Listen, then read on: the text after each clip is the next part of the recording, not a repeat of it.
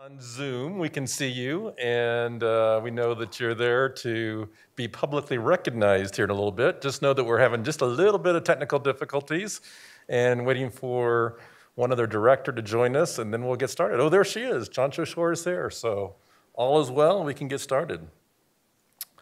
So I'm officially calling to order this meeting of the Board of Education for January 5th at 6.05. We'll begin with roll call. Director Ciancio-Schor. Director Ciancio-Schor, can you hear me? Not yet. I don't think she, Director Ciancio-Schor, if you can hear me, can you give me a thumbs up? Not looking good.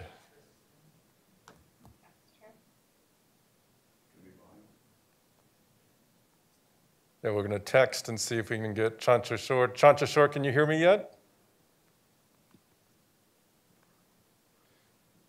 One more time for Director Ciancio-Schor. Okay. I don't know, Christina just can't hear us.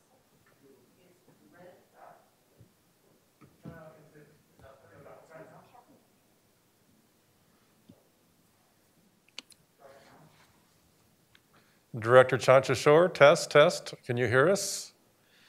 I can hear you now. You can hear us now. Yay. All right. We're going to do roll call. Director Ciancio-Schor, are you here?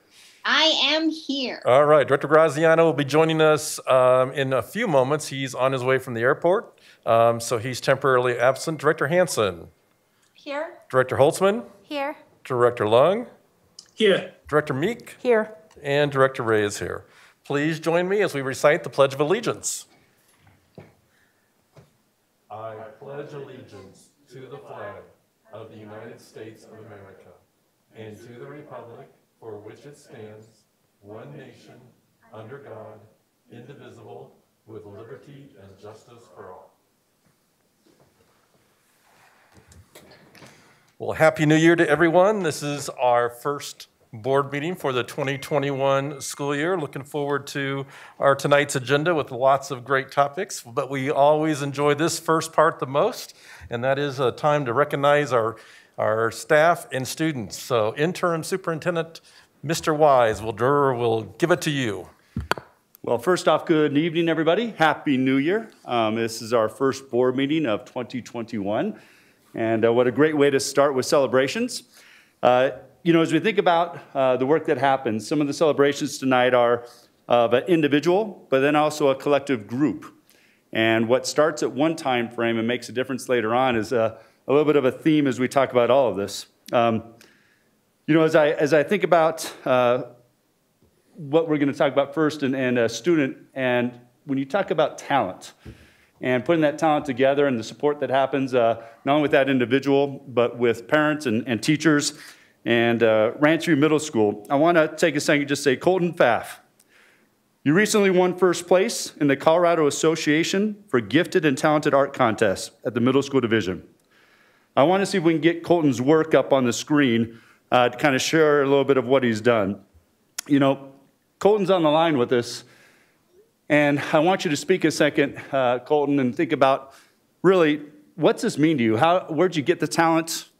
What do you feel when you create this? And then, you know, it's not too often you get a get awards and recognition for it. You know, tell us a little bit about uh, what inspired you and, and where you are now and what you're thinking and how you feel. So, Colton, are you with us? And uh, would you like to share a little more for us? Uh, yeah, I'm right here. Thank you for having me tonight. So, Colton, this is pretty amazing. Uh, tell us more about what sparked, when, when you started to have a love for art, what sparked this, and tell us more about what you've done. Um, so I started art uh, probably four or five years ago, but it was like only small drawings. Um, and I started to go on YouTube and I got more involved into it. And I found this um, this style that I do right now, which is called doodling, and that's what you see on the screen.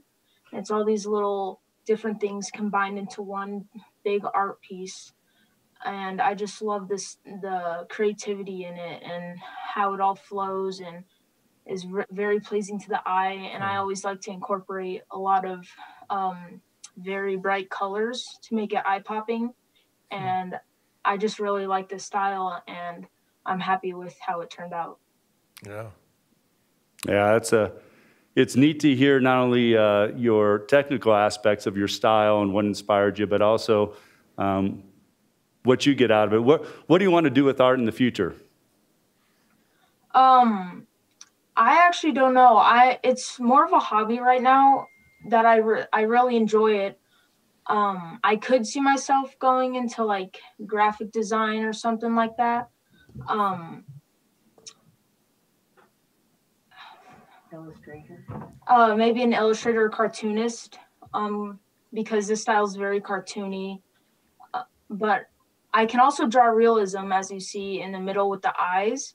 Um, that's because I used to draw realism. That used to be my um, my main style that I really enjoyed. Um, and then I found this guy on YouTube who combined both of them, and I thought that was really cool. So that kind of inspired this kind of art piece right here. That's awesome. Um, just to listen to you and how you talk about what might come and the technical side on, on top of everything. Uh, I want to bring in your principal, Mrs. Kylo. Uh, you also have on the line uh, Ms. Irwin, Irvin and Ms. Rothwell. If you would, will you share a little bit about uh, Colton and the work and, and the difference, uh, you know, when you see recognition like this and that partnership at school? I would love to. Thanks for having us here tonight. Um, Colton, first, we are so proud of you. He's a seventh grader at Ranch View and he's on the gray team. We're proud of him and his artistic abilities, but more importantly, even we're proud that he's just a really kind human being. And you could tell that just from listening to him talk right there. Colton, I had your teachers tell me a little bit about you in your classroom, and here's what they had to say that you're funny and that you have a great personality. Ms. Bocci says that you're thoughtful in your classroom interactions and you're just a kind human being. And Ms. Boyd says you're a warm and friendly person with an open heart and a great attitude, and that you're enthusiastic and you incorporate that impressive art talent into almost all of your projects and assignments. So, congratulations and keep following those passions and dreams that you have because you are a very talented young boy. So, congratulations. We're so very proud of you.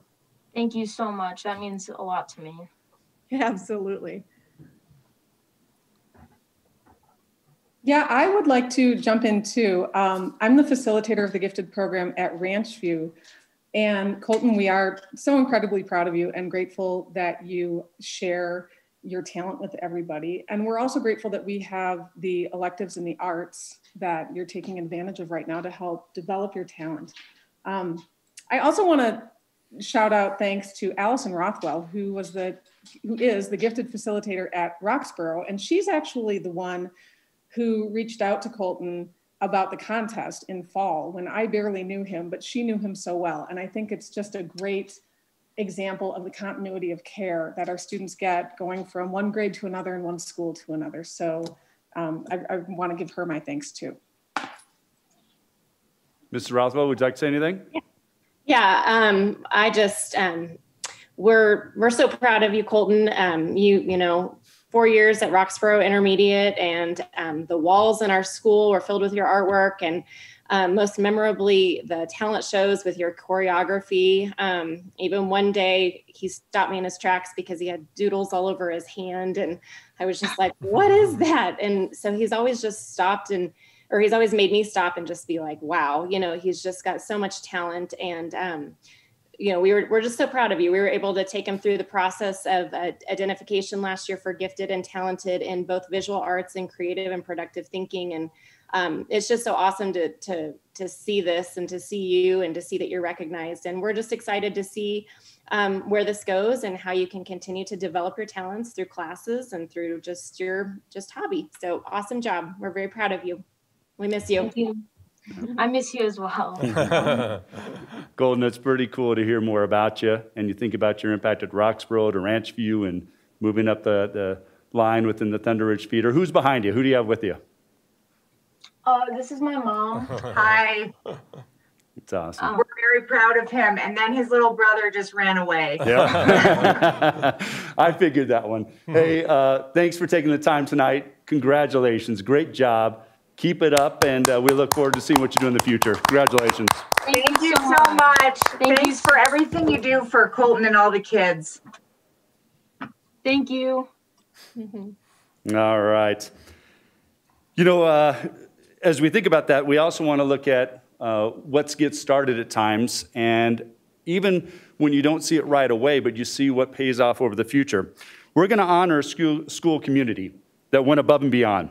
They wanted to, to make sure that all of their students could enjoy their playground and how they could improve what they have uh, to make sure that everyone had that opportunity. It all began a couple of years ago when then sixth grader Julia Wilsh approached her teacher and principal about the need for an ADA friendly playground. This past November, her dream became a reality. On the line, we have uh, Principal Katie Lynch, and you have a group of you uh, from, uh, from over there. And, and if you would talk a little bit, Katie, about uh, the impact uh, that Julia had in starting this and where you are now and the impact for your community and your school and all of your students. Thank you so much for having us here tonight. I'm just honored um, to present some amazing individuals tonight. It really started um, with Julia, who is a student in a wheelchair who is having a hard time kind of racing across the playground to keep up with her friends while they were playing groundsies and things like that. And so um, Miss Kreinbrink is on here. She's our OT, and Mr. Crystal is on here as well. He's our um, learning specialist.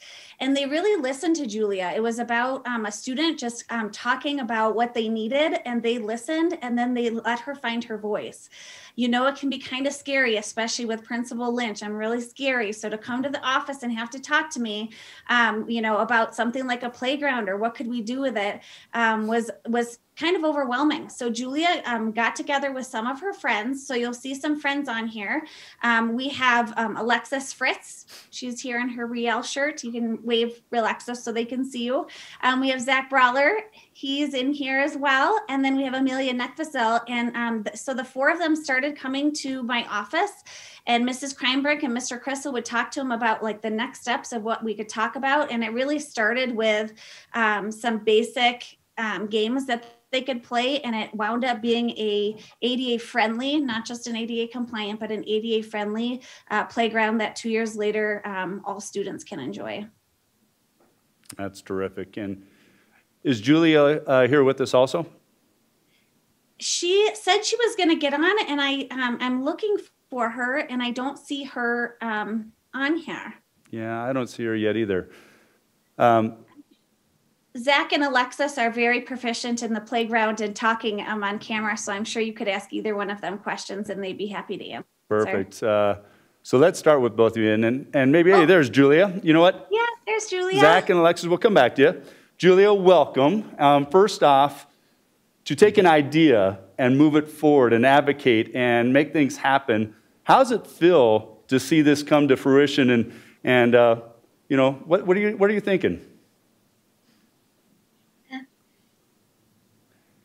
what are you thinking? That wasn't.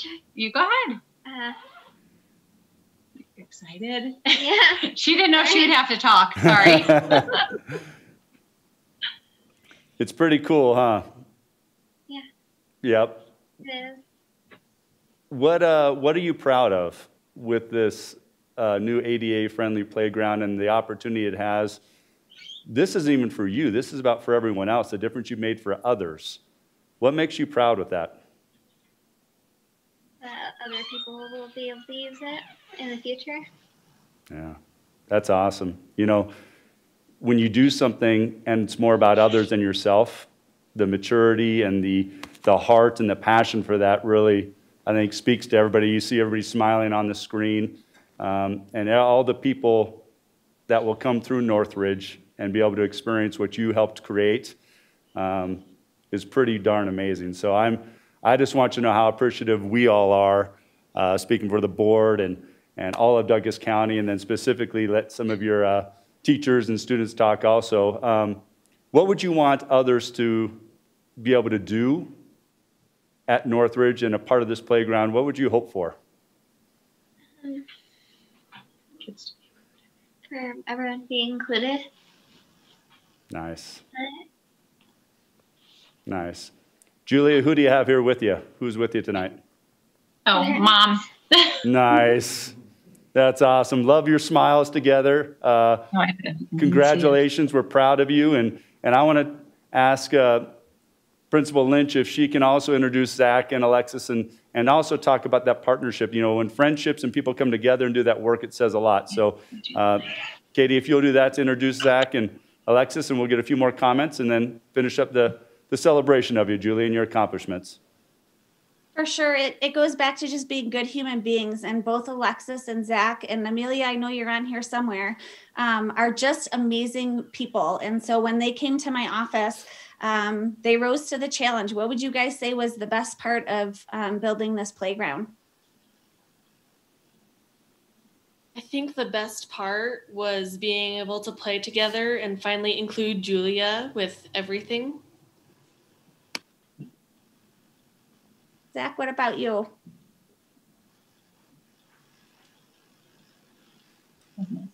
Zach, you're still muted. If you click on that microphone, if you want to say something.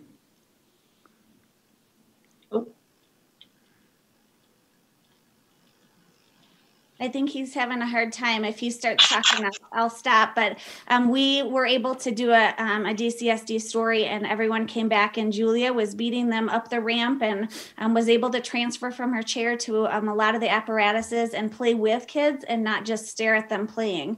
Um, and for me to see that light, that light in Julia's face and her eyes, um, it was it's something I I didn't go to college to be a playground builder, and I'll tell you, it's been the most rewarding thing I've ever done. Yeah. Well, I just, Julie, anything else you want to add, or Zach? I don't know if you want to come back on, but Julie, anything else you want to add as I close uh, this part out? Um, I,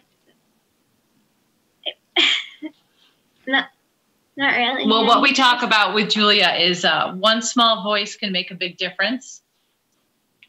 That is terrific. You know what? I don't think I could say anything better. What a testament, Julia, to you, um, your thoughtfulness, your avocation, your work, to your friends and, and teachers and principals uh, uh, that helped make this happen. And just want to say thank you. Thank you uh, to all of you and the Northridge community. What a great accomplishment that's going to be uh, uh, impact to so many in the future. So um, appreciate you all. Congratulations. How about a round of applause for Julie and the Northridge community? All right. Hey, last but not least, the Colorado Association of School Boards designated January as a month of appreciation for um, our school board and all the school boards in Colorado.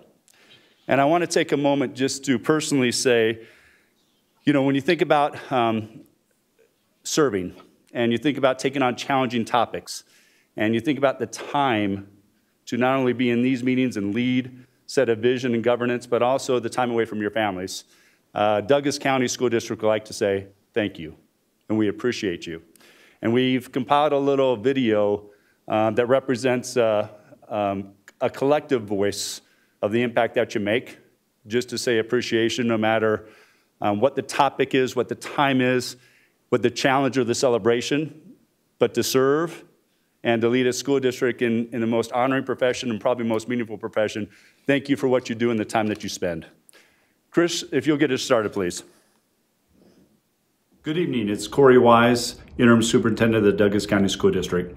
It's January 2021. Happy New Year. But January is also the Board Appreciation Month.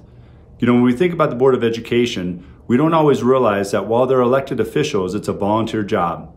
They don't get paid, but they spend countless hours planning for these meetings, uh, setting up committees and being a part of committees, and really setting up the policy governance that helps Douglas County be the great school district for every employee and student. I want to take this time just to say thank you. I and we appreciate you, and we couldn't do without you. I would like to take this opportunity to thank the Douglas County School District Board of Education for their dedication and hard work in supporting our students and staff, not only at Eagle Academy, but the Douglas County School District as a whole. Hey, who would have ever thought that as you demonstrated interest in becoming a board member and ran for election, that we would have ever faced the challenges that you're facing today uh, with COVID and superintendent searches. Um, I just want to let you know that we really appreciate everything you're doing and your advocacy for our students, for our community, and for our entire school district. I just want to say thank you for all your support for all Douglas County students throughout this school year. And I especially want to say thank you for all your support in getting us our new space and our new building.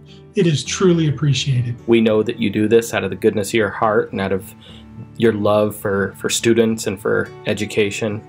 And we just want to say thank you. It warms my heart to know we are supported by such an outstanding team. You work uh, long nights and long days, put in a lot of hours for the students and staff in Douglas County. So thank you for all your hard work. For all the things you do for our kids on a daily basis, we are beyond appreciative. You really make a Douglas County a great place to work and learn. It's very obvious, not only in board meetings, but also just the way that you communicate on all levels, how much you care about educators. Wanting to thank you both as an educator and as a parent for your passion and your dedication and commitment to students, families, and staff. As a principal, we have felt the board's support throughout um, the last several years, particularly this year, and I just can't even imagine the amount of pressure that you are all under um, to support constituents and keep our kids back to school, which I know you all want to do. I know it's a thankless job sometimes,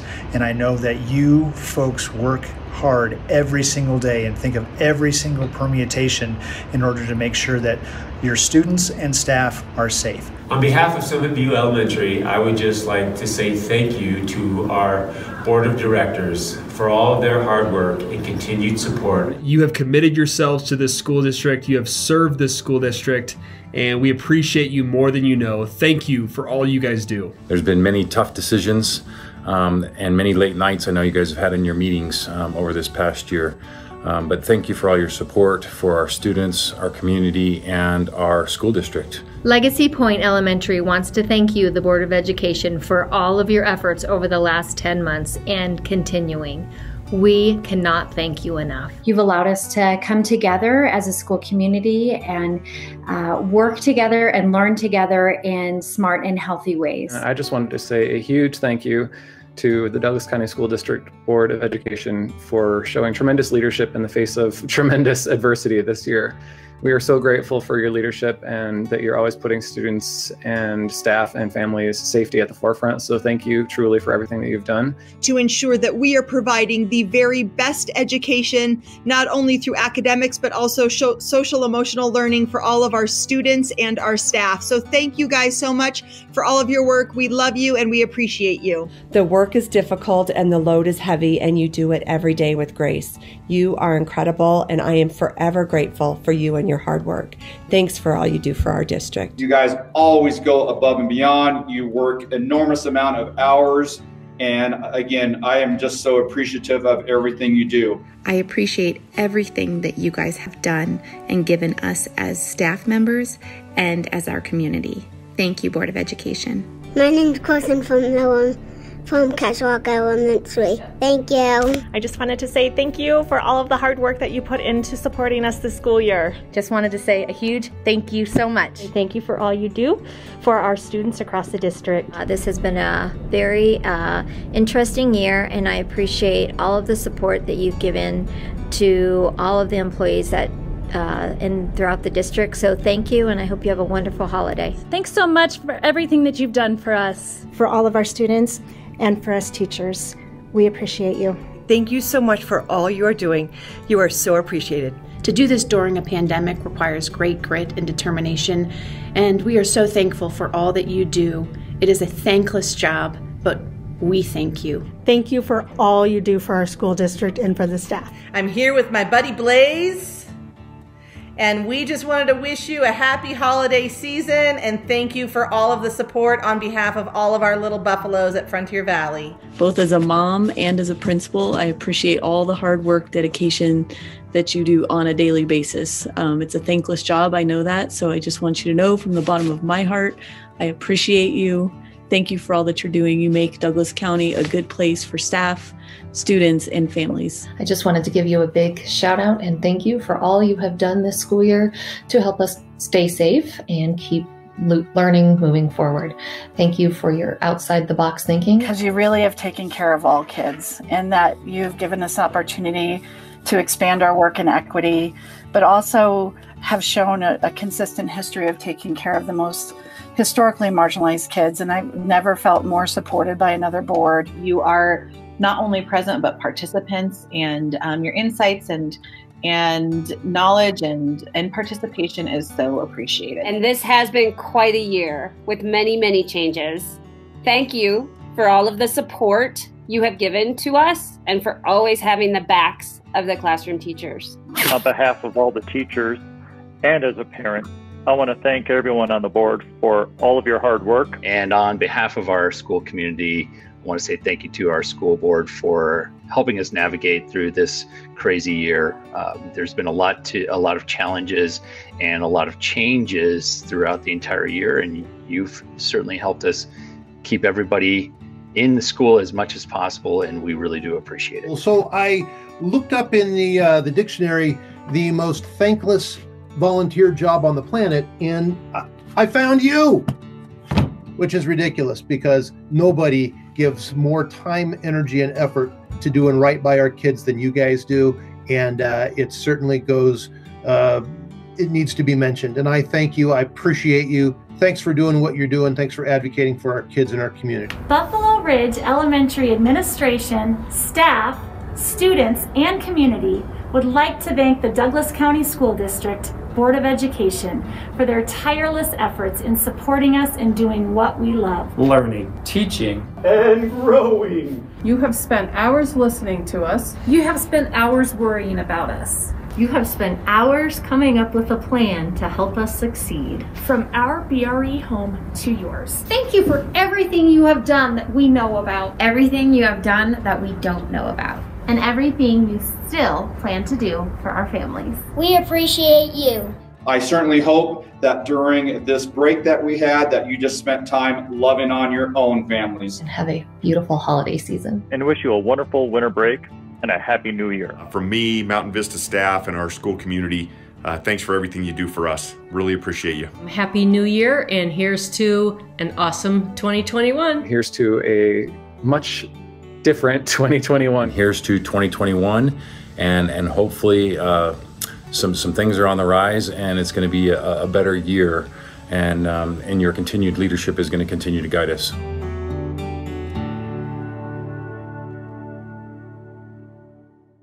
Good evening. It's Corey Wise, Interim Superintendent of the Douglas County School District. It's January. the impact you make, you look at the number of people um, that represents our entire school district. And not only as a staff, but also parents, community. Um, we appreciate you. We appreciate your service. So thank you.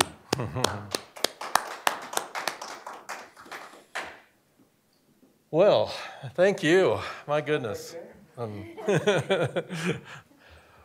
we may need that video a few more times throughout the year. Just uh, well done. Thank you. I, I, don't know what else to say. Just thank you. And I know I speak for all of us that it, um, that we do this because of Miss Julia right there. That's still on on the Zoom with us. That's that's why we do this. And um, but certainly those words of affirmation uh, go right to the heart. So thank you for developing the video. Thank you for all that participated and and um, all right, let's get to work. Enough of that. All right. Um, board, next on our agenda is the acceptance of the agenda. Is there a motion?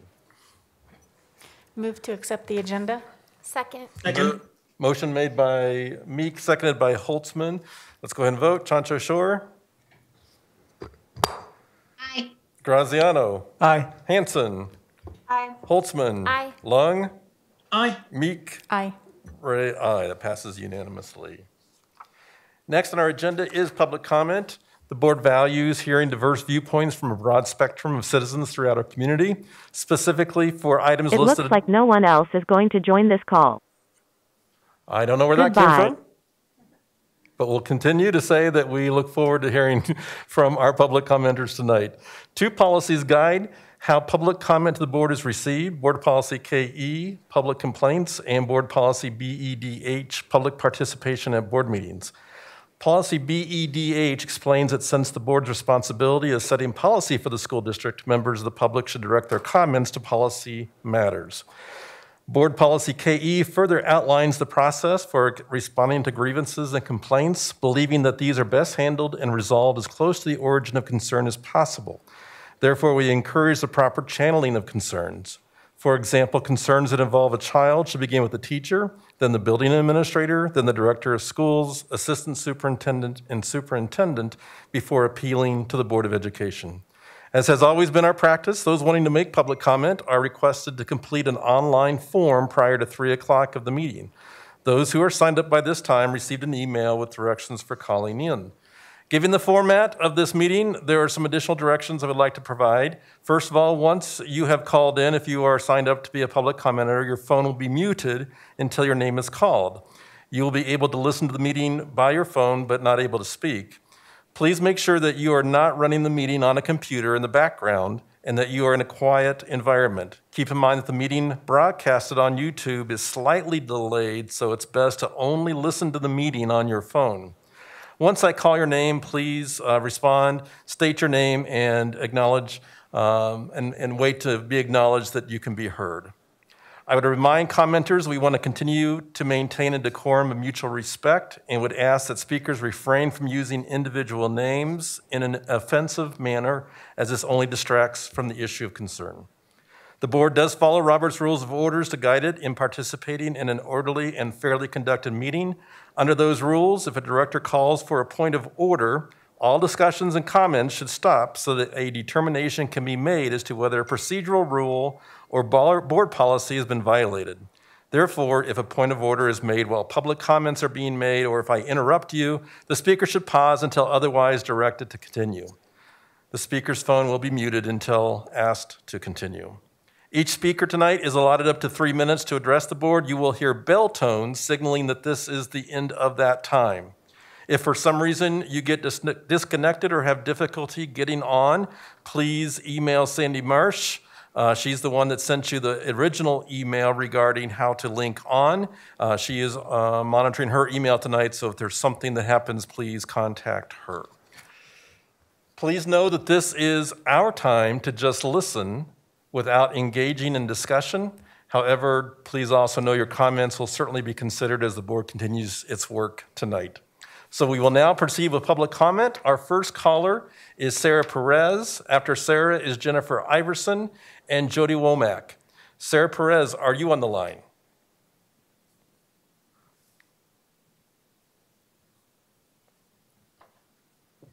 This is Jennifer Iverson. I heard you, Jennifer. I'm just I'm going to pause for just a second. Is Sarah Perez on the line? Not hearing Sarah. Jennifer Iverson, please go ahead. Good evening. All right. Thank you. Um, in early October of this school year, I came before this board, cabinet, and interim superintendent to plead for many students who could not get to their school because of the changes in the transportation policy. The families had chosen hybrid for their children, but had not been able to get to their school since August. In November, DCSD's Department of Transportation met with several school accountability committees to brainstorm and it could be available to other children. Students who have qualified for the hardship clause, no feasible way of physically getting to school safely, in the current DCSD transportation policy are still not able to get to their classes because of unused or underused smart tags.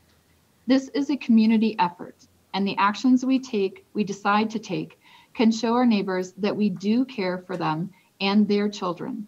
If our community can reduce the number of underused and unused smart tags, it could make a huge difference in the lives and education of DCSD students still unable to attend in-person classes due to busing restrictions. So if your student has not used or is not intending to use their smart tag for busing this semester, please let go of that reserved seat for a student who needs that ride to access their education. Thank you from the, from the Acres Green Elementary SAC, the Crest Hill Middle School SAC, and the Highlands Ranch Middle, excuse me, and hmm. the Highlands Ranch High School SAC. Thank you. Thank you, Mrs. Iverson. Jody Womack is next, and then after Jody is Katie Kane, and then Allison Kalinsky. Jody, are you there?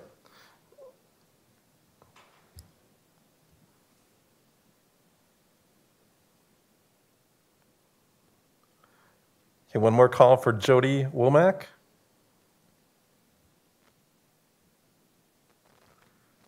Okay, moving on to Katie Kane. Are you there? I'm sorry, I'm here. This is Jody Womack. Yes. Oh, good. Just okay. in the nick of time, Jody. Go sorry, ahead. I could not find the button to do it. I'm technologically no worries, no worries. Go ahead. Good evening. Good Thank goodness. Good evening. Hi. First and foremost, I want to thank all of you, especially after that video, all the administrators, teachers, secretaries. Can you hear me? Okay. And everyone in education for doing what you do. You all are essential, and I'm thankful my kids are in a great school system. My name is Jody Womack, and I'm a parent of four boys who have attended or are attending Douglas County schools. Specifically, I, work in a NICU. Well, I don't work in a faith and keeping everybody happy and um, and and the the laws that are preventing us from going to, to full in person. But both my boys, both my high school boys who have ADHD and are very bright, are now struggling with depression and anxiety because they do not have the structure and relationships that come with in-person learning. And I know I'm not unique to this. Um, this year has been an absolute disaster for both of them. I know you're aware of the struggles they're having. And there are those of us who are fortunate and can have tutors or hire tutors, counselors, and etc. And then there are some who have quit their jobs to help their kids emotionally and cognitively through this pandemic. I know both the board and the governor want to see in-person learning return. However, up to November, the obstacles have primarily, in my eyes, um, have been the quarantine rules. And this brings me to some questions and possible solutions. and I emailed this to Corey Wise. So, Corey, I'm sorry you're hearing this again if this is a second time.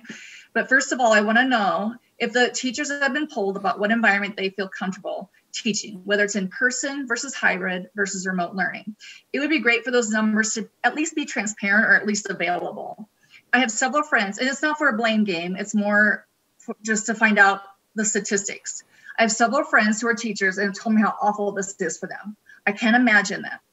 The time they're spending more time than ever than planning engaging lessons for students who are not engaged due to this e-learning and hybrid schedules. I know there are rumors flying around about litigation fears, and while I see that as a healthy fear, have you considered having parents sign a contract saying no litigious or quote I'm not a lawyer. No litigious action will occur if their child should contact contact COVID while at school. Second, I'd love to know what the transmission rate is for teachers and students who have tested positive and contracted it from the school setting in Douglas County. According to the World Health Organization, and I quote, children in schools are unlikely to be the main drivers of COVID-19 transmission. Community transmission is low and appropriate measures are applied. Oh, which is completely understandable to all the remote to going all remote during November and December with the rising numbers of cases in the community. Can I continue one last paragraph? Yes, go ahead, Ms. Womack. Okay, thank you. I'm sorry. I timed myself earlier, but another problem prior to November, and this is the most important takeaway, was that the exposure guidelines are too stringent. I know your hands are tied, but our neighboring states, such as Nebraska and Utah, as well as other states, are able to maintain in person learning by utilizing masks, which we all know is required in the state. For example, if a child tests positive who's wearing a mask and all the close contacts, i.e., the teachers and the other students, are wearing masks, only the positive person isolates and the others self monitor. I know that many students and teachers were quarantined just because of exposure but never tested positive. I would like to ask if we can somehow parents, the board, whoever you need to put pressure on the governing bodies to change the exposure and quarantine guidelines like so many states have already will you please listen to the teachers, students, and parents and pursue, even in the secondary schools and other metro areas, how they're able to keep their students in the classroom five days a week. Very good. Thank and you, as Ms. you know, with the vaccinations coming to fruition and the decrease in the number of cases, we just need to be more proactive, proactive in getting back to in-person learning. And I know you know that according to the CDC, quote unquote, during weeks 12 to 42 of 2020, the proportion of mental health related visits for children aged 5 to 11 years and adolescents aged 12 to 17 years increased approximately 24% and 31% respectively compared to those in 2019.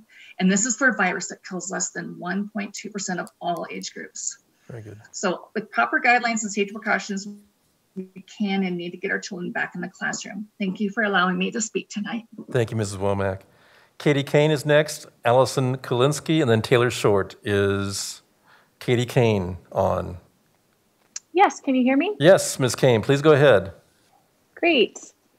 Hi, Happy New Year. Um, thank you for your decision to return elementary students back to in-person learning. I also appreciate Superintendent Wise's commitment to not have a district-wide shutdown again this year. That said, I want to revisit a question President Ray proposed during a December meeting. If children are not getting COVID at school and not later becoming infected during quarantine, why are we even quarantining? Research at Ohio State University asked the same question and conducted a study to find the answer. Not surprisingly, the study found that there was no difference in the infection rate of students who were in close contact with a student who had tested positive for the virus and those who were not exposed. We all know that schools are safe. We know that teachers are not at any greater risk than other essential workers. And now um, we'll be getting the vaccine here shortly. The main reason we shut down in December was the inability to remain staffed with the quarantine procedures. It's also the reason middle and high school students are not in person at this time.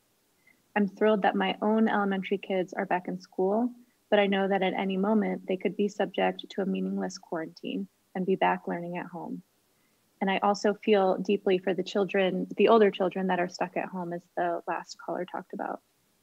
I urge you to review the data from the Ohio State study and seek to further amend the quarantine procedures with the CDPHE. They've gotten better, but it's still not enough. Ohio and many other states have adopted this change and are eliminating quarantine at schools. We still have five months left of this school year. Let's make the most of it and keep our kids in the classroom as long as possible. Thank you. Thank you, Ms. Kane. Allison Kalinsky, Taylor Short, and then Joel Chambers. Allison Kalinsky, are you there?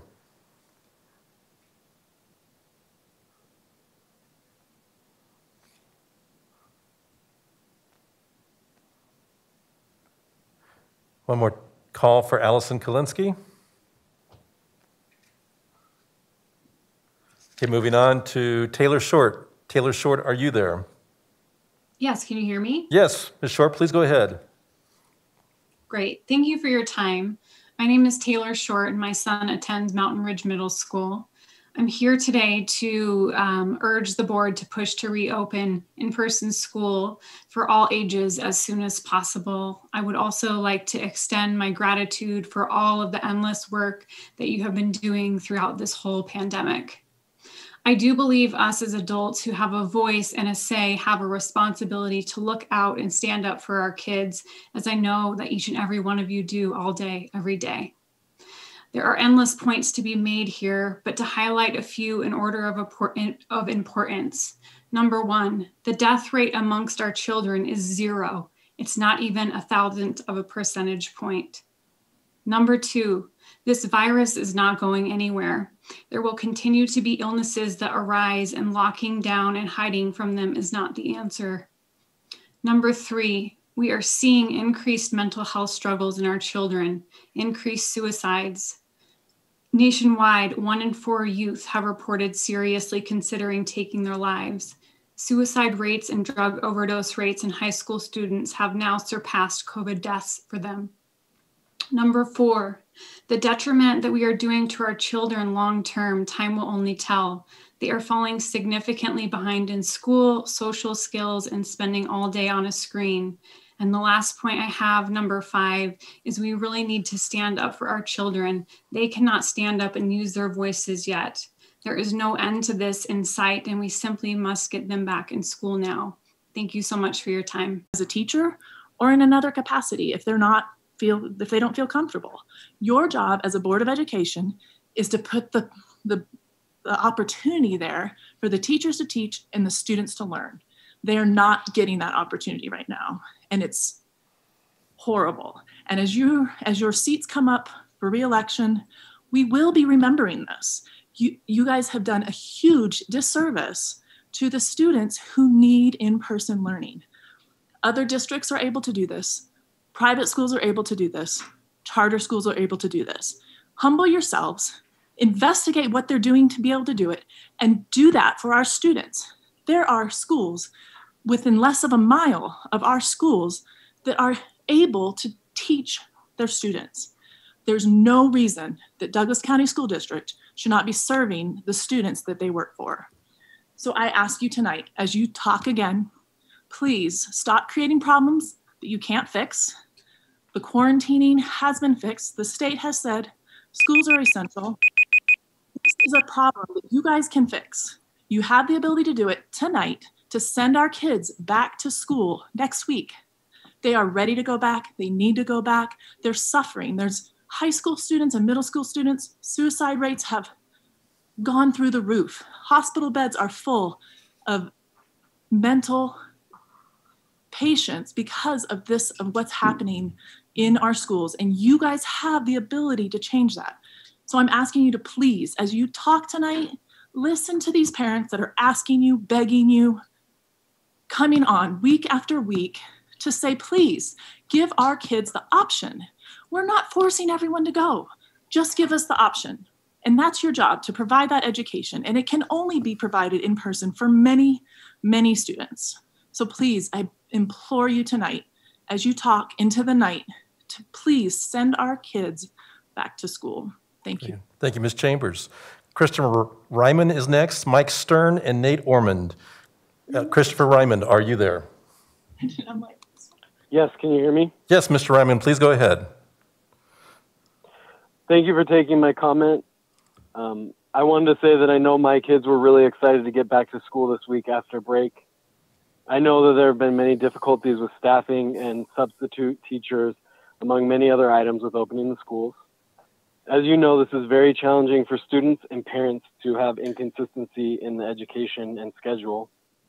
I appreciate that we are getting the elementary schools open for in-person learning and hopefully the rest of Douglas County School District schools.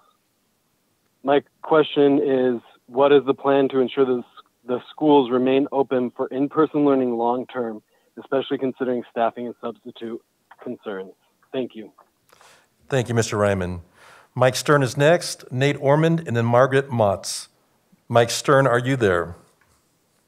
I am. Can you hear me? Yes, sir. Please go ahead. Thank you for this opportunity. First, let me establish my perspective. I'm a teacher and a parent.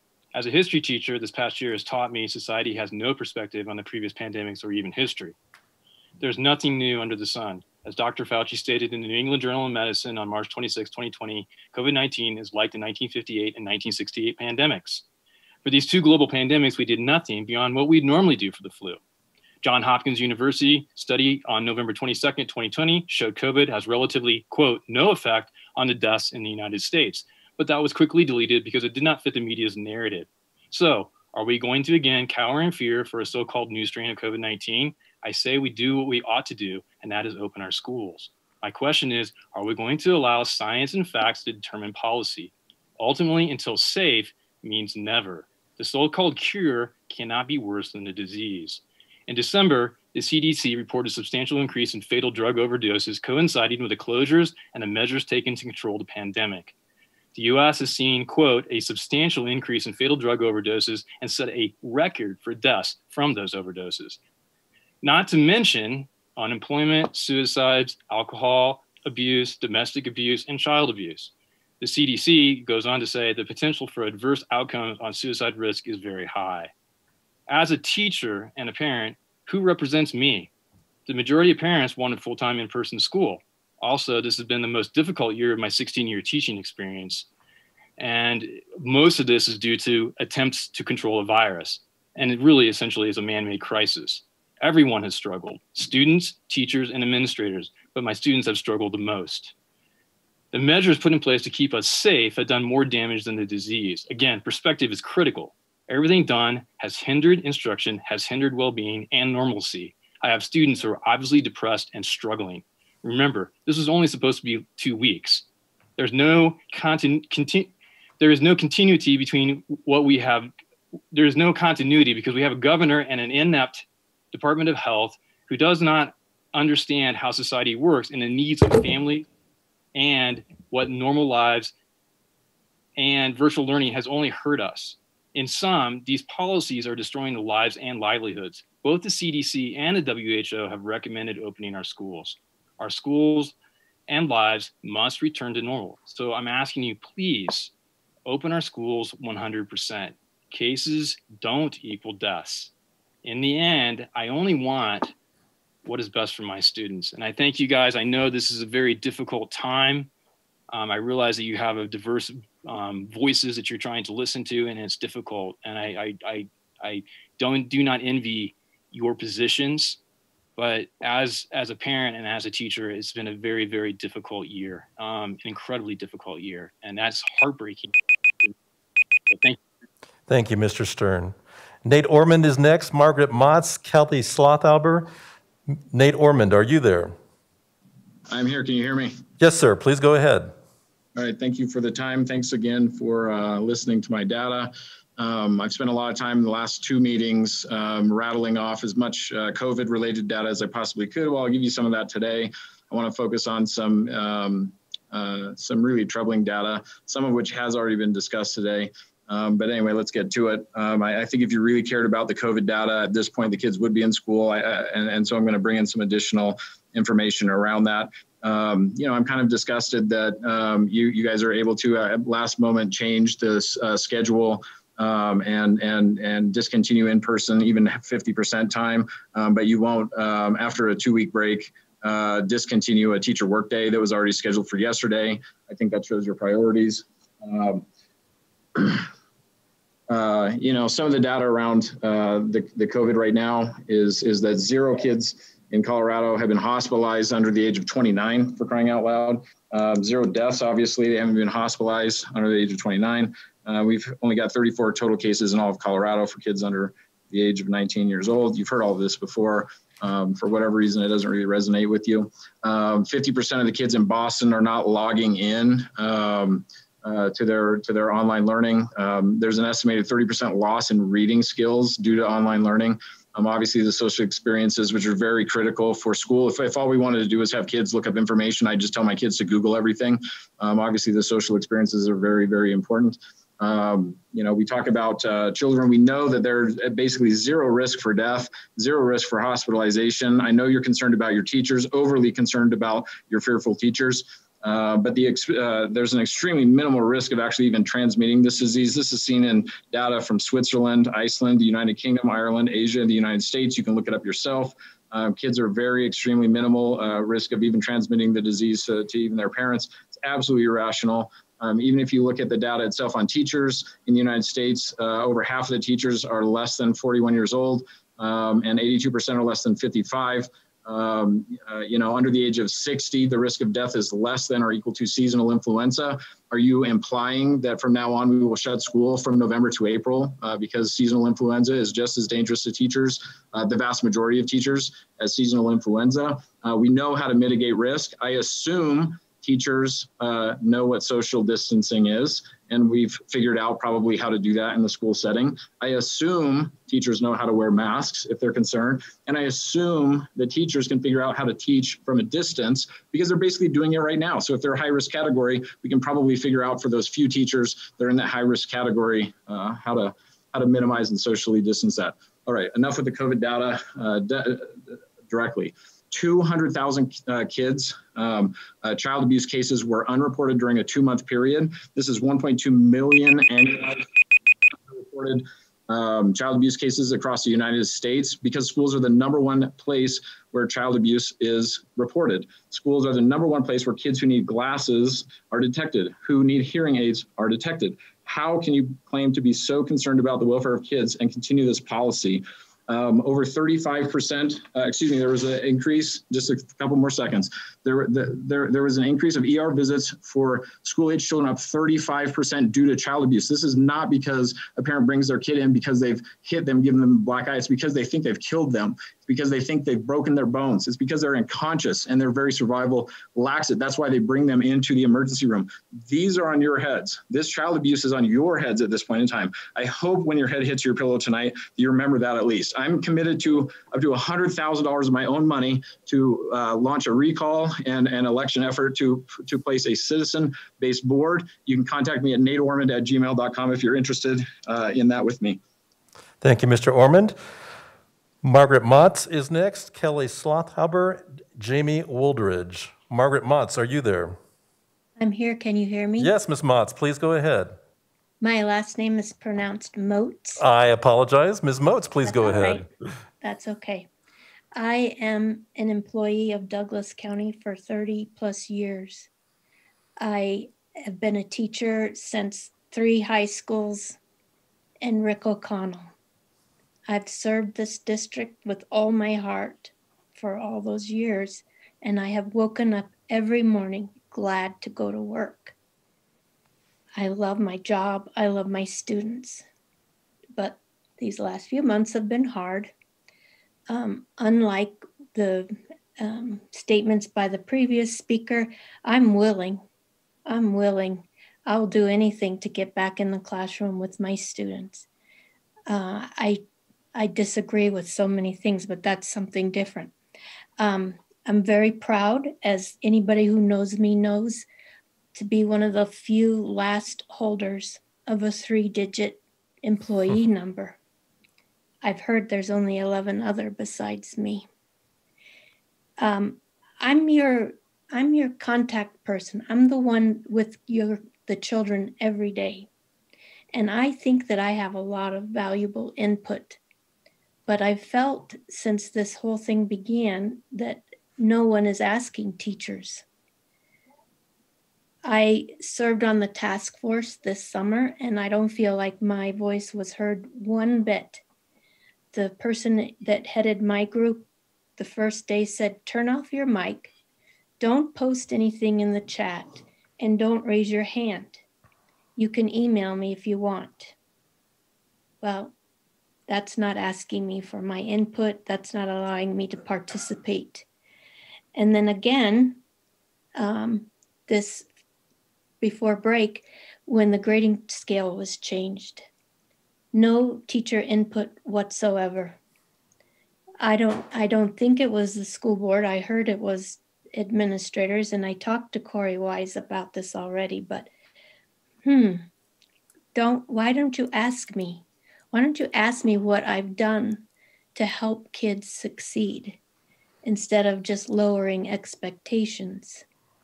I spend a lot of time with kids one on one, and I just felt like I got a slap in the face when they changed the grading scale overnight in my grade book.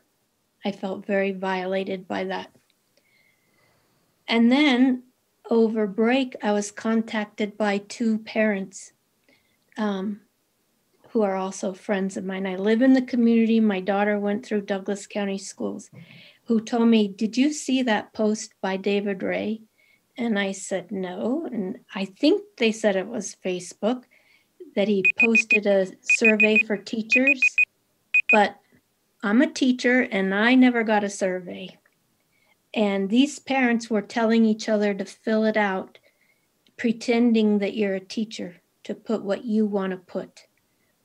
I didn't get to fill it out because I don't get whatever platform he was using. Why didn't he use the district?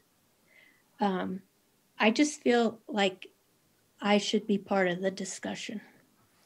Thank you. Very good. Thank you, Ms. Moats, and thank you for your years of service. Kelly Slothalber is next, Jamie Woldridge, and then Lily Porter. Uh, Kelly, are you there?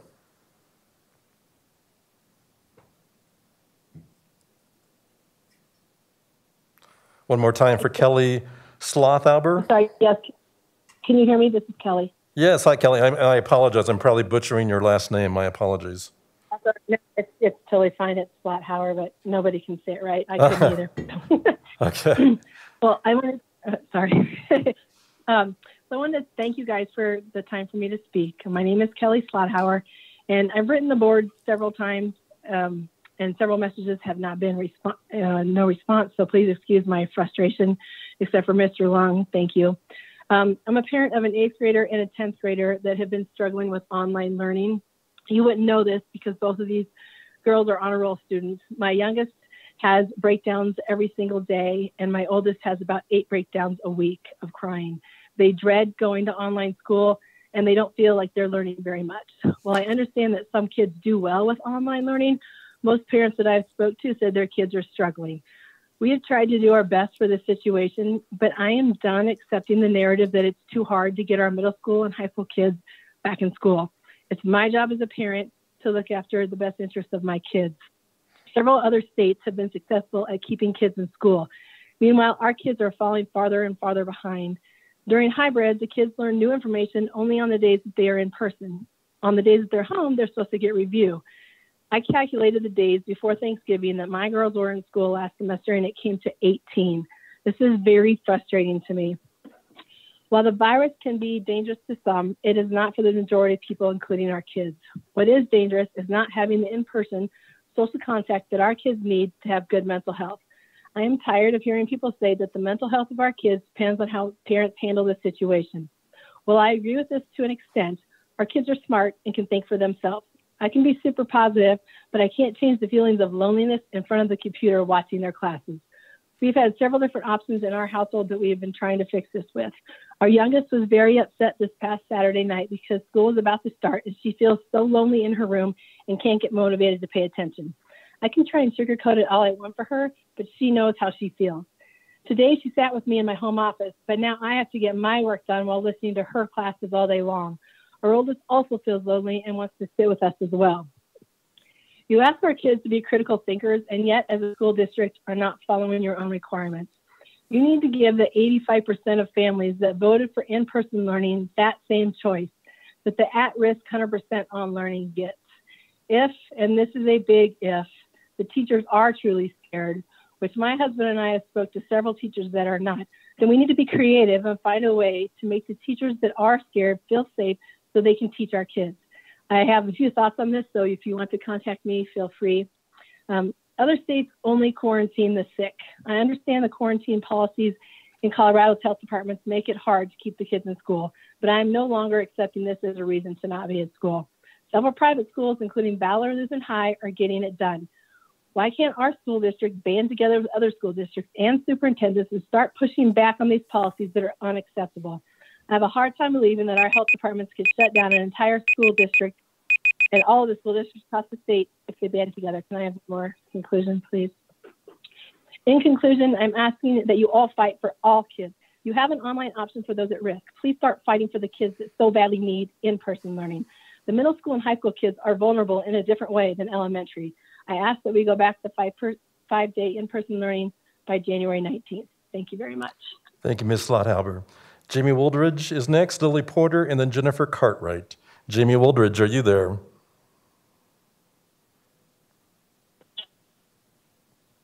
Can you hear me? Yes, Ms. Wooldridge, please go ahead.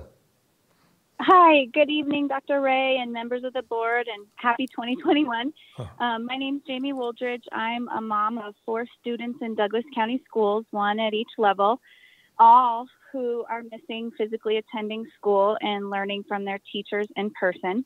Um, I just got done outside um, of your building participating in a rally with about 100 other concerned parents, students, and fellow educators um, that were wanting to show you um, all our shared desire to return all of our kids, including middle and high schoolers, to in person learning now. Our kids have done what we've asked of them for the last 10 months.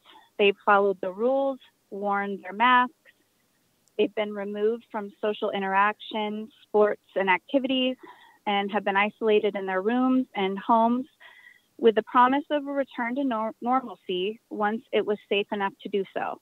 Thanks to our governor's advocacy, changes from the state and Tri County health departments, that time is now. Due to the strict safety protocols put in place by districts around the country, schools, as we know, are one of the safest places to be. In November, CDPHE and Tri County Health made the changes to return to targeted contact tracing regardless of where we are on the COVID dial. This, in addition to adopting the guidance from CDC to shorten quarantine times from 14 days to 10 or 7 with a negative PCR test, were key important changes that will help alleviate staffing shortages and student absences by removing crippling restrictions. Additionally, because of the abundance of free COVID testing options available, including Douglas County's contract with COVID Check Colorado, which you all have had since August. COVID testing is free for staff, students, and their families. Staffing sh- shortages should be alleviated if schools adhere to contact tracing, enforce strict mask wearing, and be diligent about seating charts. And make sure teachers are not in close contact with students for more than 15 minutes. This has been shown to be effective at our Douglas County charter schools who are able to be in person full time for all ages all fall semester until Thanksgiving with little to no outbreaks. Lastly, with the news that teachers have been prioritized with the vaccine starting immediately, this and all the reasons I've stated above show why all of our kids should be in person learning at all grade levels now. Thank you for your efforts returning our elementary kids to school in person today, but please don't forget about our secondary kids. All of the necessary precautions have been put in place. Charter schools and other districts around the state with much higher incident rates have been able to stay in person. Why can't we? Douglas County Douglas County schools should be a leader, not a follower. Please do the right thing and return all of our kids to school in person now. Thank you for your time. Thank you, Ms. Wooldridge. Lily Porter is next, and then Jennifer Cartwright. Lily Porter, are you there?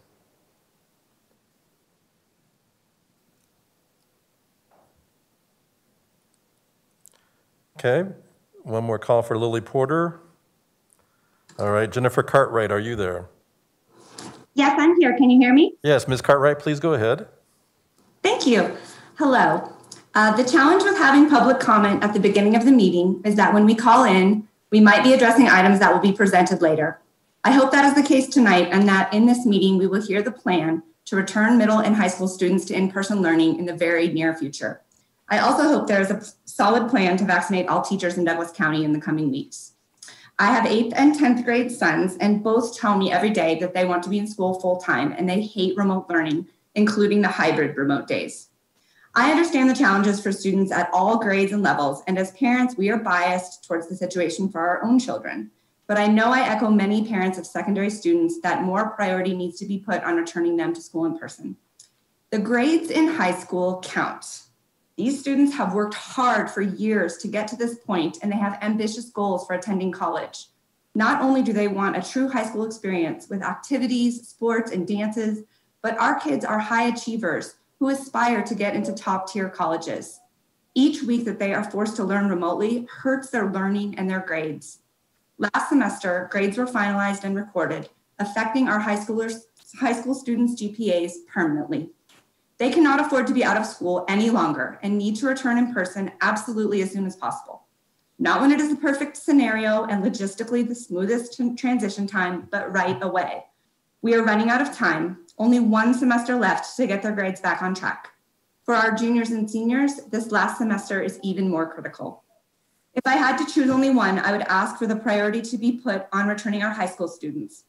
However, our middle school kids are also struggling. Our eighth graders are getting ready to register for high school without even really knowing are they prepared to tackle those high school classes? Should they register for that honors bio class next year, even though they struggled in middle school science last semester after being forced to learn this difficult subject remotely in front of a screen? Our middle school students' grades matter too. I encourage you to make decisions tonight that will make parents in our district proud. Let us be the leader in bringing our secondary students back full time, not the follower, as the last caller just said. Not two steps behind Cherry Creek and other districts. We can do better than that. Our district's vision statement reads Douglas County School District strives to maximize the potential of every student to pursue his or her chosen endeavor in society, including but not limited to post secondary education, career, or military service. If so, then put more emphasis on our middle and high school students who are the closest to entering society. We don't have time to waste. Every day that other students in Colorado and in other states attend in, in-person school while our students do not, it leaves our kids at a disadvantage. Please do everything possible to give our older students the opportunity to compete and achieve by getting them back to school in person full time as soon as possible. Thank you. Very good. Thank you, Ms. Cartwright. I'm going to pause for a minute to see if there are any other public commenters that we uh, missed. Um, that are on the phone right now. If you are a public commenter, uh, we have a phone number we can't identify. If you would unmute and just identify yourself, if you're a public commenter.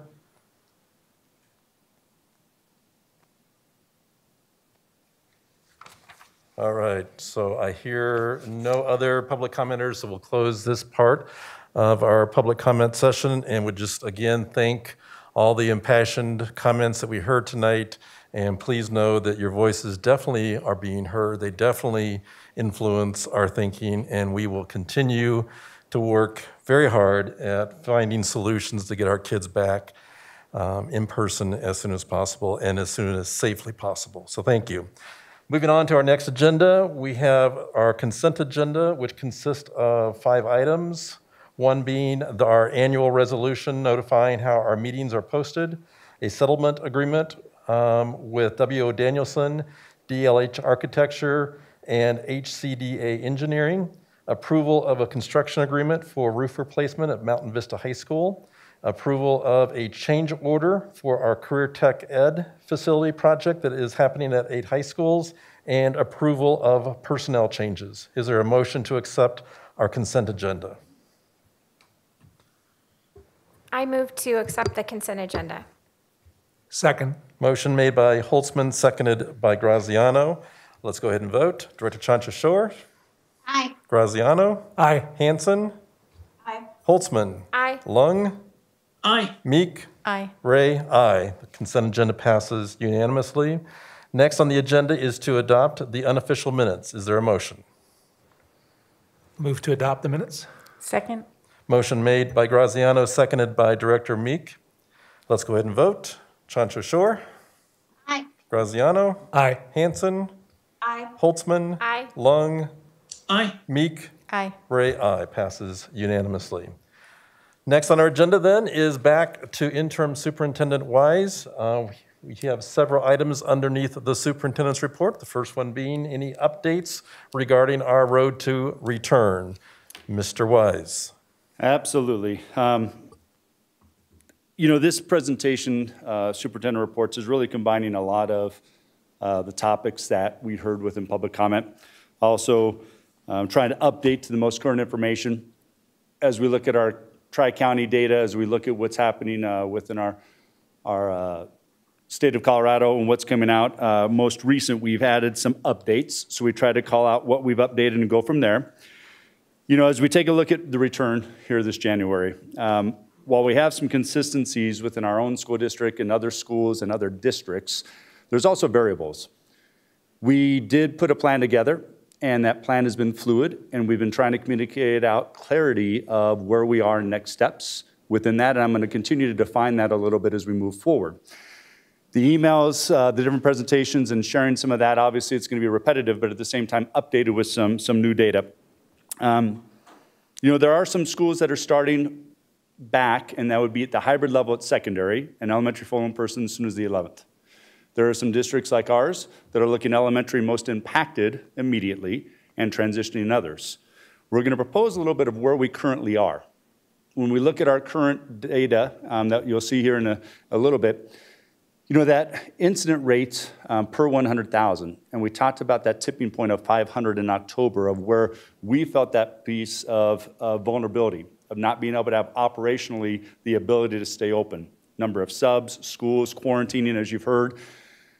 Currently, as of today, we're at roughly 384. So when you look at that positivity or that, uh, um, uh, that rate within our community, we're at a good spot. We have time in which to measure our effectiveness of keeping elementaries open. We are working in the remote setting for both middle school and high school. But as we start looking at that and continue to have uh, the ability to keep schools open, and also with our increased subs, the ability to come back earlier at a hybrid level, both middle school, and high school. So when we start looking at that within our last communication going out, our date's looking at towards the end of January. We're really working now to get out to schools, the idea of a potential return January 25th. That would be both middle school and high school. While we are putting this out as a tentative date and we're planning and preparing for that, obviously we're going to have to look at all the other things that are impacting us. We have additional subs, which I, I continue to say thanks to our, our community uh, and volunteering for that side. As we start looking at, as we start looking at the other things that are impacting us, you know, what else can we do? We've hired three nurses. Unfortunately, we also had three nurses leave our schools, so we're even. So we need to continue to recruit uh, more nurses. So any of you out there that would like to apply, we have open postings and we need more nurses. We've continued to hire special ops. We've continued to hire EAs, educational assistants, and transportation educational assistants. Uh, we also would like to have uh, a number of people apply for those roles. So if you're out there and you'd like to, we need these to continue to not only um, stay open right now, but to increase our ability. So we start looking at pulling those resources, and I do feel that our current planning was, as we looked at the 19th board meeting, the return of middle school roughly the 25th, really looking at that measurement of that incident rate uh, around 650. And then the idea of high school, if we hit that 600 mark, having that ability and sustaining those things. So these aren't set in stone, but it's our ability to operationalize and do what's best. Being roughly at 384, and if we can maintain that, a part of our Tri-County meeting today, their prediction over the next two weeks is that we could be at 350. So it's trending in the right direction, which you'll see with our data. If that continues and we have flooded our resource and have more and it's going well, that's reason why we're proposing to look at bringing back both middle school and high school at an earlier time. We're going to have to do a lot of work.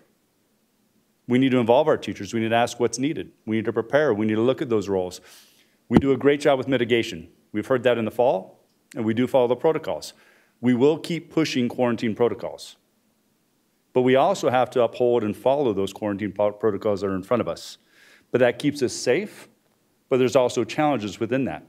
But those challenges of reducing the 14 days to 10 is already in place. As we came back, we had quarantines starting off this week, and those quarantines over 10 days. Now, the ability that if kids and or adults are asymptomatic and at day five, six, or seven can test negatively, the opportunity to come back earlier at day seven. We are going to be building that in. Now, the tricky part is depending on who is quarantined. If you have adults that are out that can't get back and you have kids coming back early, we have to create those opportunities where we're at least at 10 days, which is better, but does get complicated. And we'll be putting out more information for understanding of that and processes in each of our schools. That's true also as we move back middle school and high school. Um, we do have targeted quarantining. That did help us a lot. Hybrid is, it, it, it presents some strengths and it presents some challenges. We want kids in person. We will be working with our teachers and asking what's the best way to go. What are we willing to do? We have met and we will continue to meet, with Tri-County about what are our options to be in person. We have moved up our vaccination process communicating with our staff, putting those in place. We have our school nurses getting vaccinated this week. We've included our charter school nurses in that group. That's an important group in which to have a specialty piece and work with this quarantine process that are working with our kids that might and teachers that might have illness at school that we need to send home. But we've also prioritized our other groups. Now, we are being impacted by the governor the CDPHE requirements, changes within this. We're understanding tomorrow there's going to be changes, uh, possibly of the vaccination protocols in those phases and availability. But I want you to know Centura and others have partnered with us. Health One with our school nurses, uh, Centura working with Kaiser within our groups in which to get our teachers um, and staff that are working with students vaccinated as quickly as possible. That's determined by availability of vaccines um, and then access of emailing out and scheduling those appointments and getting those done. So we have a great process set up. It's already started and will continue, but we're going to be faced with some challenges that we don't always control. Now, we're trying to control everything we can and set a strong plan. But we're going to have to be adaptive and responsive. We're going to have to be prepared of what's next and have multiple options in which to adjust. But I still believe that looking at these plans of, of coming back, um, we're in a better spot and we have the opportunity and ability in which to do that. And we'll continue to build readiness continue to build uh, feedback and the needs in which to support that. We are addressing masks. We're addressing social distancing. We're reminding, and that's going to be not only of students, but also of, of staff and teachers. So when we look at these, we want you to know that within our plan and what we continue to put in place uh, is happening. And a lot of, of stuff that we don't see behind the scenes. We want to try, try to make it more visible. So create understanding and work through this. And even in a presentation tonight, I hope there's a lot of people watching. I hope there's a lot of people that go back and watch. But how we can increase understanding and awareness is going to be very critical and important. And being factual within that. Um, you know, some of the other things that as we start to look at, as we look at uh, the ability to have COVID testing, uh, in our meeting today with the governor, the governor pulled together all the superintendents in Colorado with an invite. He and the governor's office has created an opportunity for testing free of charge for one full month. It's a take home test. We opted in, we've already put in our, our process to get that. Uh, we're working to find out what that looks like and, me, and means and how quick we'll get it. But the neat part and the exciting part is the opportunity that not only schools can have them to send home with kids, parents and families, because they're in our system, will request these, and you have an online practice which helps you go through the right way to do it and submit it to hopefully build accuracy, because that's going to be critical, and timeliness of getting the results back. So that's going to be a new process that we just heard about today, that we've already started to set up our protocols um, and our initiatives to get this going. In that same piece, the governor's offered uh, more PPE. While we have um, already ordered uh, supplies, we've also opted into that to be able to get more PPE uh, to expand our coverage and meet our needs for the rest of the semester. So we're appreciative of those efforts. Uh, these are new and brand new coming out to us today, but I also want you to know that um, there's going to be challenges within that. As we get those tests, how well do they work? How quickly do they bring back? Can we use them to bring back people earlier from quarantine process? They're still working on that. They're still defining the answers, and we'll be partnering with them and pushing to help get the best results possible. Matt Reynolds is a part of the call, and as you know, Matt has become kind of a guru of our, our data points. And I referenced a little bit of this earlier. This is current as of today. So when you look up top uh, where we are on that incident rate uh, per 100,000. And Matt, if you can uh, come on, and I'm going to let you kind of take over the next couple slides and uh, partner with me. Perfect. Can you all hear me? Yes, we can. Perfect. Thank you. Uh, good evening. Happy New Year. Um, very glad to be back uh, to discuss our, our, COVID data and our dashboard. Uh, we will be providing a, an update to our dashboard score on our website. Uh, the last one that we had posted was uh, pre uh, winter break, but we will do it again this week to re um, establish our normal cadence in, in regards to those reports. the data that you see here is as of 1 3 21. Um, they did provide an update to this data as of today. So the numbers that uh, that are up there are slightly different than what they than what we have um, today. That top number 385 late this afternoon, they did update that. We're now at 402 or 401.96 to be precise. Um, the other interesting data point that we uh, look at is C, which is the positivity. Um, instead of being at 6.33%, we're now at 6.96%. Uh, so we do seem to hover uh, around this 400 level. Um, and uh, next slide, please. Um, if you look at our trend data, our trend data, um, as Corey had mentioned earlier, has been going in the right direction. Um, you know, since going back to around Thanksgiving, where uh, you know many of the districts across the, the metro region, the front region range, including Douglas County, uh, made the decision to go uh, to full remote.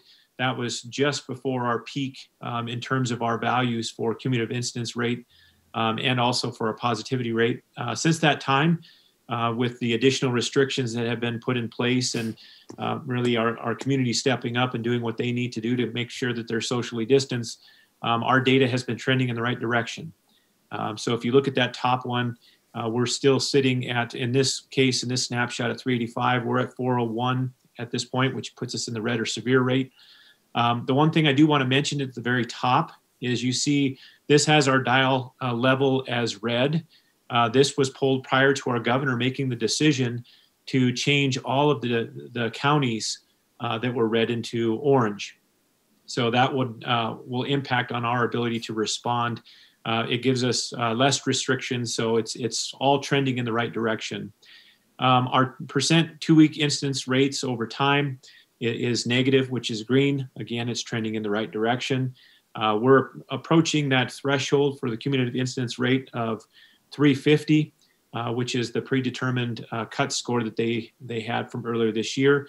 Um, Tri-County may uh, make some changes to their metrics uh, just based on responding to the governor, but we'll work with them to uh, figure out what those changes may be. Uh, next slide, please.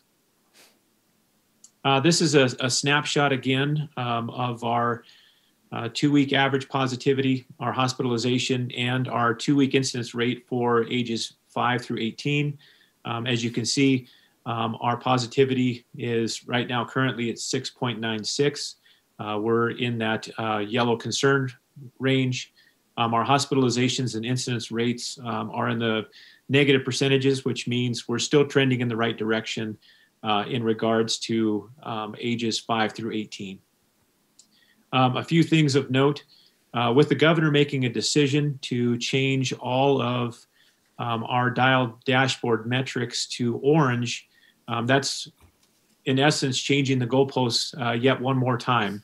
Uh, it feels like when we have these conversations, we, we talk about the data sets and, and having to change and, and be flexible. And this is another case where we'll have to continue to be flexible. Uh, but really the, the thing to, to take note is that our data is trending in the right direction. Next slide, please. Thanks, Matt. Um, you know, I think when you hear this, you know, we want logical, we want predictable.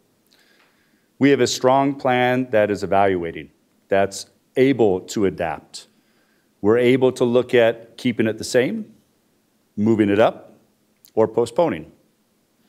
I think when we look at our readiness for a number of indicators, we want to set some goals and some planning of work. What you're hearing from me is the idea that we work with our schools, our middle and high schools. We'll be evaluating our successful work with our elementaries. Transitioning in and out is tough. I understand working remote is tough, but there's consistencies in place right now at their middle school and high school level. Consistencies of engagement with their teachers daily. And as we start to move that forward, that is a strength of remote, but I also understand the weaknesses. Working with our schools of a target date in late January, looking at the data, building in the work with our principals and teachers to ask what do we need and how do we do this well in our return to hybrid right now. I do also want us to work on what does it look like to be back full in person. I don't want to make a guarantee, but what I do want to promise is we're going to engage in those conversations. We want to look at everything. We want to ask what is best for our students and what is best for our teachers and how we do that well. So we are actively working on all of this as we move forward. We'll continue to survey and ask and collaborate to work a plan. And we'll keep you updated not only at a board meeting, but through town halls each month, and also as we start to work forward with more communications going out. I'm sure parents are tired of my emails. Some of them are long, but I think trying to over communicate and set a clear plan is going to be important. You know, I also want to go back to when we hear um, what has COVID done and how has it impacted. You know, we talked about the, the grading piece and to transition a little bit, um, I, I want to try to get through some of these and, and would you like me to ask, have you ask questions on this piece or get through and then ask questions on all as we get through? Is that okay? Yeah, I wonder in terms of wise Yep. if we can Yep. stop, pause here Yep. um, and ask our questions regarding your recommendations based on the data to return middle and high school back earlier. Um, Board directors, are there questions about the data or that recommendation um, thus far? Let's just pause there for a moment. And I do want to ask, I don't know if Mr. Reynolds is still on, do we, do we see a pretty much a tight correlation between the positivity rate and the incidence rates? And, and, and what I'm wondering about, I know we put a lot of, lot of emphasis on those incidence rates. Um, and I know that Mr. Reynolds said that our positivity, positivity rate was actually decreased since this particular slide. And I'm curious about the positivity rate, if that's a predictor of the incident rates, if we see any kind of correlation. Uh, because I guess my non-logical mind would say that as we continue to see that positivity rate going up, um, that also would give us some pause in terms of whether that incident rates go up. But so my question really to Mr. Reynolds is, do we have we watched that data? I know we did a two-week average Have we, do- have we watched that positivity rate for spikes and valleys? And is there a correlation to the incident rates? Yeah, Matt's still available. Matt? Yeah, absolutely. Um, thank you, President Ray, for the question. Um, there seems to be, and, and granted, this is really only one season of data, there seems to be a relationship between uh, the the higher positivity rate and incidence rate both being high. Um, you know, there's a lot of things that do go into that regarding you know how many people get tested and that sort of thing.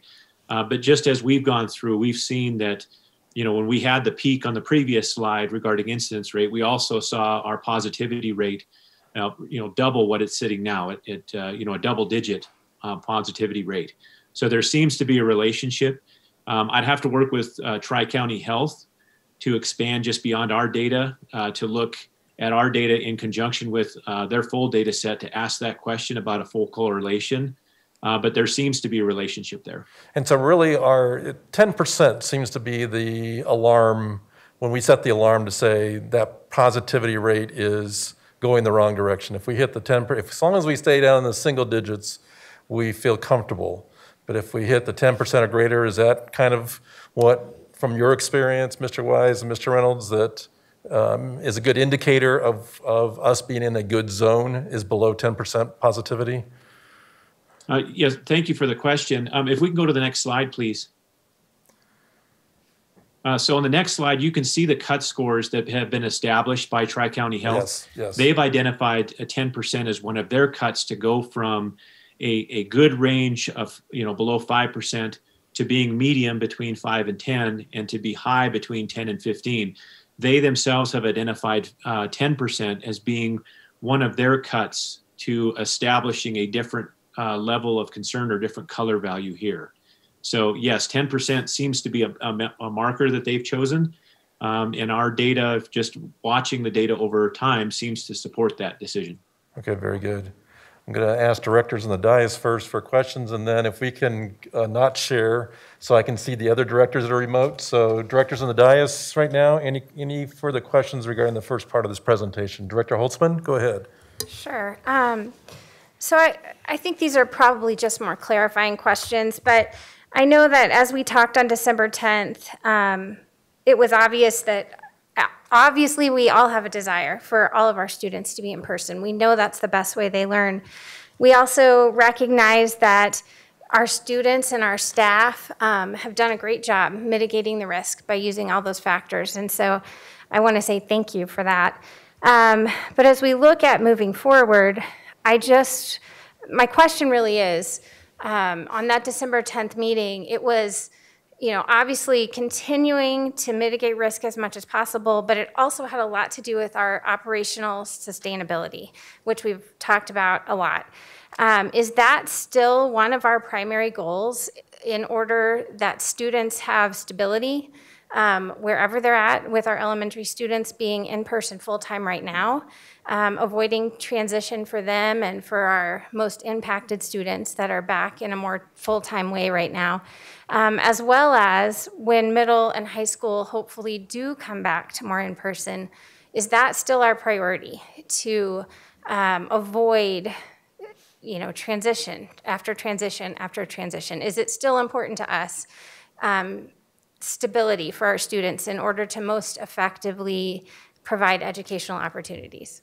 Yes. Um, you know, there's a lot of variables, and wanting to have stability and build that forward and sustain that is a clear variable that, that we've identified is important. Um, going back to the positivity rate and along with incident rates, as we look at those indicators that are going up, it's not just the health safety, it's also that opportunity to sustain and have some consistency in place. You know, we are hoping that the changes in quarantining process helps decrease the amount of transitions and the length of transitions. But we're also in a different time. Back December 10th, I believe our incident rate was up around 800. So we are now at a point where we're managing at upper level and it's coming down, whereas in the fall we were managing as it was starting to go up and plateau and come down. You know, our goal is to continue to monitor. We're in a new time.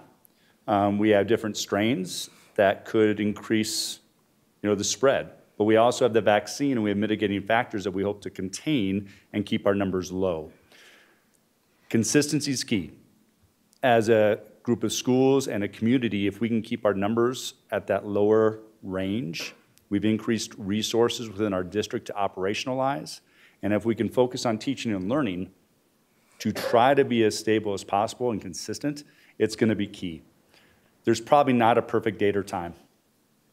No matter what we choose, it's going to be a bit of a roller coaster this spring, as we've seen throughout the fall. But I think how we put our plans together, continue to evaluate these now that we're gaining more knowledge. No one's an expert yet.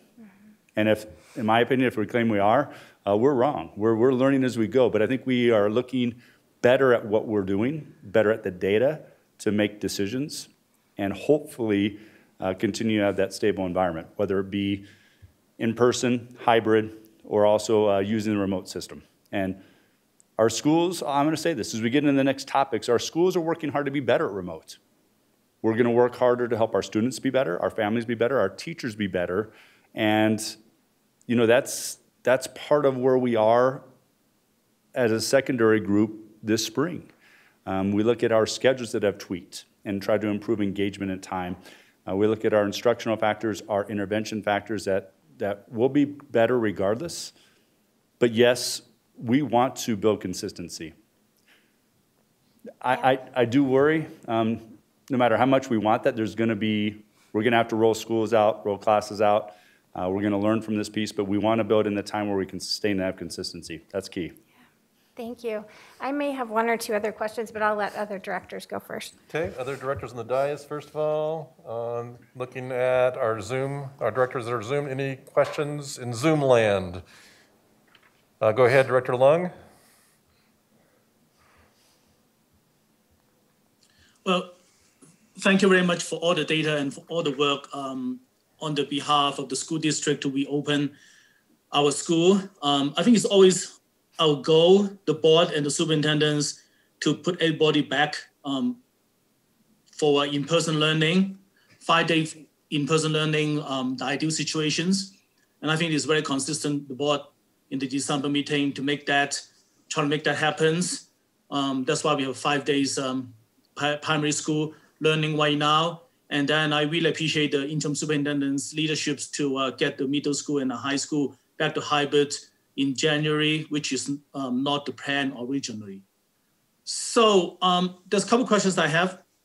One, uh, is there a particular data point from um, the state to dictate when you reach that point, the school can um, do five days in-person learning or hybrid or um, e-learning? I mean, what, what, from the state's point of view um, or from the health department's point of view, which data point is the most important? And, I'm going to let and, Matt. Um, my second question is, I just wanted to have some clarifications on um, the risk to our student uh, populations from K-12. If I understand the number correctly, there's actually oh, 4,099, uh, 4,991 case uh, dead in Colorado. There's only one case, there's actually one case um, that's from a zero to nine populations. And around six case that is uh, belongs to a age group of 10 to 19. And over 347,000 um, COVID positive case, there's actually uh, 1,346 that is in age group of zero to nine, and there's almost close to 37,000 that is in the teenager range. So I, I just want to make sure that um, I get the fact because I sometimes I hear people just throwing that there's no risk to our kid. Yeah, so I'm going to defer to Matt a little bit, but let me answer some of this, and Matt can get the, the technical piece. You know, you look at the data from the state, CDPHE, or even the governor, and it's obvious moving everyone to orange. There's a, a push to have us back in person, hybrid and or full. So when you look at that side, as we talked about our planning within elementaries, part of this work is this is starting to happen. We need to monitor and make sure we do it well. But when we stuff comes, when, when we see it coming at us, we need to control what we can control. And I think uh, when we talk about how do we get input, I think we need to ask, what do we need to do to make this happen? What are your needs? How can we be successful? We see it coming. So what's our planning and work to be ready? There's not going to be a perfect way. But I'm also going to say to put out questions of, do you want to, is not a fair ask either. Because when we see the need and we see the, the, the data points that are changing, Director Leung, um, and having an orange side along with where our current health data is, even in our, in our county, we're planning the right way. We want to do what's right. There's pressure all around. There's different viewpoints all around. Not everyone's going to be happy with any of the answers, but I think we need to do what's right. And I think this plan moving forward of what data points and our timing of our work is right. And I also think we can do it well. Okay, so I'm going to let Matt talk a little bit about those changes and what that means and some of the data points that we hear. And uh, then Director Ciancio-Schor, I don't know if, if you want to jump in before or let Matt uh, Let's go ahead. go we'll to go that. ahead. Director, Director Reynolds, or Mr. Reynolds first, then we'll do Director Ciancio-Schor. Mr. Reynolds, go ahead and finish. Uh, yeah, thank you very much. Uh, to answer your, your question in short order, uh, really there is not one single data point uh, that's the driving force to any of these decisions. You know, Tri-County Health put out multiple metrics that are caution metrics for schools for us to monitor, uh, in addition to what uh, CDPHE puts out. So there's not one single metric. And, you know, when you think about the metrics, with the governor making the decision to change all of our status from red to orange, he made that uh, decision and the metrics stayed the same. Uh, the, the numbers themselves did not change. He made the decision to change those colors. So, you know, that happened as recently as last week. And so um, I think that was a surprise to our own local health department that that decision was made. So we have to be able to respond to that in, in terms of, uh, you know, meeting with Tri-County Health and looking at what does that mean for us in terms of how we respond to all of our cases. And that's the work that we're going to continue to do. All right, Director Ciancio-Schor, go ahead, please. Thank you. Yeah, I just um I just feel obligated to um, point out that you know school districts respond to all of the things that we are required to respond to. And when governors make changes, school districts are required to respond. When Tri County Health makes changes, school districts are required to respond. And that means that school districts have to make these ulterior plans and these options available. And and i guess what i want to emphasize at this point and i think our school district is so good at really wanting to hear our parent population and and listen and listen to our teachers. And and i just want to point out that schools and school districts are listening and doing what can be done, but the target continues to be moved. And then Matt Reynolds and company have to look at data that was literally color changed um, by our governor, and then everything changes. So it's not reasonable for our our populate our our community to expect everything to be so black and white when we are not given black and white circumstances to change with. So what i want to point out is what i think i'm hearing is a, uh, several options that we are trying to put in place as a school district and that also we are very clearly saying that we're not necessarily in control of some of the things that are happening and some of the things that we are required to respond to. Um, so I just want to make that point clear. I, I, everybody tries to kind of go around that and and pretend like it's really just the school district and the school board and the school the school admin making decisions when what we are doing is responding to decisions that are being made for us. All right, thank you, Director Ciancio-Schor. I'm going to circle back to Director Holtzmann. Did you have other questions? I just have one more. All right, please, go ahead. Yeah, um, first I wanted to thank you, Interim Superintendent Wise, for helping to lead um, with the other superintendents. I know that I think it was about a week or two ago that you all held a press conference and you spoke, and I know that you had many meetings other than that to speak with the governor and CDPHE and encourage them to move our school staff um, up the ladder to get more immediate vaccinations. So thank you for speaking to that. Thank you for encouraging that. And I am happy that that's happening. Um, and I understand that we only have so much control. Um, you know, we, we don't know how much vaccine is going to get to a hospital or to our county, and but we know that you're in those conversations, and we appreciate that. So, um, my final question really is one that I hear from the community quite a bit right now, um, and really just a clarification. But I know that as we move forward, um, like Director Ciancio-Schor said, you, you're really throwing out goals and options, and I appreciate that you're going to be talking to our school leaders and um, monitoring this data over the next couple of weeks. I'm just curious if you or Mr. Reynolds or someone else could speak to um, what Tri-County may have shared with you about um, looking forward at a possible post-December holiday surge. You know, we know that some of our families may have been with others and have just been returning over this past last weekend, what that might look like and if you'll be monitoring it. And also, um, I think it might have been Director Leung that mentioned variants. That's kind of a hot topic right now. We know that that's near us. You know, is there any information that Tri-County has shared as to what we can expect or what we should be looking at? And just an assurance that we'll continue to do that. So Matt, Mr. Reynolds, I'm going to have you start. We're both part of a, a meeting with Tri-County today.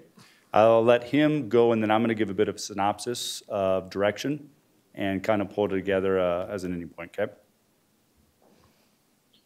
Thank you, Director, for the question. Um, in terms of the post-Christmas uh, surge, you know, that, that's been widely discussed uh, across the entire nation. And, you know, we're looking at our current data, and Tri-County uh, Health did discuss this today, that our, our data right now is trending in the right direction.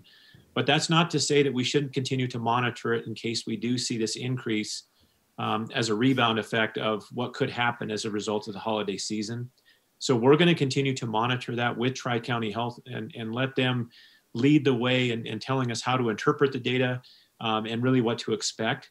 Um, there is, uh, you know, somewhat of, of a guess in terms of how we're going to respond. Um, I mean, our response in our community looks far different than what's happening in California or Arizona and some of these other communities. And so we're going to continue to monitor the data uh, that we have locally uh, to see what's going to happen with uh, the, the spike or, or perceived spike from uh, the winter break. And to go along with that, I think it reflects a little bit what Director Ciancio-Schor had said. You know, December 10th was prior to the task force report, was prior to the governor's press conference. We created a solid plan, a plan that had projected dates, that had fluidity, that had evaluation of a number of indicators to be able to adjust that plan appropriately. Current state, we're looking at the strong possibility of adjusting it earlier that can change. But I think when you have a strong plan, it allows you to adapt and respond. It allows us to be proactive, have multiple options. If we wait to prepare, we're going to be reacting. So we're going to start preparing now. And then when we get to the 19th and closer to the 25th, we'll have a better idea of where we currently are. That impacts decision making, implementation. But preparation and planning, um, we need to get ahead of. I feel like we've done a much better job of that uh, thanks to a great staff that's putting it together. You look at Matt Reynolds' work, along with everyone else behind the scenes in schools. Um, our elementaries are back in person today, full in person. Uh, I heard excitement uh, from schools in EDOS about uh, having kids in person, and, and we know that. So I think those same plans will adjust and will help us be more successful. It's not going to be perfect the rest of the semester. Uh, Director Meek, I think you had a, a piece, I, or David? I get to call on her. Yep. Okay, sorry. Director Meek, sorry. go ahead. Thank you. I just really wanted to point out and acknowledge the level of collaboration that's really happened this school year. You know, I'm just, we're stronger together, and to see how hard we're working with public health, and public health has changed guidelines, but they're learning. We're going through a pandemic that we've never gone through before. The governor changes things as well. I think everyone is trying to do their best to navigate a situation. And I just want to remind everyone we're stronger together. And the more that we do listen to our employees, the more we work with public health, the more we work with the governor, you know, we're going to come out of this stronger. And so I am just, I, just think it's worth taking a moment and acknowledging how much stronger we are because of the lessons that we've learned around taking time to collaborate with each other and figure this out together. And I think the more we can not blame other people for changing decisions or changing the goalposts. I mean, it's it's hard, it's frustrating, it's very confusing to the public. And I think everyone's doing their best to figure out how to get through this. Thank you, Director Meek. I do want to just uh, capture one clarity uh, in terms of superintendent Wise that I want to emphasize for our community is the whole adjustment of protocol quarantine or the quarantine protocols, um, and really emphasizing the fact that we have to have parents that are willing to get their kids tested. Um, you know, and you talked about the possibility of the take-home test as uh, an additional incentive, but I, I'm hoping that the letters that we send out when we quarantine kids really emphasize that if your child is tested on day five, they can come back to school earlier than the 14 day that we've had in the past. And I, and I think that's an important piece of our puzzle to get our community to help us so that we are making sure we're not sending kids back from quarantine that are ill, or we're, we're not sending kids out to quarantine for 14 days who are healthy uh, for a very long period of time. So I just, I'm hoping that our communication is on top of that um, in terms of really emphasizing that's a new incentive for our parents that we really want to see taken advantage of. Yeah, and the new the new quarantining process, even Tri-County, is still sorting through. Um, seating charts at elementary looks very different than seating charts at middle school or high school levels. So they're listening to us about what that really means. And then we're also working the protocols in a quarantine process. How do we personalize to each situation? Because it's going to be dependent on who all is quarantined, the asymptomatic process, the timeline, and then getting those tests. And I agree with you. One of the big pushes to have this testing for all districts, and I give kudos that we are going to have testing for, for all districts, um, is the ability to look at that quarantining effect. We haven't been able to test very many people that are quarantined. So I think this will help us in that process, not only to return, but to gain important data. Um, it's going to give us more thresholds and information to help us in our decision making, to help us see impact and changes as we go out through this spring. You know, we're we're hopeful with the vaccinations. I'm still worried that that's going to change because it's been quick to move educators into it, and it's going to have an ebb and flow. I worry in the days to come that we do not control. Right. Right. But We've partnered with agencies to offer multiple ways in which to get vaccinated in multiple locations, and those are starting up now and in the weeks to come. We hope that continues. And a bit's going to be a variable of, of the number of new vaccines coming to us and the amount. Mm-hmm. And I think that's a piece that's that we're going to have to be prepared for. And it's again, we hope that it's quick. We hope that it's all, but we're going to be prepared for multiple scenarios and adjust and and serve. Very good. And, I, and just again, just to emphasize Director Holtzmann's point about sustainability, because that was really what this plan has been from the get-go is, you know, is making sure that this is sustainable so we don't have the ins and the outs. And I think that's important for our community to understand too, is it's just not trying to get kids back in school and, and then all of a sudden quarantining or having to shut down high schools like we did in the past. It's being able to guarantee that once we get them back in school, we're not sending them like a revolving door in and out of the schools. So, um, so anyway, any, any other questions, directors, about the first part? So, um, Mr. or sorry, Director Hanson, go ahead. I just wanted to clarify, Director Ray, your previous comment. I agree that the sustainability of um, maintaining the kids in a classroom environment is the most important, but um, I'm afraid that was slightly misleading given that we don't actually have control over quarantine requirements. We can do our very best to mitigate and to reduce the amount of time students are on quarantine and to reduce the impact of that. But as I understand it, um, we truly don't have any control of that. And once we have kids in school, the quarantine and the back and forth is somewhat inevitable. Yeah, and I just want to clarify my comment about the sustainability is the overall plan for sustainability, not, not necessarily the quarantine protocol, but I think that's what our staff has said from the get go, as opposed to just bringing everybody back full time, 100%. We're going to start with elementary look for can that be sustained? Do we have the resources to be able to sustain that? And then we move on to the next level. So I was really speaking from it from a more global uh, philosophy that you have put in place in terms, superintendent, in terms of how we roll this plan out, so that we're cautious, we observe, and then we move on to the next level. But I agree, Director Hanson, there are many variables that are out of our control as well.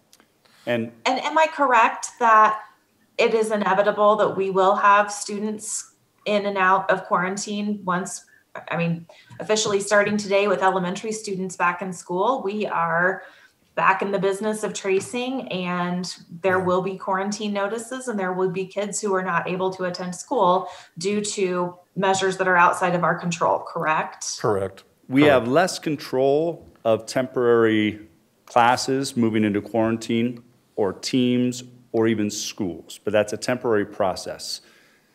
We want to minimize that because those transitions are tough also. When you have large number of schools, whole levels of schools, or an entire district, that also is even a larger disruption interruption. So as we start to do this to sustain, it's the ability that we don't lose people. Um, as I said to you, we lost three nurses. Thank goodness we had the opportunity to hire three, but we're breaking even. We wanted to increase our capacity to be able to sustain and do this work, not hit that tipping point. So as we start to have our data and variables go, we also have to make sure we can maintain. But yes, we will have classes that have to rotate out. We're going to have schools that have to rotate out at times. But hopefully we have stronger mitigation, we have stronger sub coverage, and we have less of that because we do have a lot more subs in the mix. Thank goodness. Thank you. Uh, so I do think we might have less. But again, those are variables that we're going to have to wait and see with, with impact, um, how much less. But yes, that's part of the reason why we wanted to wait. That post holiday surge, we have three weeks of data in which to now continue to evaluate to say what's that surge going to look like? Will it plateau and drop back down again?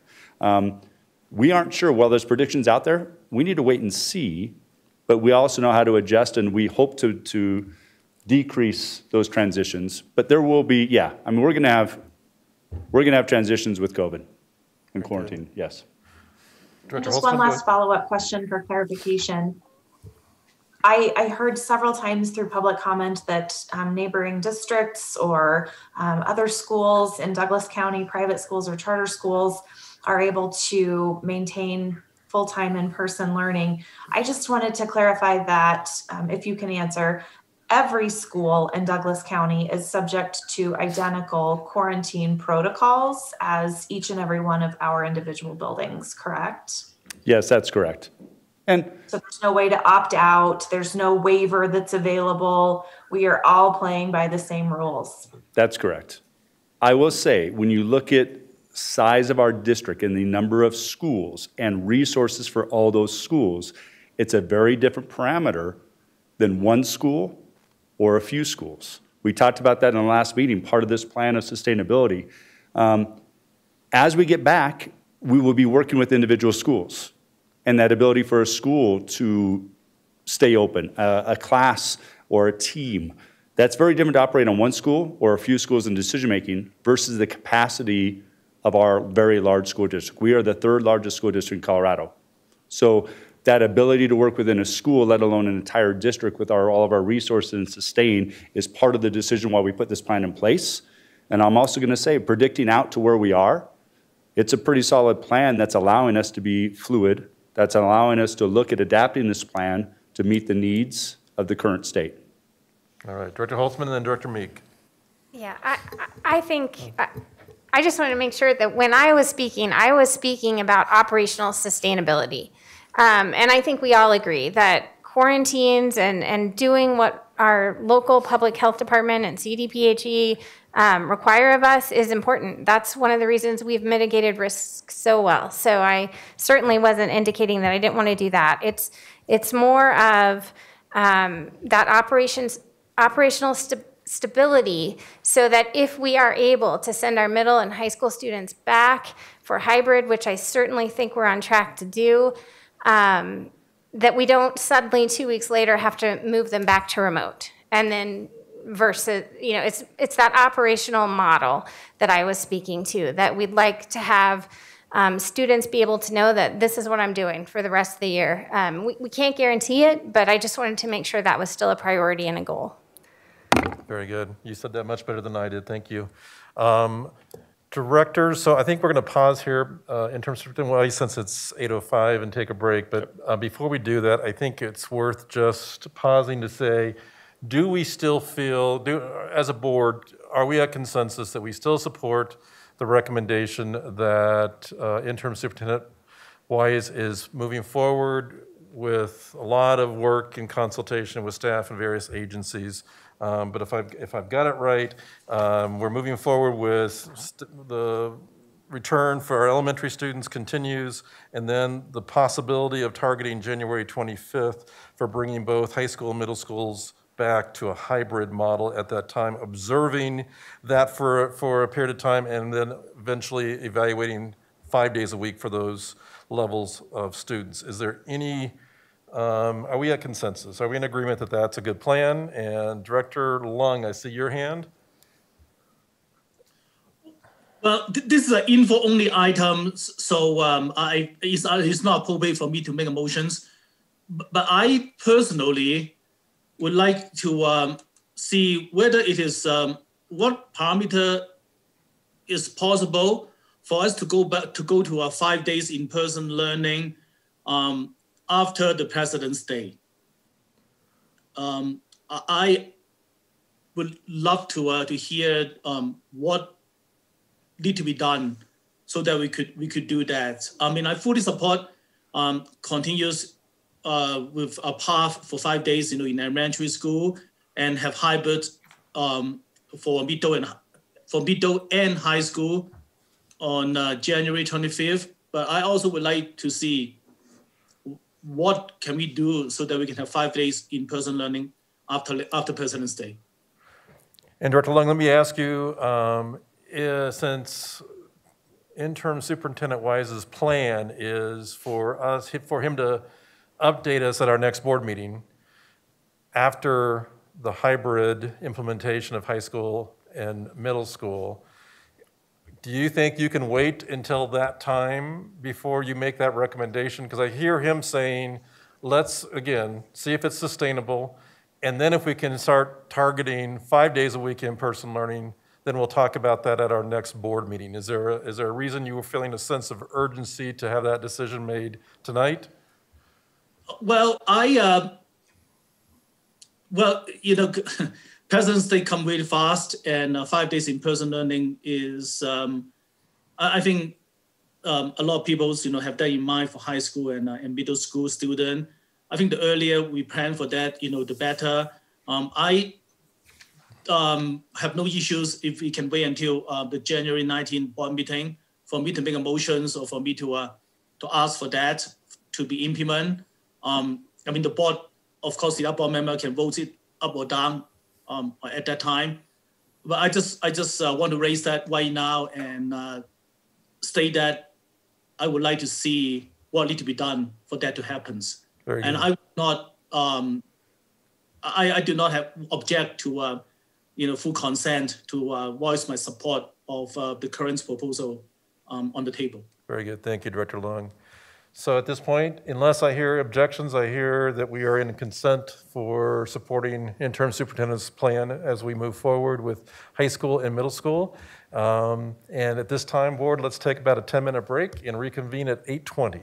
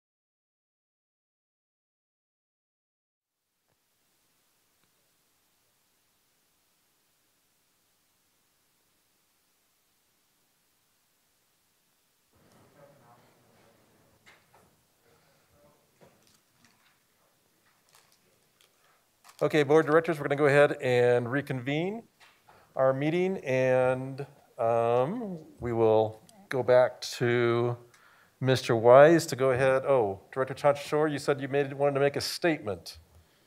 Oh, thank you. Thank you, Director A. That was just a little bit earlier, but that's okay. Um, I, I've just wanted to really appreciate, um, I really, really appreciate the efforts in providing options and providing us with details and steps to take and here's some opportunities and here's some things we're thinking about. Um, i just really want to take a minute to appreciate the work um, that goes into planning for something this um, this moving of a target like um, it's it takes effort it takes thought it takes communication. Um, and I want to appreciate the work of the Douglas County School District staff and the parents and the community and the kids that are standing behind and being as flexible as possible and understanding the process in in creating an environment that's safe and that um, we can provide an education for our kids to the best of our ability. I want to make a statement that says i I believe that our school district is working to provide the best education possible, and we have a long way to go. Um, and our staff is working to attain uh, an air something that's never been attained before. So, um, you know, an appreciation for that. I, I just don't think there's enough said for the kind of work that is being done. So, I just want to take a moment to appreciate Okay, thank you, Director Ciancio-Schor. And we'll move on, Mr. Wise, to the next topic on your presentation. And I appreciate that. And, and we have a lot to do. Starting tomorrow, working with schools and principals, coming back from break, having a board meeting Tuesday right after break. Yes. There's a lot of new information coming out to the system. Probably not always the best way to start that information, but a lot of work to do. And uh, we have great people uh, principals, teachers to be working together with our, with our uh, EDOS and leadership to continue that work. You know, the, the same is true when you look at the overview of, of first semester. You know, when we start talking about and what we've heard the, the strengths and the weaknesses, the challenges during this first semester. It was tough. You know, we've talked about it. It was tough on kids, it was tough on parents, it was tough on teachers. But we are going to be better because of it. As we neared the Thanksgiving break and winter break, we did have the high school principals come forward with a plan to try to support their students and the impact of COVID. We did put in place a grade scale change. It's not perfect. Each school is a little bit different, but when you look at our district average of where we were last fall and where we ended this fall with that change, and this is failure rate. All of our schools with the furlough day had to work with grades, and some of them were just continuing to get their grades in as we got back. So their high school principals and teachers are working with their grading components. Where did they fall? What can we do differently and better? But as you start taking a look at this, last year at semester we had about 11% failure rate. That's an F in one or more classes. This year with that change, we ended up about 15. So with that impact it kept us similar, but still was a difficult year. But when we look at that, I don't want to accentuate that it was worse. It was a tough year for everyone. Kids will be better prepared, parents are going to be better prepared, and our teachers and schools are going to be better prepared. We've already started to look at those adjustments. Um, when we look at schedules and engagement during this remote time, the schedules for kids to be with their teachers and engaged has increased the number of days. There's worry of amount of time on a computer, but each of the schools are not having kids sit on a computer all day. But we also want them with their teachers and classmates more often. That engagement and purposeful piece, identifying students as soon as they struggle, and working with meetings such as care and concern meetings, interventions, um, trying to help earlier, getting parents involved uh, is going to improve on all accounts. So I just want to accentuate that, just like with all the feedback, some of it's hard to hear, but we do listen. It's not always going to make each decision happen, but it influences, it tries to help us, and we are going to be better because of it. And I mean that true with everyone. So when we start looking at these things of where are we and where are we going, you know, as we said, we're going to be working with teachers in our data. they're looking at all of their grades in the high school level. We heard earlier, grades do matter. They matter at every level, but the high school level, they're transcripted. So how can we go back and work with those gaps, work with those grades, and help students and teachers be more successful? I think all of us could look back and say, what could we do differently?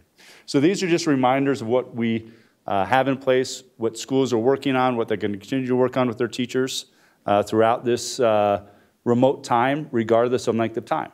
You hear our reiteration of our plan and see where we get to. But I also want you to know that semester, we've got a new strain. We don't know what that new strain is going to do with, uh, with our numbers and impact. So we're going to have to be ready to adjust. Let's hope that with vaccination and other mitigating factors, it doesn't have a big impact. But we don't know. Tri-County and CDPH, CDPHE don't know, but we're going to be ready. And we're putting things in place. And we're going to continue to learn and grow because there's, it's not going to be perfect as we go. As we look at some of those mitigating factors, we had questions come out of town halls and, and at comment about masks. We're giving those reminders of appropriate masks. Um, as middle school and high school kids come back, staff and teachers, how do we work with all of us to have best practice? We're going to encourage and make available the uh, KN95 mask and the surgical masks. We have increased PPE offered from uh, the state, which we're going to opt into. So that's going to be available. We want to encourage it.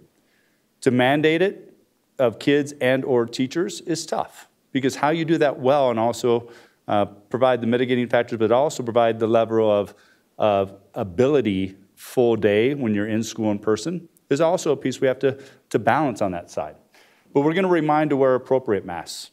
Um, the vented ones, excuse me, the vented ones, uh, any of the others that, that are not appropriate, we'll remind kids. We continue to remind kids and adults to keep your mask on and to have good habits. That's what helped us. We need to give reminders. There is fatigue. We're all people, but we're going to continue to give those reminders to be successful. So as we take a look at, at the impact, um, the reality, but also what we're going to do uh, to be better and be proactive, uh, to continue to remind and give communication. Uh, hopefully that gives you a brief but also idea of the work ahead. And we'll continue in our student achievement monitoring reports to not only give data of a collective system, but also the more that target of what's happening currently.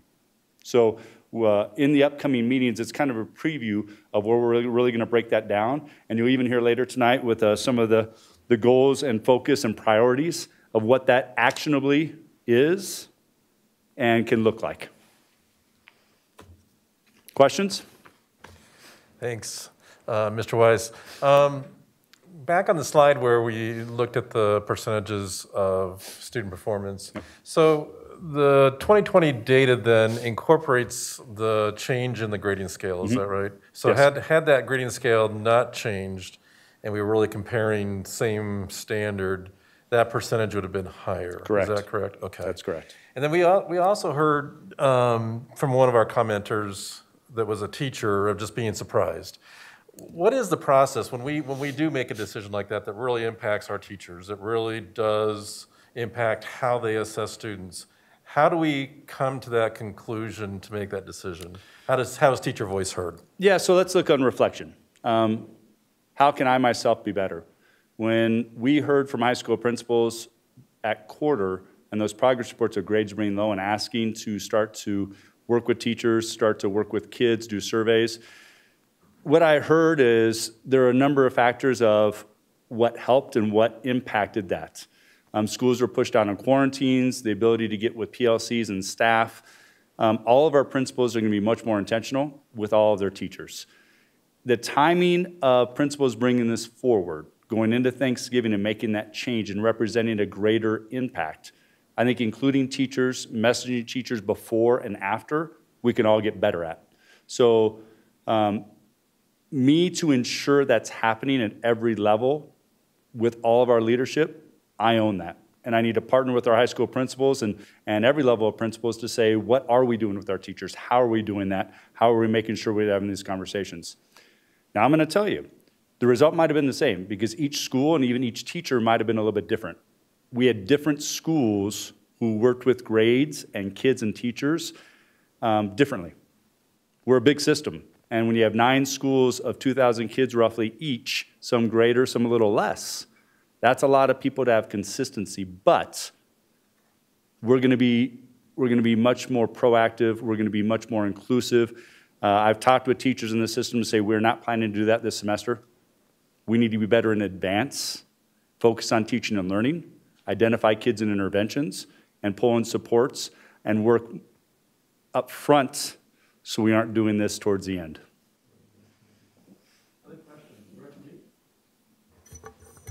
I guess I kind of had the same question, and so I'll elaborate on that a little bit.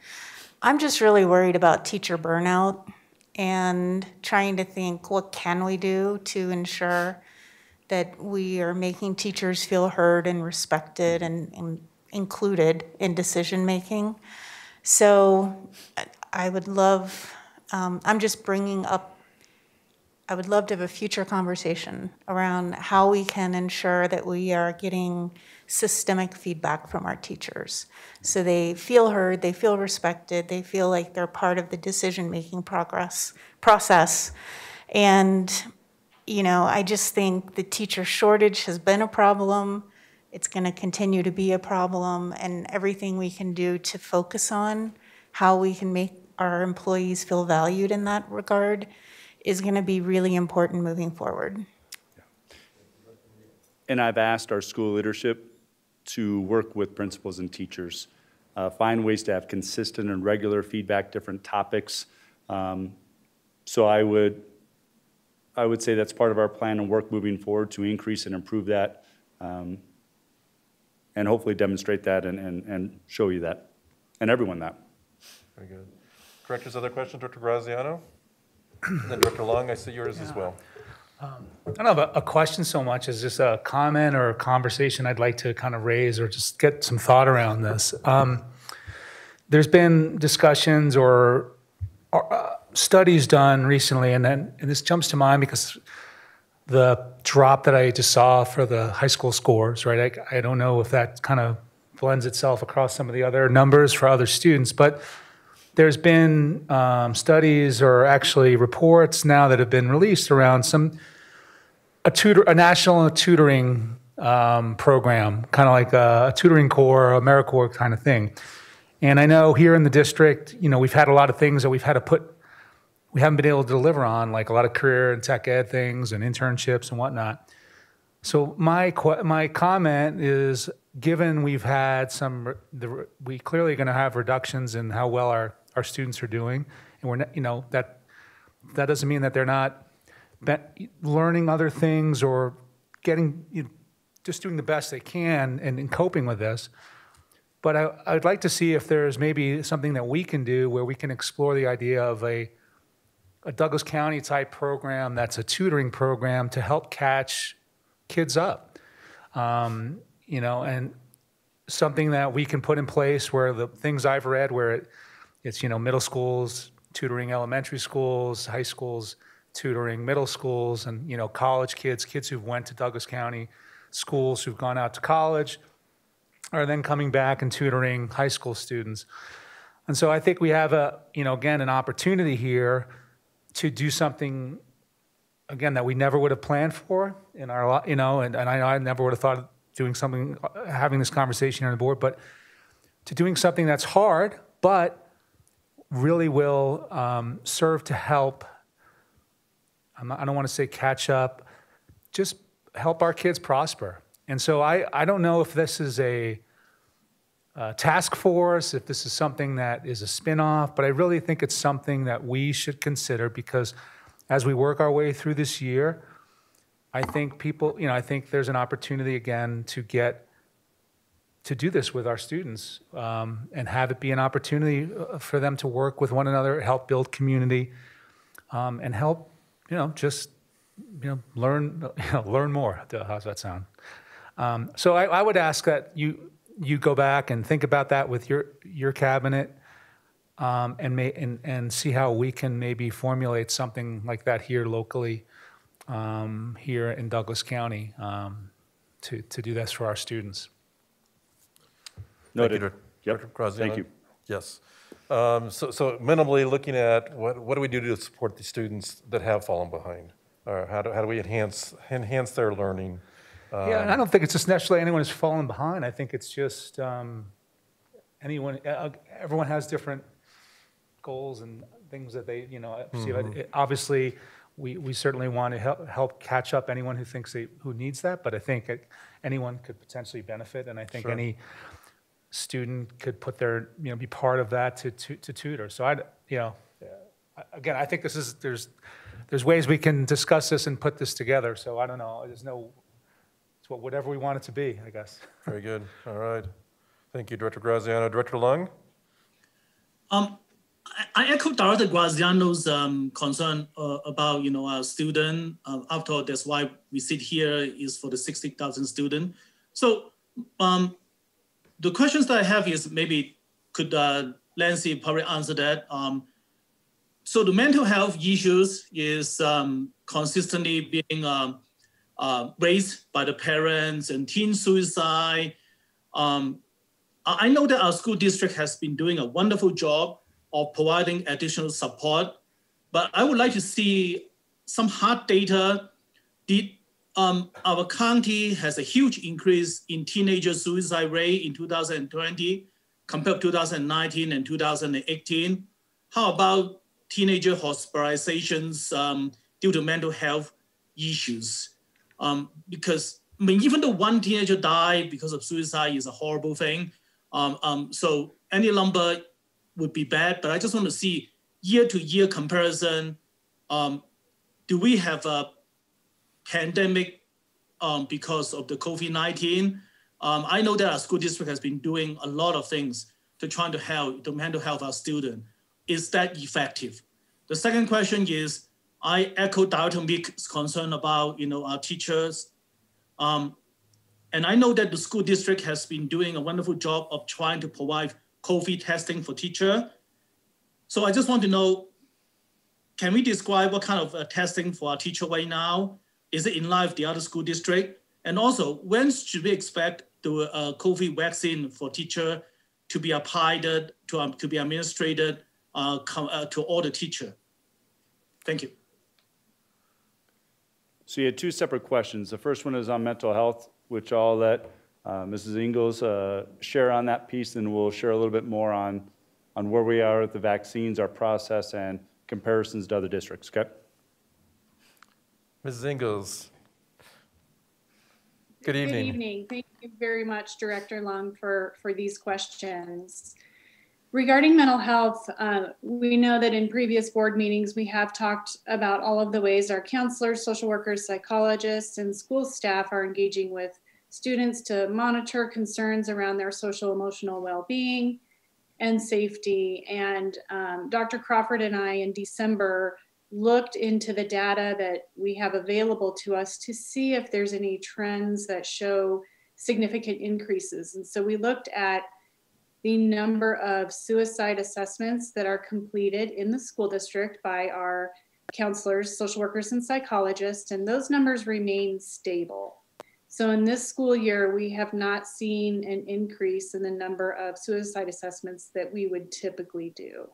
We also checked in with Douglas County to ask about um, the numbers that they have regarding uh, death from suicide. And we all agree that any death by suicide is, is one too many. The data that they have also shows uh, no trend, no significant increase um, in the age group of 10 to 19 uh, for death by suicide. There may be a slight increase in older age groups, but not for the younger age groups. We also uh, have regular communication with the coroner for Douglas County.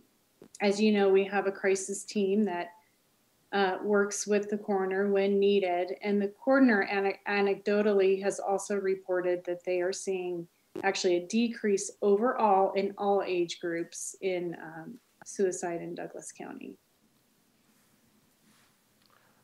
All right. And Mr. Wise, um, Yeah. I know you talked about the vaccination earlier. Um, This kind of strays a little bit from our topic, but I'll let you give us a two-minute quick response to that question. Yep. So, you know, when you talk about how we compare to other districts, we would, I would say we are in line and we'll have the ability to give access with multiple area regional hospitals, venues, uh, COVID Check Colorado and others to give access to our teachers. Um, we are getting our staff vaccinated starting this week. That'll continue in the weeks to come. So uh, I will say this, I, you know, Cherry Creek was first to come out. And that process of how that happened was in a text message and a, you know, professional working piece that wasn't about, you know, systems that really, there was availability and, and uh, that organization reached out and they were able to start that process. But what it did is open the door and help all of the agencies prioritize, set systems. Many are still creating their systems. Um, in that, everyone else now is continuing to set this up. We have worked tirelessly, um, even over break, to create these systems, open it up, and start the process. And, and you know, where, where I see us, uh, I think we're in a good spot, not only where we are to get our staff prioritized, but continue the work and control our work of getting our staff who are working with students and teachers um, vaccinated. And those partnerships with these agencies and then the changes that we're going to face as the availability of vaccines, new vaccines come out and everything else, uh, we'll be able to continue. And I think that ability to continue, even in the face of change and decisions that happen to us, we'll be able to advance and, and keep that going. So uh, I will say this, kudos to our staff. We had individuals reaching out to all of our agencies, um, who we have with Kaiser, Cigna, uh, Centura, Health One, uh, again, COVID check, multiple ones say, what's your system, what's our process, what can we do? To not only have one partnership, to have multiple access points and continue that. So uh, I will give uh, a shout out to our school nurses, Lisa Cantor, Nancy, HR, uh, all of our groups, Matt, uh, and others in the work of reaching out to multiple um, groups. And to be quite honest, a lot of the time is going to be dependent on how many vaccines come in, the process of who qualifies, and then getting the email that you get it. But we're also working with our staff to, to also say who has it and help them get it and also uh, build better supports because it opens up doors. When more people are vaccinated, it, open up, it opens up doors and it allows our decision making with finances, resources to shift and allows more of that responsiveness. So um, we want to promote that. We want to advocate. We want to build safety and options and, and put our staff and teachers uh, to the forefront. So I feel really good about where we are and the steps going into this week and weeks to come. Very good. Director Meek? So I, I kind of want to expand on uh, Director Graziano's idea. And um, I think we probably will be getting a presentation in the future on the new uh, federal stimulus dollars and how those will be allocated out in regards to um, extended hours or um, summer programs, you know, different kinds of programs. And I think tutoring might be one of those. But when it comes to students, you know, I've, I've given so much thought about my vote towards our volunteer hour requirements that we did away with this year. In hindsight, I wish I would not have supported that because I think keeping those high school students engaged in volunteer activities such, such as tutoring is a way that really would help with mental health and connectedness and everything. And so if you know you do look into programs of developing a tutoring program, I would love to volunteer to be on any kind of task force or anything like that. But I think the more we can engage our, our high school students and our middle school students um, and making those connections and helping their peers, you know, I think there are all these benefits to doing that as well. So anyway, I just kind of wanted to bring up the federal stimulus money because there might be money to help support programming around some of these areas. And I also wanted to say I would love to volunteer in any kind of group talking about that. And kudos to our uh, CFR, Chief Financial Officer, Kate Kataska. Um, as we started hearing about the stimulus money coming, it's roughly, they say on the average of what you would get in, in your Title IX funding.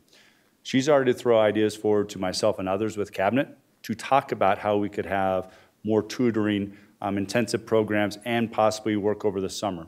So she would like to advocate to us and to others to possibly bring that forward. So uh, each of your ideas, I want you to know that there's already been thoughts around that, and we'll take that back, continue to grow those and expand those and see what we can do. I don't want to, again, paint a picture that it's uh, um, already set up and well done, but uh, similar types of ideas and uh, advocating for, for our students and the possibility.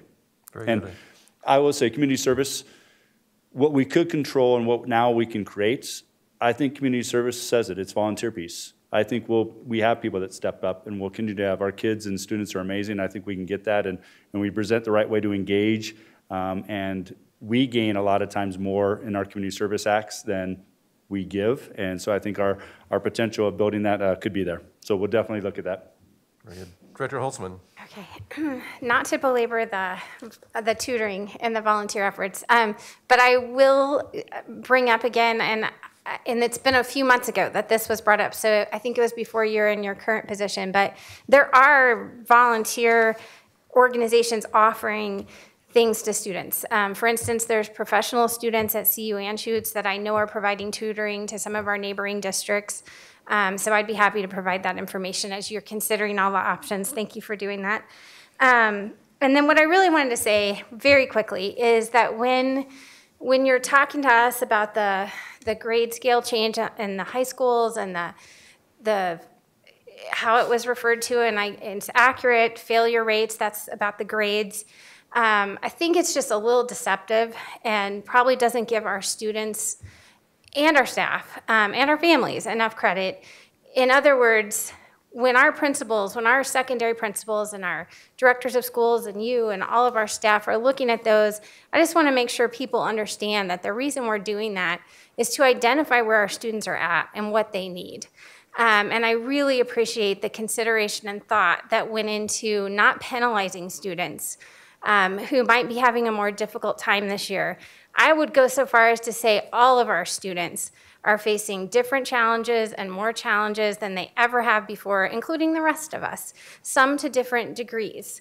Um, but I, I really appreciate that that was recognized. I know I personally had several students contact me saying they were doing everything they could. They were working as hard as they could, and it's, it's hard. So um, considering, like you mentioned, that that does affect their life. Um, it's on their transcripts, just like all the other students in the world. So they're not in any different situation. But I appreciate that in Douglas County School District, we looked at that and we recognized that it's not a failure of our students. Um, you know, maybe some of them could have worked harder, but it, it's something that they needed. And I really just wanted to express appreciation for that. Thanks. Thank you, Director Holtzmann. All right, directors, and Mr. Wise, anything else on, under your superintendent updates at Nope. this time? All right, directors, any other questions for, all right. So directors, I'm, I'm gonna make, um, a suggestion, and then we would, we would need to make a motion to adjust our agenda since we're, uh, just about an hour behind. Um, what I would like to suggest is that we would table, uh, the READ Act update to our next meeting on the 18th. And I would, because it's time sensitive, I'd like to bump up the um, information about the superintendent search. Um, and then I see we also have the compensation system uh, discussion as well. So um, I'm going to suggest that we have the, let's see, let's, let's table the READ Act update. Let's bump up the uh, conversation about the compensation system and the search updates, and then we'll do interim superintendent goals as kind of our final item uh, before our board reports. Was that as clear as mud? All right, so let's start with just modifying our agenda to table the READ Act update. Is there a motion to do that? So moved. Second. Okay, motion made and seconded to move our READ Act update to our, specifically to our next meeting. Motion made and seconded. Let's vote. Ciancio-Schor, Aye. Graziano. Aye. Hanson, Aye. Holtzmann. Aye. Leung, Aye. Meek, Aye. Ray, aye. All right. And then let's, um, let's go ahead and talk about, or I'd like to modify and have us have the compensation system question now, and then um, immediately after that, to move into the superintendent search update. So the motion is to move number 20 up now, and um, 21 after that. So moved. Second. Okay, moved by Holtzmann, second by Leung. Any further discussion? All right, let's vote. Ciancio-Schor. Chancho Shore. Aye. Graziano. Aye. Hanson. Aye. Holtzmann. Aye. Leung. Aye. Meek. Aye. Ray, aye. All right. So we're moving on to then the review of resolution and the transition to a new employee compensation system. As some of you recall, on December uh, 2018, the board approved an employee compensation values resolution, resolution, which was followed with a resolution on March 10th to actually begin the transition to a new employee compensation system. Uh, due to the implications of the pandemic and the economic forecast, we then voted in April to suspend the directives uh, and specifically stated that we would review that suspension in our January meetings. So at this time, that's what we are doing. Um, I don't know if um, Mrs. Thompson is on. Is she on at this time, Mr. Blair? Yes, Thank you. Happy So- New Year. Yes, I am. Happy New Year to you, Ms. Thompson, as well. So I'm going to let you kind of make some opening remarks, and uh, as well as I know you have some uh, presentation just to help us get our head back around this whole notion of compensation. So thank you for being here tonight, and I'll turn it over to you.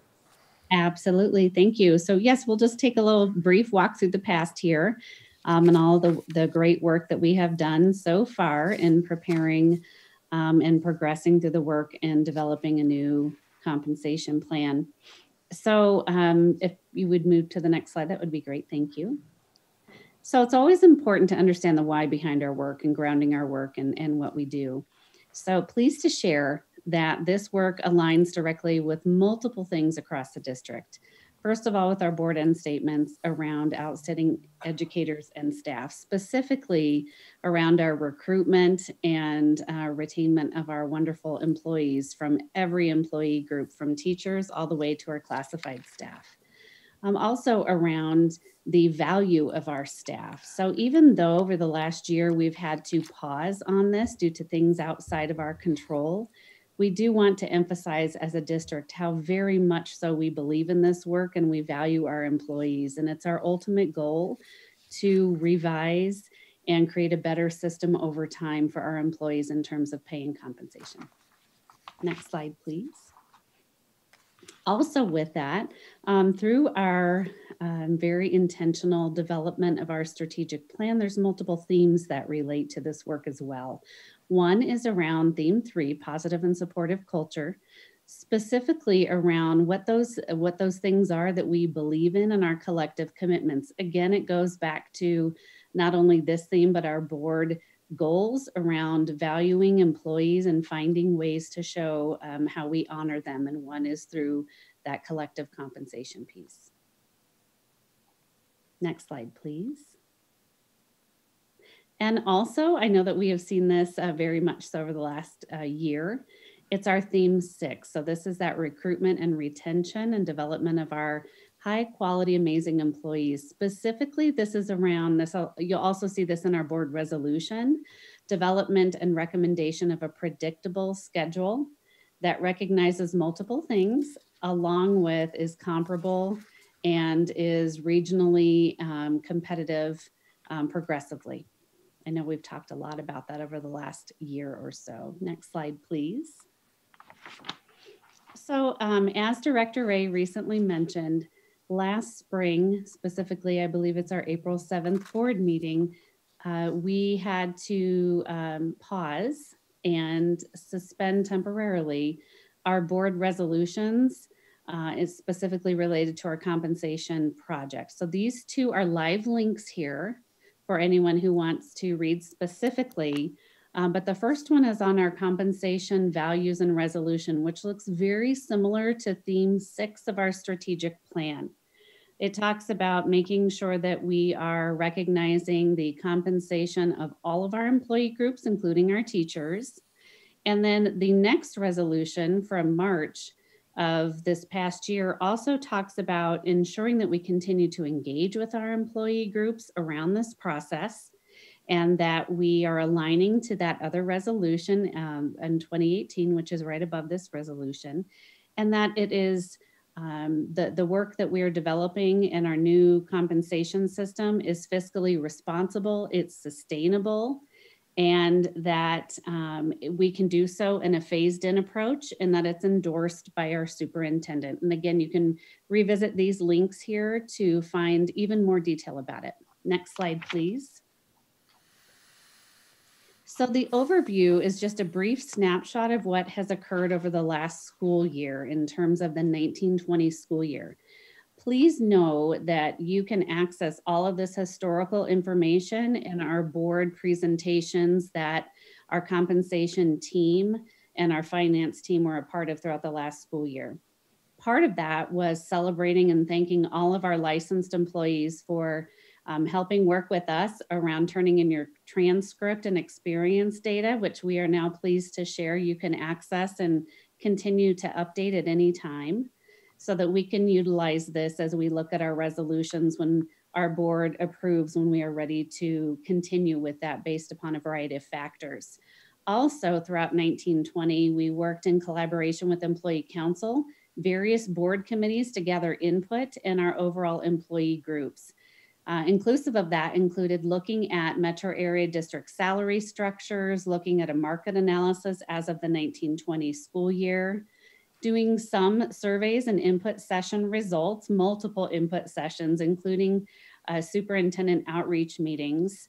Greenway worked with us around a licensed employee survey. And also we developed several different example structures that we could look at and moving forward as potential options paired with that is the importance of costing. So as we look at our board resolutions, it's important that uh, we are looking at that sustainability and fiscal responsibility um, and where we're at as a district in terms of ensuring that we can sustain that over time. Also with that, as we look at last year and rolling into this school year is not only the budgetary impact, but what that looks like in terms of enrollment as related to the budget. I'd love to invite Ms. Katoska to share any additional information relative to that piece. Thank you, Amanda. Um, and as she mentioned, you know, part of this is ensuring that it's fin financially sustainable. And as, as we move to any of these new proposed scenarios, it's not a one-time cost. So these are setting up structures that will last in perpetuity. And so it's really important that we're not just analyzing what the single year or um, initial year cost is, but really looking at how those, those costs scale over time and layering that against our um, different long-term financial forecast, enrollment forecasts to ensure we're, we're planning for um, what those staffing models will look like going into the future. So I've really enjoyed, um, you know, the partnership with with the HR team and my my first few months here and in getting to know the background here, um, and really do value the, the the value that is placed on ensuring that this is not a a one year switch or decision that we're looking at, but really looking out to the long term and ensuring that it's something that we can carry on for for many many years into the future. Thank you. Next slide, please. And lastly, in terms of next steps, so pleased to share that as we look at our next steps and moving forward, all of the steps that we are taking currently and to continue um, include all of the things that relate back to our strategic plan theme. So we're being very mindful to ensure that our work is very purposeful. First of all, we will continue in HR to analyze, correct, and apply, uh, and apply employee uh, processes throughout the district. So things that have been lost uh, in the past years, we're now bringing back over time. One example was the transcript um, collection process. And um, as Ms. Katoska shared, we'll continue to navigate our current um, needs as a district. So we have not only operational priorities, we have financial and academic priorities, all relative to our challenges um, during the pandemic paired with that, as Ms. Katoska just shared, is ensuring that that fiscal sustainability. So looking at some of those examples from the past, from those example pay structures from last spring, Some of them were in the $20 million range for one year.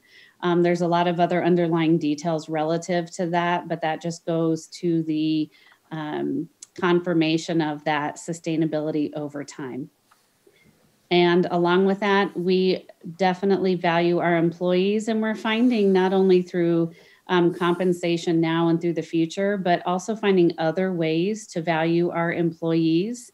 Um, for example, providing opportunities through our wellness and, and things like that. So um, we are committed to our employees, to every employee group. We believe in this work, and this is something that, you know, we definitely have intentionality to continue once the timing and the budgetary needs are in the right time.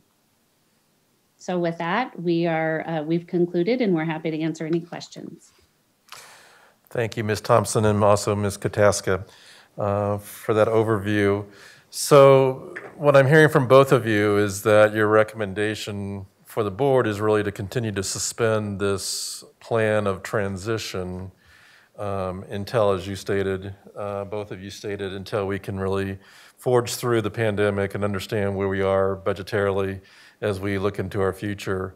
Um, eh, eh, do you have a target, Mrs. Thompson, in terms of when we should come back and say, okay, now it's time? You may understand, you know, we'll get through the budgetary process. We'll, uh, you know, recommend a, a budget for next year uh, in June. Are you thinking that our timeline for revisiting this recommendation for a transition not be reviewed again until the fall of 21, or do you have a recommendation for that?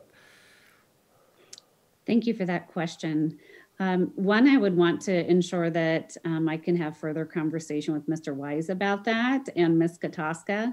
But uh, yes, so I would say at least in the fall, uh, we want to make sure that we can truly understand where we're at with the budget, um, knowing that we are hitting the season of benefits, among other things, and, enrollment and staffing. So uh, at least the fall, yes. Um, Mr. Wise, any other information that you want to share and or Ms. Kataska relative to timelines?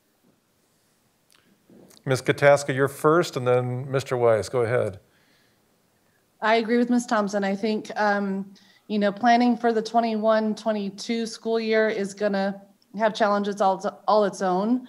And our first priority is going to be restoring um, salary cuts that were made heading into this year, furlough days and other other salary reductions. And I think it's really important that we restore first before changing a structure out from from under our staff.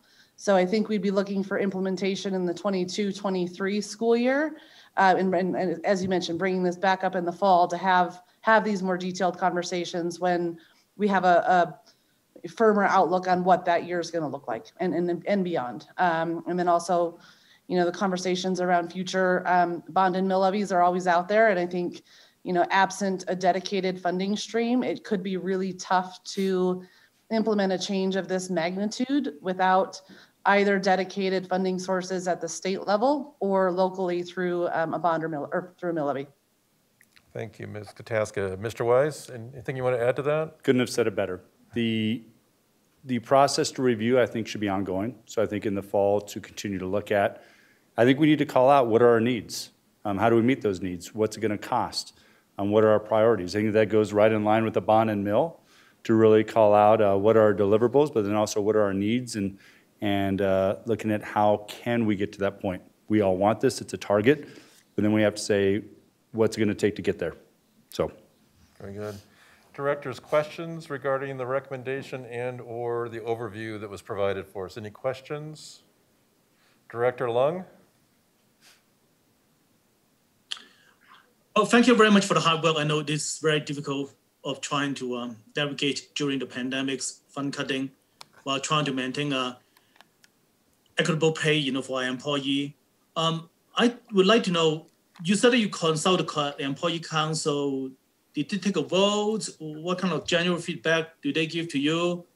And besides the employee council, have you consult any other um, employee professional organizations? Uh, what kind of partnership that we have to make sure that our 8,300 employee have um, adequate input to this process um, and also, we know that during um, the early uh, years of uh, 2000, we have a fees um, of uh, pay that create inequality because the later higher people getting more money than the people that is so loyal to DCSD. Are, are they not being resolved? Because I think we are supposed to uh, fix the issues with uh, the new uh, pay structure. Thank you for that question, Director Leung. So there's multiple layers to that.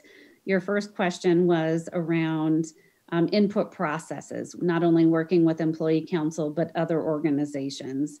Um, in terms of employee council, uh, in the um, information shared during the 1920 school year, we did hold multiple input sessions with our licensed employee group all throughout the month of October of the 1920 school year um, hosting, I want by feeder, um, multiple opportunities, also sending out a survey to all in licensed employees, gathering their input in various layers of this process.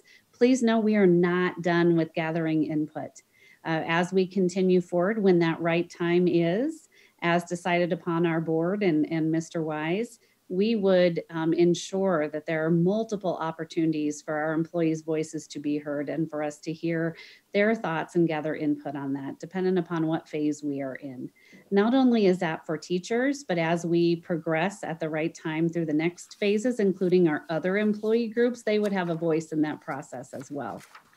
Um, in terms of pay structures and where different employees are, um, we continue to look at that data and we continue to um, ensure that we are um, being fair in the way that we onboard people and um, do our salary process for new hires to be as um, aligned at, and fair as as possible to recognize those currently in our system amongst those that are the new hires.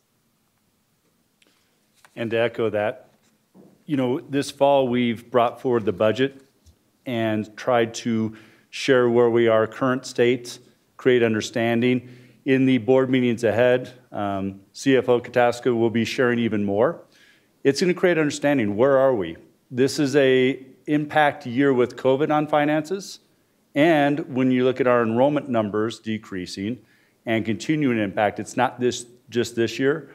It will impact us next year. So I think sharing information, creating understanding on top of getting feedback and looking at timing is part of a work that we've started it's going to continue and going to need to continue into next year as we talked.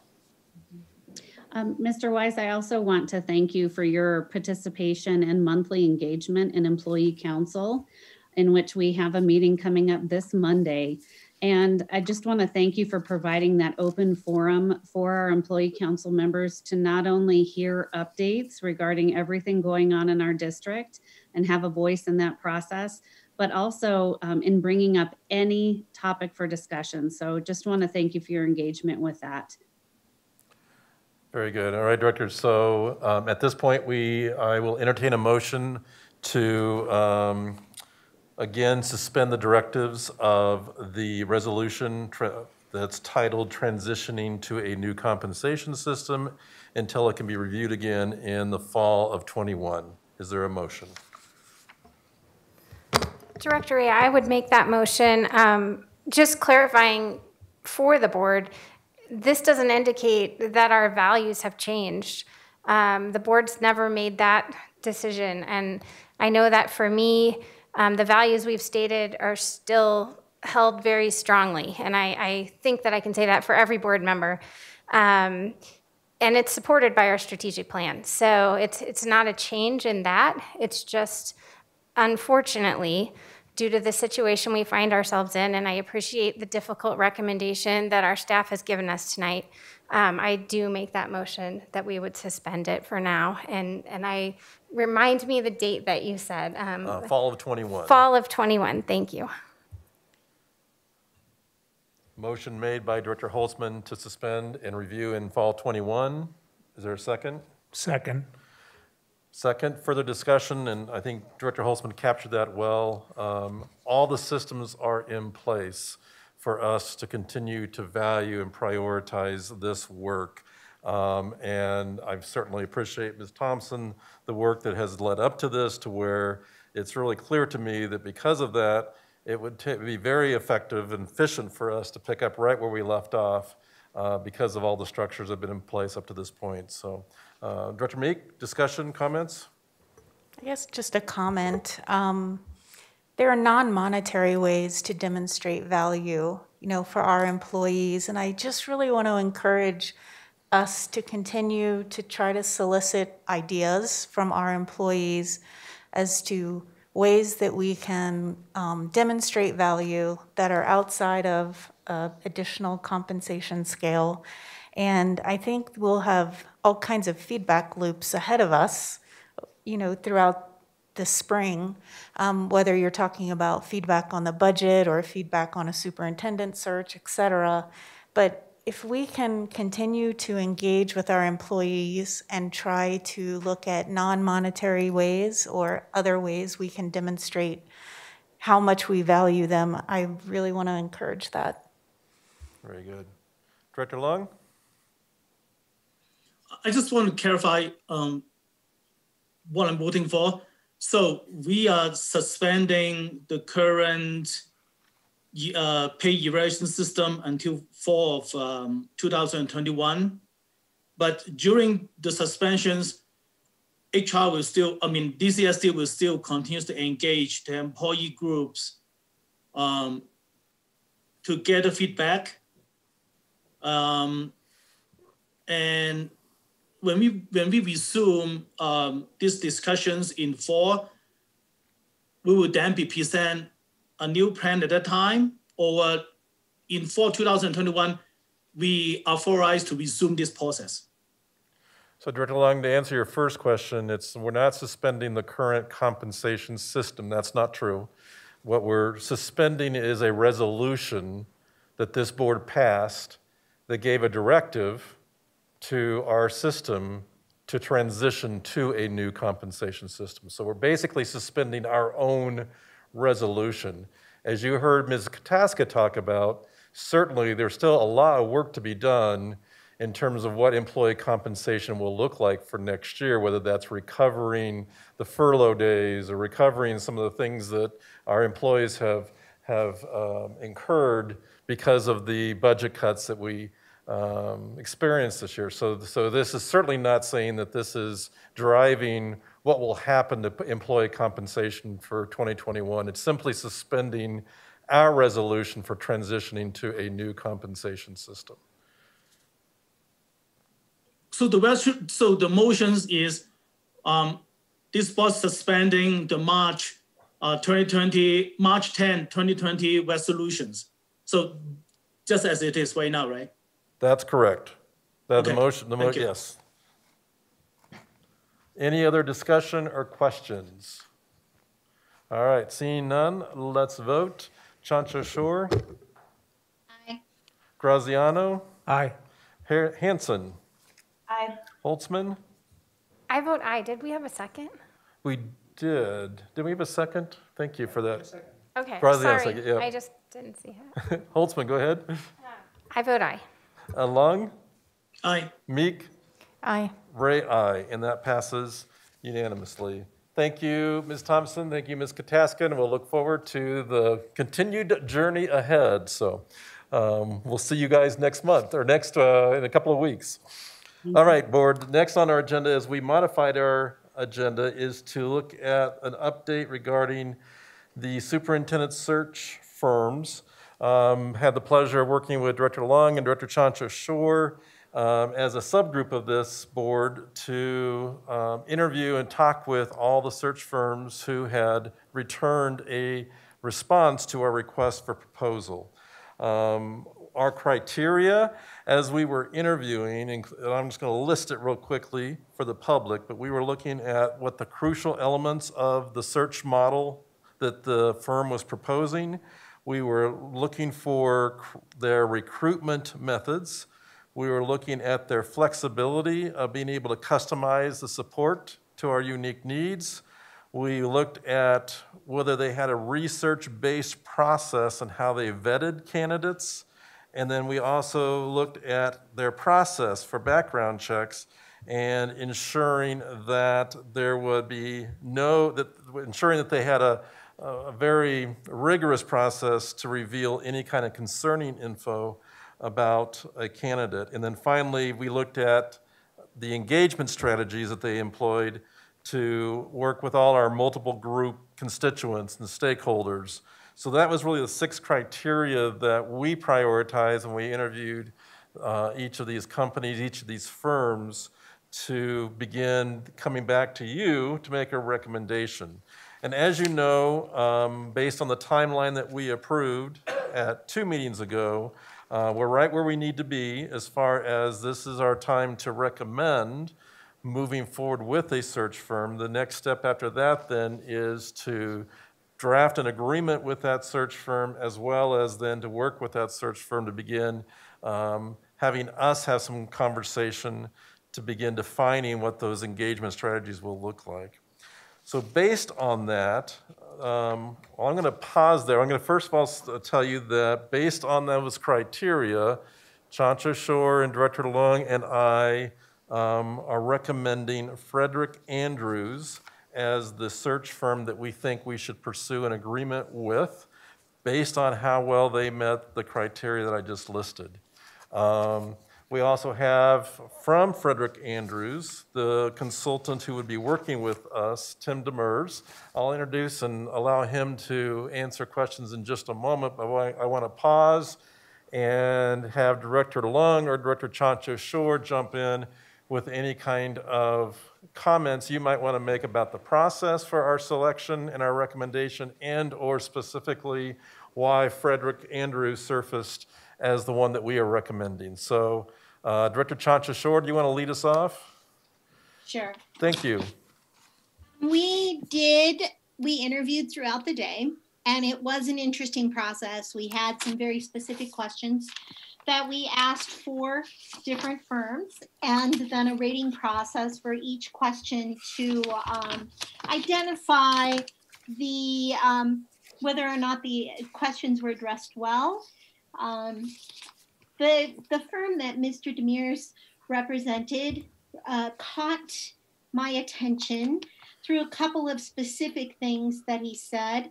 Um, one was that they implemented in 2009 a diversity and inclusion div- division program um, that I, I found really interesting that they reach out their marketing campaign made for they identify what kind of search we want and then they create the um, the search based on our needs and identify our needs. They have a recruiting strategy that um, sounded very interesting that I would just ask him to elaborate on. It was different than other um, firms that we spoke with, and it was interesting because it was different. Um, I'll just say one more thing and allow Director Leung to speak, but I also liked very, very, very much that Mr. Demers is part of our community. Um, I felt like that gave us a level of buy-in that was different than other firms across uh, the nation or the country. Um, to have students, children in our community going to our schools makes it incredibly important um, to find and help us find the exact right match. I could say more, but I'll defer to Director Leung. Very good. Thank you, Director Ciancio-Schor. Director Leung, anything you would like to add?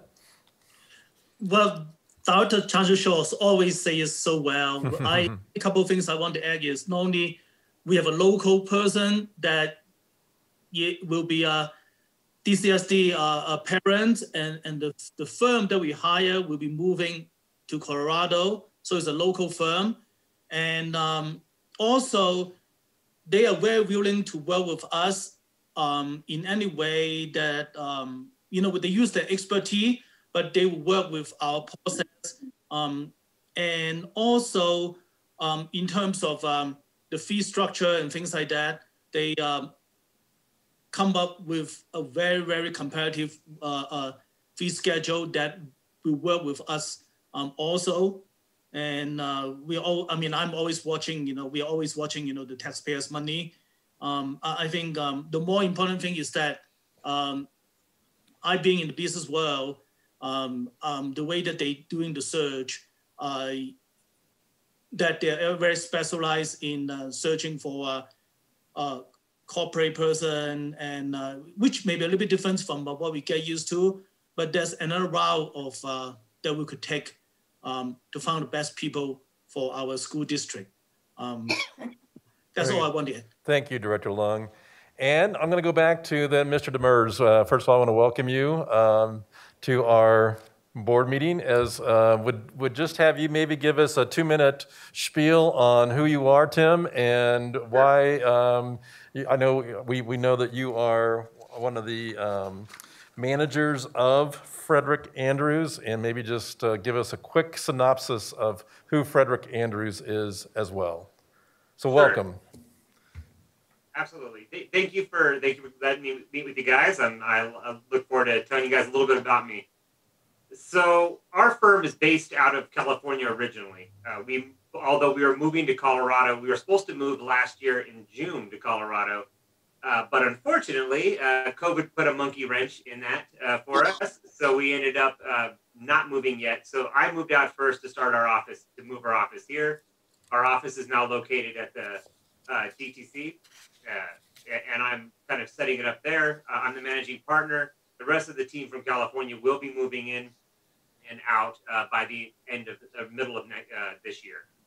Uh, our firm started off as a traditional retained search firm. So we are most of our uh, clients initially were corporations, uh, large corporations. We worked with almost every Fortune 10 company out there. Um, but in 2012, as I mentioned, um, we moved into more of working into the MPO world as well. I got involved heavily in the schools uh, uh, process and, and education in general, so everything from K through 12 and higher education as well. And when I first kind of got into the industry, I looked at it from a perspective of what uh, what administrative budgets were being used uh, and, what people were charging for administrative budgets. Uh, and we looked at and kind of created a plan that wasn't based off of uh, our traditional search fee that we would be charging uh, our normal clients outside of uh, the education industry. But we took our, our philosophies and our same skill sets that we had done in the regular uh, industries uh, and move them into education. Uh, one of the things that we do that's a little bit different is that we are a traditional retained firm in the sense of we actually go after the candidates directly. We don't, we will never post your job on a job board and just send you a candidate that we get from a job board. We feel like you could do that on your own and you, you really don't need us for that. Uh, what we do is we actually customize the search based off of what you're looking for. So one of the questions that was asked to me in the interview process is, well, there's two other uh, districts in Colorado looking for superintendents. Are we going to find that as an issue? And my response to that is that the, the superintendent we're looking for has nothing to do with the superintendent for Jeffco or, or uh, DPS. Uh, we are looking for the one that's going to fit Douglas County specifically. And that's what that's kind of what we we're going to structure this search as. I'm actually in Douglas County, so being the fact that I'm in Parker, uh, my son is going to be going to Iron Horse next year. Uh, it, it is a it's a place that I want to kind of first just make sure that I take care of, but second of all, I want this person to be the right person for for for generations to come because this is the the district I'm part of. So I it was kind of a it was kind of a an opportunity for me to give back to the community and also have a stake in kind of the next leadership for the community. So that's kind of why I reached out and and when I spoke with Dr. Ray and the team there, it, it was it was really from a perspective of how can we work this together as a team to make sure we find the right person and not have the same situation that happened previously. Very good. Thank you, Mr. Demers, for that, uh, for for that overview. So Board, I'm going to give you an opportunity to ask any questions. Obviously, um, this is not an interview of Mr. Demers because um, there's been a subgroup of us that have done that. So um, you're kind of phrase your questions if uh, you want towards us in terms of the recommendation we're bringing to you, or if there's other burning questions you didn't hear from uh, Mr. Demers' overview that you would like to know. Uh, So any questions? Director Graziano? Hi, good, af- good evening, Tim. Um, I guess, uh, question I have, and again, is not, since this, we're not interviewing you at all, I'm just curious, because I wasn't in those meetings. Maybe if you could, um, just walk us through the, your, at a high level, the process that you follow of a successful superintendent search that you've run and, and what that looks like and what what's unique about what you, you, you did during that process. Not a problem. I'd be happy to. Uh, so the way that our process works is is initially what we do is we have the the client interview, which is going to happen uh, after we're done with this meeting. We're going to schedule time with all the stakeholders uh, and including you obviously involved, and then any faculty, or and then also create surveys for for parents as well to kind of give them an opportunity to kind of get a consensus viewpoint on how uh, we want this this superintendent to be. Once we uh, tabulate that all together, put it together, uh, what we do is we actually structure a recruiting strategy plan. Uh, so what we do is I will put together a plan, or my team will put together a plan, and I'll present it to the board to explain exactly who we're going to go after, where we're going to go after them, and how we're going to do that process. Uh, again, our search system is not posting in, in publications or posting on online. Ours is actually going directly after uh, superintendents that are currently doing the job now, uh, that are, not, are not going to be on job boards, are not disgruntled, not upset. So we reach out to them. We actually have marketing campaigns that reach out to them directly to get them to respond back to us. Uh, that's not in a way of a job posting type of scenario. And similar to what they were saying as it relates to the inclusion and diversity, we actually have programs specifically meant uh, meant to entice that group as well to respond back to us. Our research analysts will speak uh, will initially identify all the names of people we're going to be reaching out to. My recruiting manager or myself will take those names uh, initially and reach out to them. Uh, we'll we'll be uh, reaching out to them through a number of different methods. We have we have an internal database. We have a proprietary database as well that actually tracks people from location to location so we know where they are. Um, and, and, it has all their information as far as email addresses, phone numbers, all that kind of stuff. Uh, we'll reach out to them directly. Once we have uh, some some candidates that are in the, the pipeline, what we'll do from that point is we start the vetting process and we actually start looking for any reason that they don't fit the role, any reason that can give us any red flags whatsoever about the, uh, about them. Uh, then what we do is we put them through uh, a, a, preliminary background check. So we don't do the full black background check until we get a little closer and you guys start to like them a little bit. When you, you, you show us interest which candidate you're into. Uh, but the initial background check will, will ultimately just be a quick background as far as criminal is concerned to make sure that there's no uh, criminal history or anything along those lines. It'll also check their education to ensure that their education is at uh, is what it says it's going to be.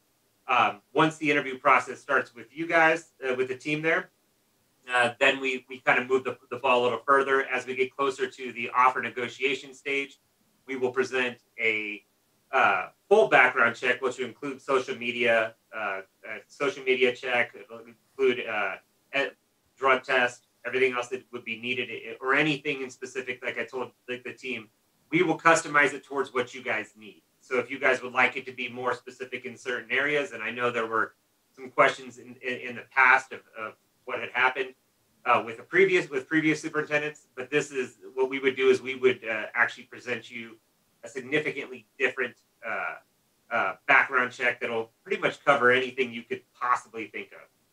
And and that's and then once we do that, we will help you with the negotiation of the offer. Uh, once we help negotiation with the offer, we ensure the candidate will accept before the offer goes out officially. Uh, once the candidate is verbally accepted, we'll give you guys the information to say the candidate has accepted uh, the position. Now, when you write up the actual job offer, all you need to do then is it's more of a formality get them to sign it. Uh, we follow up through the process through their uh, resignation process. We help them through that process to ensure that they don't take any counter offers.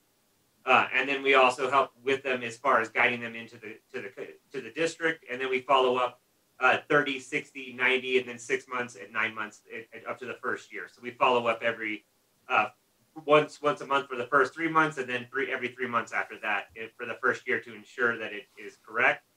Uh, if there was any discrepancy, which we are, have never really run into, but if there is a discrepancy as far as anything fraudulent that's identified in the first year uh, of, of this uh, of the, of the candidate's uh, placement, uh, we will obviously replace the candidate, but we also understand that a, uh, a superintendent, if, if, there was an issue, would not be uh, obviously removed quickly. So we would honor our, our replacement throughout the, the whole time, so long as there's it was identified in the first year. So the process is pretty simple from the point of we, we take all of the information from you uh, and all the other constituents and stakeholders, compile that in, build a recruiting strategy, present that recruiting strategy to you to ensure that you're okay with the way we're going to go about this, and then we start going after it. Very good. Thank you, Tim. Any other any other questions for Tim regarding the process, regarding uh, our process in, in recommending them? I would also just um, um, say that Tim is also very in tune to our situation where we want to also look at internal candidates in our district as well. So this by no means is intended to be an aggressive search. Um, nationally, it's, it's really, as, as Tim will present to us, it's really recruiting the best people and put in front of us for consideration, including our internal leaders as well. So I'll just put that plug in. Director Hanson, I saw your hand up.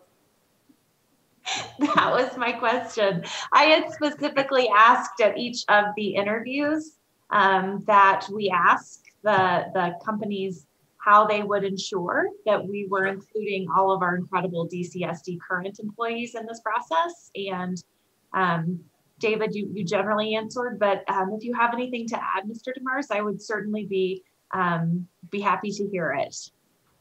Absolutely, and thank you for the question. Yeah, yes. Uh, if if there is a candidate presented directly from uh, from the district uh, themselves, uh, we would treat them very similar in the sense of as far as background checks, as far as uh, vetting them and making sure that they're part of the system. We would treat them the same way uh, as we will all the other candidates as well. Our goal is to find the right candidate. If they're already there at DCSD, perfect. but if they're not, uh, we'll find them somewhere else. Um, and, and, as I mentioned to the team there, if if we did find someone that who's already currently in uh, the system now in the district now, we would renegotiate. We would lower our fee to to ensure that uh, that that would be uh, more you know more applicable to, to that stage because we're not doing the same amount of work we'd be doing for somebody outside of the, of the district. Very good. That sounds wonderful. Thank you. Thank you, Director Hanson. All right, any other questions? So board, uh, tonight we're really just simply taking action to move forward with drawing up an agreement with uh, Franklin, I'm sorry, Frederick Andrews. Um, so that's our motion. We will again be able to see the agreement at our next meeting on January 18th. Um, as probably part of our consent agenda. So with that, so I'll there... move to the motions. Okay, so Director Leung is moving that we draw an agreement up with Frederick Andrews for our recruitment Correct. firm. Is there a second? Second. Second, Director Ciancio-Schor. Thank you. Any further discussion? All right, seeing none, let's vote. Ciancio-Schor. Aye. Graziano. Aye. Hanson. Aye. Holtzmann. Aye. Leung. Aye. Meek. Aye. Ray, aye, and that passes unanimously.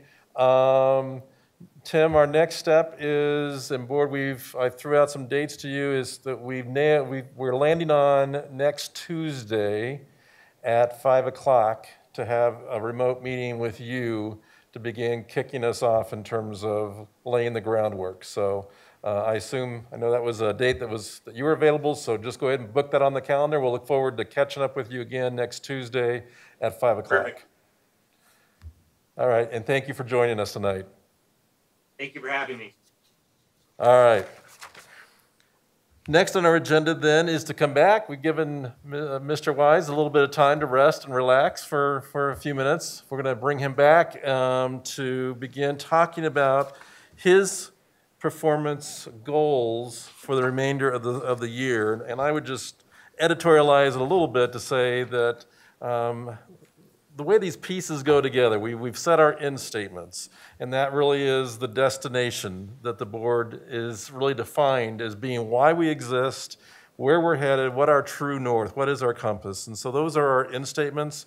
And then we have certainly narrowed those end statements down to say, okay, we want to examine these areas a little more critically this year, and those are the ones we identified. We identified three. Mr. Wise and his staff have already laid out some plans for how they're going to monitor and help us see more clearly where we are with that destination goal that we set. then we have a strategic plan that actually maps out the road, the, the, the, the map to the destination, if you will. And, and it identifies, as we saw tonight with our HR presentation, identifies all the stops and all the places that we want to spend time with to develop as we go along on this journey towards our destination. Um, and then our interim superintendent, I guess I would use the analogy that he's the bus driver. Um, he's the one that's driving the tour bus on the strategic plan road to get us to our destination. And so his goals tonight really are specifically to what he plans to do as our tour guide on the road to that destination of the board in statement. So with that, um, interim superintendent Wise, I'll let, turn it over to you. Absolutely, I appreciate it. Uh, you know, I think when we when we talk about that alignment, um, First and foremost, it helps everyone get a better idea of who I am in this role. Uh, the alignment to our in statements, uh, to our board focus for this year, to our strategic plan. You know, Douglas County is a great place. We've done a lot of great work. The strategic plan uh, has been a, a huge beacon to guide us. And even when we look at where we are uh, in this year of COVID, there's been a lot of work happening towards that. So you know, as I start thinking about uh, who I am, it's really reflective of the ownership of who we are as Douglas County. So I want to talk about that purposeful alignment, those goals and those action statements that I think in this it, it will quantify not only a goal, but put towards uh, what's that mean and look like? What are we trying to accomplish? What are we doing? So when you look at uh, our, our work within this, it really goes back to some of the similar alignment. And, you know, in times of change, you have to tend to culture and climate. You have to get back to who are we, what's that look like, feel like, sound like. And I think in this process, going back to that alignment of, of our ends along with our, our focus within the, the, the board, really taking a look at that purpose of focus of a caring and safe environment, you know, of uh, engaging people, of looking at our, our students, our employees, our teachers, our parents, and our community. Number one, uh, I want to continue to be visible. Uh, what's that look like? How are we accessible? Where are we a part of meetings? And in this process, uh, how do we do that within our community? We started some town halls and really want to continue that even more into the spring. So having a town hall at least once a month. Moving forward with students and, and community to get feedback, to have focus, to share information and collect more information to, to move our work together and build more understanding, collaboration, and, and feedback. You know, the other part of that is we've been attending a number of level meetings. I've worked within department meetings and listened, try to share vision, set the plan, and really set priorities of next steps. The same is true with our principal meetings, uh, being at our level meetings, being a part of regional, um, really trying to get to know principals. Uh, even moving further to say I'd like to be a part of staff meetings. The great part with some of the Google environments is building the opportunity to build that even further. Get out and be visible within schools, listen to staff, um, within departments and schedule that and, and make sure that um, it's purposeful. It allows that environment of knowing who we are, what I am, what our next steps are, priorities, and also allowing that feedback of what's happening in that temperature gauge. So as we start looking at that, um, you know, our, our board committees, I've had the opportunity to jump in and be a part of board committees and, and not only introduce myself, but also listen. Um, listen to who's involved, what's happening, what are our priorities, what's coming back, and continue that into the spring. And, and then lastly, I think a, a little bit of what we've done in the past, but really reinventing it as a whole entire system. Really looking at engaging in a 360 survey. A 360 survey is about growth. It's about getting feedback of our priorities, of what we value and what we're doing, where we're spending our time, to allow us to reflect on where are we and where we're going. Um, what can we do differently? It's a growth mindset in that piece and really looking at a whole system. So starting with myself, cabinet members, directors, coordinators, principals, and schools. So really starting to see where that looks now. And, you know, I think if you're going to say this, you model it. So my 360 be one of the first to go out. And starting in February, January and February, and working with cabinet. And then obviously, as we said, EDOS, directors, coordinators, um, getting feedback from those who we work with and serve to see what we're doing well, ideas of what we can do better, um, and start to put an action plan forward towards that. You know, along with, with that piece, when we work with uh, culture, it's also how do we work with our board? As interim superintendent or long-term superintendent. You're balancing how you interact with your community, with your staff, and also with your board. So how I engage with you in working, how do we facilitate quality meetings, setting up quality agendas, topics, and making sure that we present to minimize questions, to minimize lack of knowledge and understanding, and then to offer up how do we make this more visible. It's working to, to have strong communication, updates, timely, urgency, uh, not hopefully minimizing surprises. Uh, work sessions to allow not just presentations, but opportunities to dive in for understanding, dive in for analysis, and really working on what's actually happening for understanding and dialogue and moving that forward. And then how we start to say uh, within this, that strategic plan, our action steps. Uh, in, our, in our board meetings to come, really painting the picture of where are we with the strategic plan. We've been working on it, but really showing you what have we accomplished, reviewing and evaluating with our team leaders, and we need to have new team leaders now. We have new people and different people. Uh, what are our next steps? What are our priorities? And when are we going to accomplish that with those action plans? You know, uh, COVID's still a part of it. We have change mid-year in October. Uh, we have change in leadership, and we're managing a pandemic. So how we continue to, to lead and give updates around these constant changes and what's impacting us, that has to be a part of this piece. Uh, so increasing that communication, hopefully having a clear plan and communicating that, creating understanding, and also creating that feedback.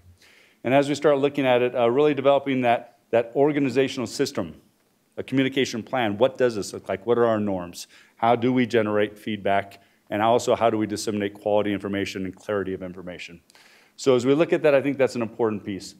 The last part of, of really saying if we want to improve and, and really emphasize your climate and culture, we need to tie it back to what we're already doing. The strategic plan is a critical component we want to keep. Not only do we want to keep it, we want to make it more powerful. The work is already happening. Uh, our curriculum instruction assessment department, as we combine those things uh, within it, is very purposeful. It's going to go into our next uh, goal of what are we doing? How do we use the strategic plan to identify gaps? When we see those gaps, how do we then address it? We're doing great things, but we also need to assess what do we need to do next and what do we need to do better. So that's a key piece for me. If you don't have the relationships, climate culture, it's going to be hard to get to the other areas. So these are key action statements of how you can start to improve that. There's a lot more detail, but hopefully that gives you a pretty good idea of, of what that value is, who the groups are that I need to make sure I engage with well, and some of the ideas and steps of what I've already taken and what I'm going to continue and start to build in. A second goal, obviously, uh, is, a, is a primary focus student learning, teaching and learning.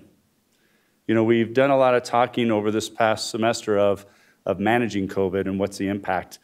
But really, what I'd like to see is an emphasis of what's really most important. How do we spend our time there? And that's around uh, academic excellence. Again, aligned with our strategic plan. So it's perfectly fit within the goal, the end statements, board focus, and our work uh, within the strategic plan. And I called it out here just to give that example. Within this focus, I really want to narrow. We can do a lot of everything and maybe not do it very well. I really want to see us focus on if we're going to work on teaching and learning and student achievement and growth, we need to focus on professional learning communities. How do we engage our teachers? What do our teachers need? How do they share their best ideas? How do we support them? We have started that work, but we really want to now say this is our priority. How do we drive our time within our schools, within our regional time, our level time, to make the PLCs better understood, provide training and PD, to have outcomes, to have uh, processes in which you run to use data protocols, to look at individual students and groups of students, and to share ideas. That's the essence of teaching, and that's where we need to spend our time in the spring, because that's what we all want to do. So how do we re-engage with that and make it purposeful and make it a priority? Around those same things, it fits within uh, the board's focus. We'll be uh, sharing out more on, on what are our priority student data. Um, in the next slide, you'll see where we are, I am starting to narrow us down. But we need to define what is most important to us. How do we make that actionable? How do we measure and set those goals? So I think those things around um, the work of schools, and that's our entire district's work of how do we focus on that and spend our time and resources to maximize that. and really get into then what's our work towards this. We need to align our data protocols to really say, where are we? Disaggregate data. What are we doing well? What do we need to address and improve? How do we do that? And then how do we create the systems to really uh, drive that work purposefully? So we look at it. We have great iReady data. We're going to be sharing some of this, but we need to systematize and even improve that around what is our data telling us. I'm a firm believer literacy is key. A goal is to have every student walk out of Douglas County as a strong reader, writer, speaker. So what's that look like within iReady? Well, that's great data points, but driving back to PLC of what's happening in our classrooms. What are our grade level expectations? How do we monitor progress and see improvement? When we see gaps or needs, how do we address that and help instruction and learning progress on those key areas? READ Act was going to be a presentation night. It would have fit naturally. There's state drives towards a READ Act, and our work here in the next year needs to be focused on reading. Reading leads also naturally into writing. They complement each other. They go hand in hand, yet they're also very different. Reading is measured on a number of assessments statewide that you can drive down, on top of building and classroom. Writing's a little di bit different. Writing is not necessarily measured at your state testing, but we have great protocols, but we need to systematize those. Some of these goals are one year, and honestly driving out to be three year, five year. And as you talk about the long term superintendent, my goal is to have goals that last far beyond me, regardless of the timing. It's the right work. Literacy, reading, writing, numeracy are the key things. Fundamental in education, transfer over to every content area, and it's PK 12. Okay, this is driven systematically. So when we look at this, you get into a little bit of the things that we want to break into. We want to not only look at our, our long term goals in reading, but also what are our gaps? Where are our kids? Where are our kids now? And what can we do immediately? But then also, what are our long term uh, data showing us? What's the success over time? And what's the success after high school? So I think some of these things hopefully get into the piece of aligning our protocols, working within our data, working on teaching and learning is our priority, narrowing it to reading, writing, numeracy, then English language arts. And as we get into this a little more, our re reading progress monitoring PK8. We have data within iReady, we have state data that focuses just on reading. As we get into the high school level, there's times where we don't think about literacy, but it's purposeful. Students that struggle in science or social studies, a lot of times goes back to the reading. You read to think. So we think about what are those soft skills? And the soft skills go hand in hand, but when you go down to what are we going to measure and what are our deliverables, what do we want to focus, I would like to simplify. Again, a lot of these other things we will be doing, but to call it as our priorities and put our time and resources and how it impacts others and the ripple effect magnifies all those other uh, qualities which help our kids be successful. You know, we want to look at, uh, uh, as we look at our reading protocols, what are we doing well? What are we already doing? What do we need to do next? And provide guidance and information. Share within those PLCs of what is evidence based. Really taking a look at our writing strategies. There's a lot of data that we have on reading. How do we know where we are with writing? What's grade level? And how do we kind of do, in a sense, an audit? What are we doing? What resource do we have? Um, do we have rubrics or assessments that are common? Do we have common ideas of grade level proficiencies and advancements? We have a number of our schools that help kids be at least a grade level ahead. But how do we really make that known and understood? How do we quantify that and celebrate that and also help all kids access that? The same is true as we look at uh, our, our, matriculation pattern. So as we start talking about this, while you look at an elementary level, this matriculates PK-12. So reading, writing, it's a part of everything we do. How do we help with instructional practices as it gets in the upper levels?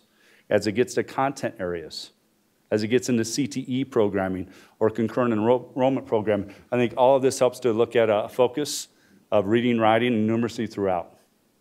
And when we talk about um, the, the numeracy side, we can take a look at grade levels, Algebra 1 skills. We have a strong pattern of, of looking at Algebra 1 as a, as a gatekeeper we can push to say, how do we help all and more of our kids be more successful, be Algebra 1 successful, complete coming out of middle school? whether it be seventh grade, eighth grade, and then what that looks like with key skills moving down throughout your PK elementary. How do we then look at that Algebra 1 success moving into our, our high school courses? Um, that helps us not only with state testing, ACT, SAT, which is um, a value to high school students, a value to get into universities, a value to get scholarships, but also a value to be successful. If you are college driven, you can be successful um, in other aspects, whether it be industry, military, uh, and employment. So I think on those things, when we talk about those skills of content on top of skills of readiness, that's going to be important. So as we start looking at the numeracy side, um, again, when we look at this, the strategic plan, this goes back a little bit to the other piece. The strategic plan has already, already identified some gaps. We do a pretty good job with equity. It is a key focus. We talk about a lot, it's in our strategic plan. As we dive into the strategic plan, we've already noticed we need to really capitalize on what does this mean? What's our common language? What are the actions? And then where's our intentional leadership around equity? Everyone's trying to do it, but one of the things we're starting to notice and we, we're identifying we need to figure out action steps to move forward is what are our next steps to take this to the next level? You know, the good to great schemes of how do we do this better? And equity is one of those topics that we've already identified. And that really kind of leads us into uh, a couple other uh, steps that I'll combine when you look at academic excellence, it's not just the academic side. How do you create well being of all? So, when you look into the social emotional components, when you look into the mental health, it's really starting to drive what are those next steps that are systematic. We have school based interventions, we have resources, but how do we look at all those that are common? What do we ensure that we're doing in, in every school at different grade levels, whether it be daily or weekly, and start to implement and have a system in which we know what we're doing and why. We know how to respond, we're proactive, and really putting those things in place. You know, we talk about we have trauma informed PD. How do we make sure we're ensuring that, that it's available, accessible, but then also we know that it's given and used. When we look at the mindfulness strategies, we have a lot available, but how do we ensure these are being used everywhere and that they're available, accessible, and known? And so deepening the, those PD strategies on top of the implementation process. And lastly, it kind of gets me to goal number three. You know, you, you're in a process where we're transitioning superintendents. I'm an interim superintendent. I need to help Douglas County be better when I leave, no matter when that is, than when I took this role over. We're doing a lot of great things. There's a lot of success. But I think when you look at a, an interim is my job is to help us through this year for sure. That's what I can control. I want to build this for further. But in this, what does that mean? As we took, we need to get more feedback. Where are we?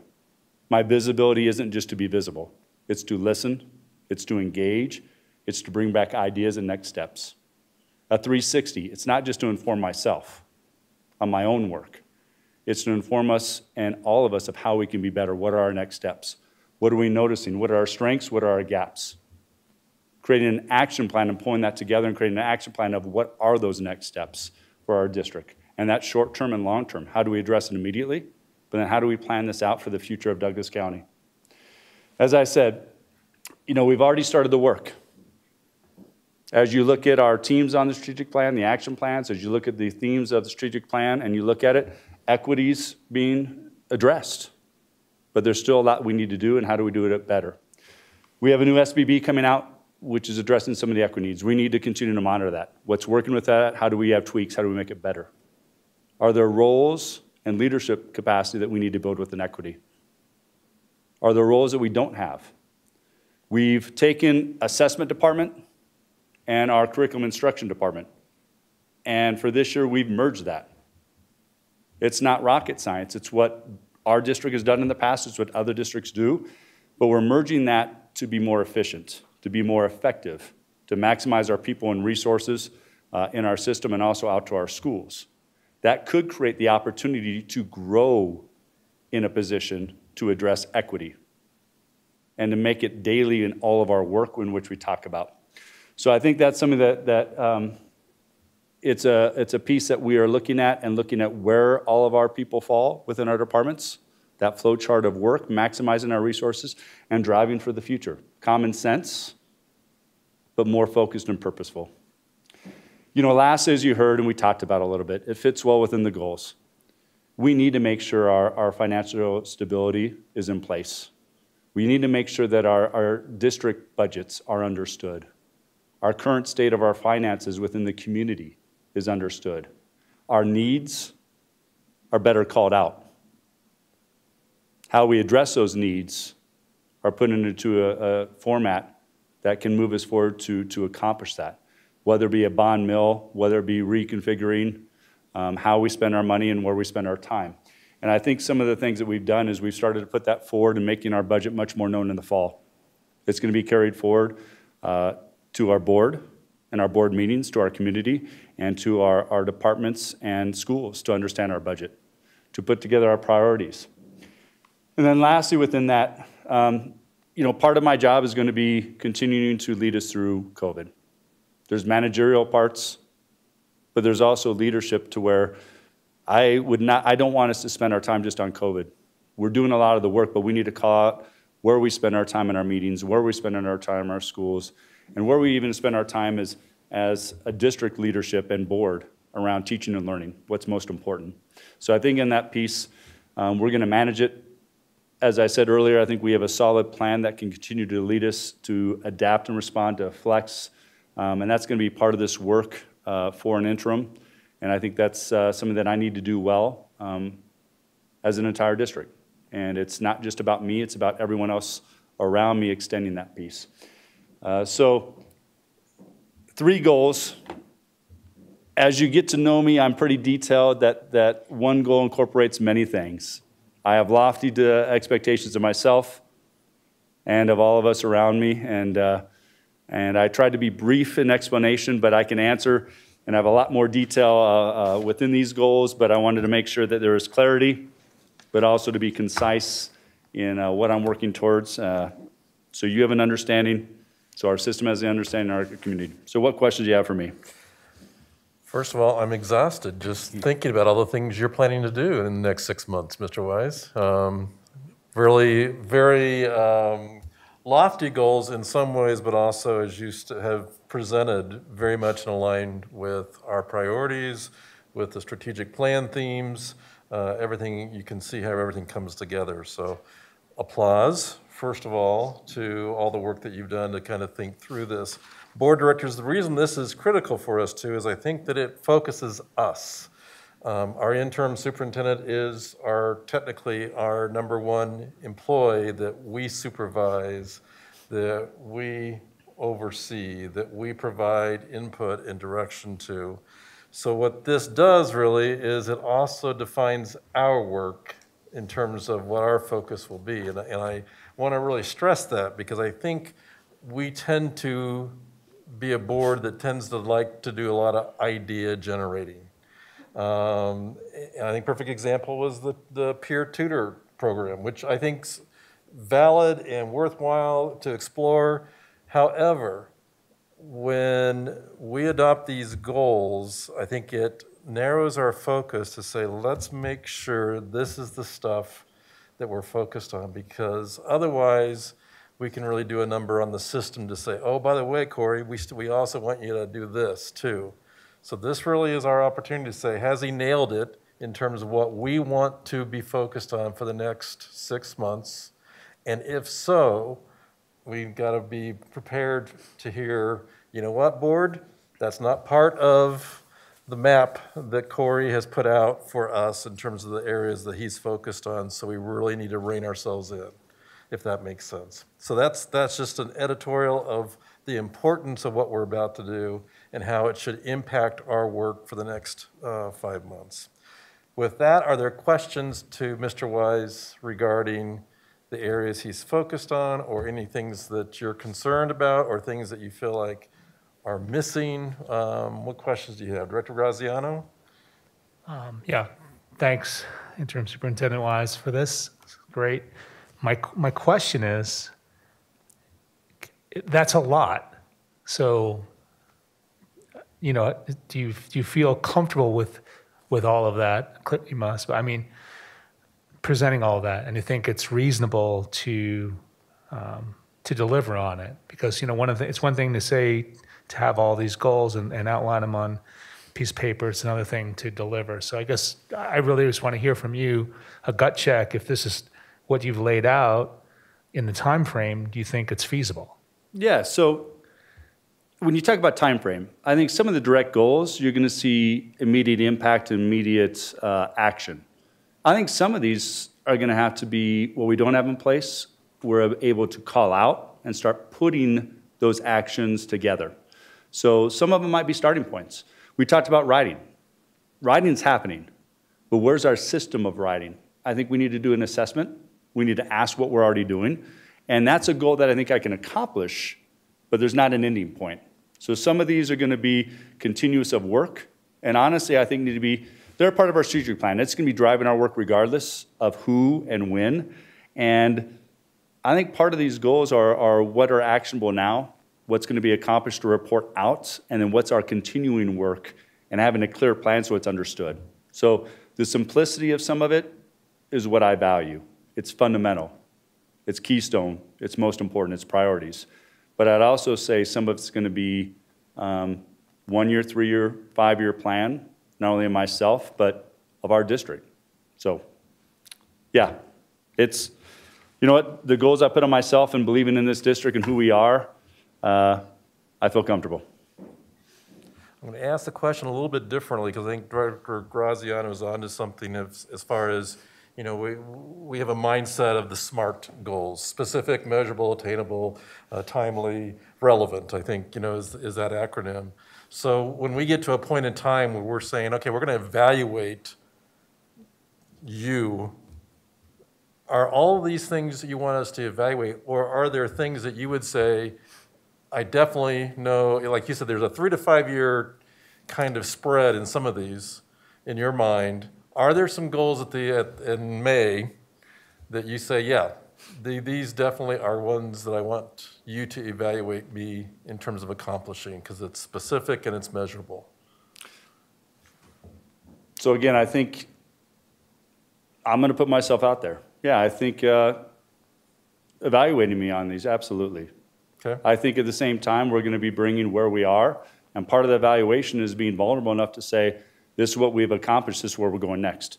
Um, if it's not a priority, then why would it be on there? So I, I, think on that piece that we need to drive the right work, narrow the focus, and create steps in a pathway.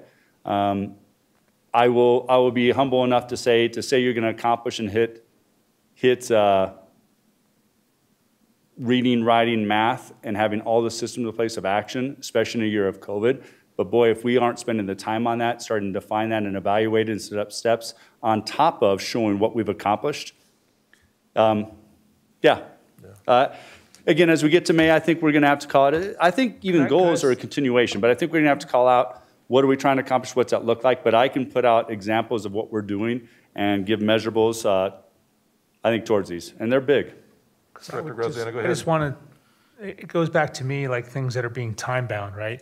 A couple of things you mentioned had long windows out into, you know, one, three, five years. So while that's certainly reasonable that we should have uh, things that we're tackling like that, as it relates to um, looking at how well you're doing your this mm-hmm. role here in this period, um, I, I, think having too many things like that will be will make things fuzzy. I'd rather have you know. To me, I think some of it needs to be very clear that what's up through a certain period of time yeah. versus can just go on. Because I think that could do you disservice or it just like gets us, puts us in a, a, a bad spot because yeah. we've started something that we're, you know, maybe we're not going to pursue. So I think having some of these more time bound would be something I'd like to see. Yep. And I think that's part of my goal work, I have more to find out what that looks like over time, so I can call that out more uh, explicitly. I will say this, reading's our focus right now. Reading's our focus on a number of things. You look at READ Act, and priority, uh, we need to have that for our teachers.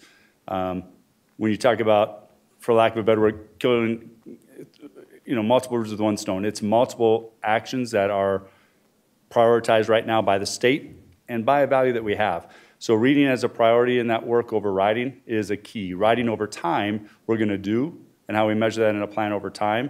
To set a plan and have an action and do an audit will be steps to build that. So I agree with you on that side that I can call that a little better of a smart piece of what we're going to accomplish over a short period of time and this one semester, to be quite honest.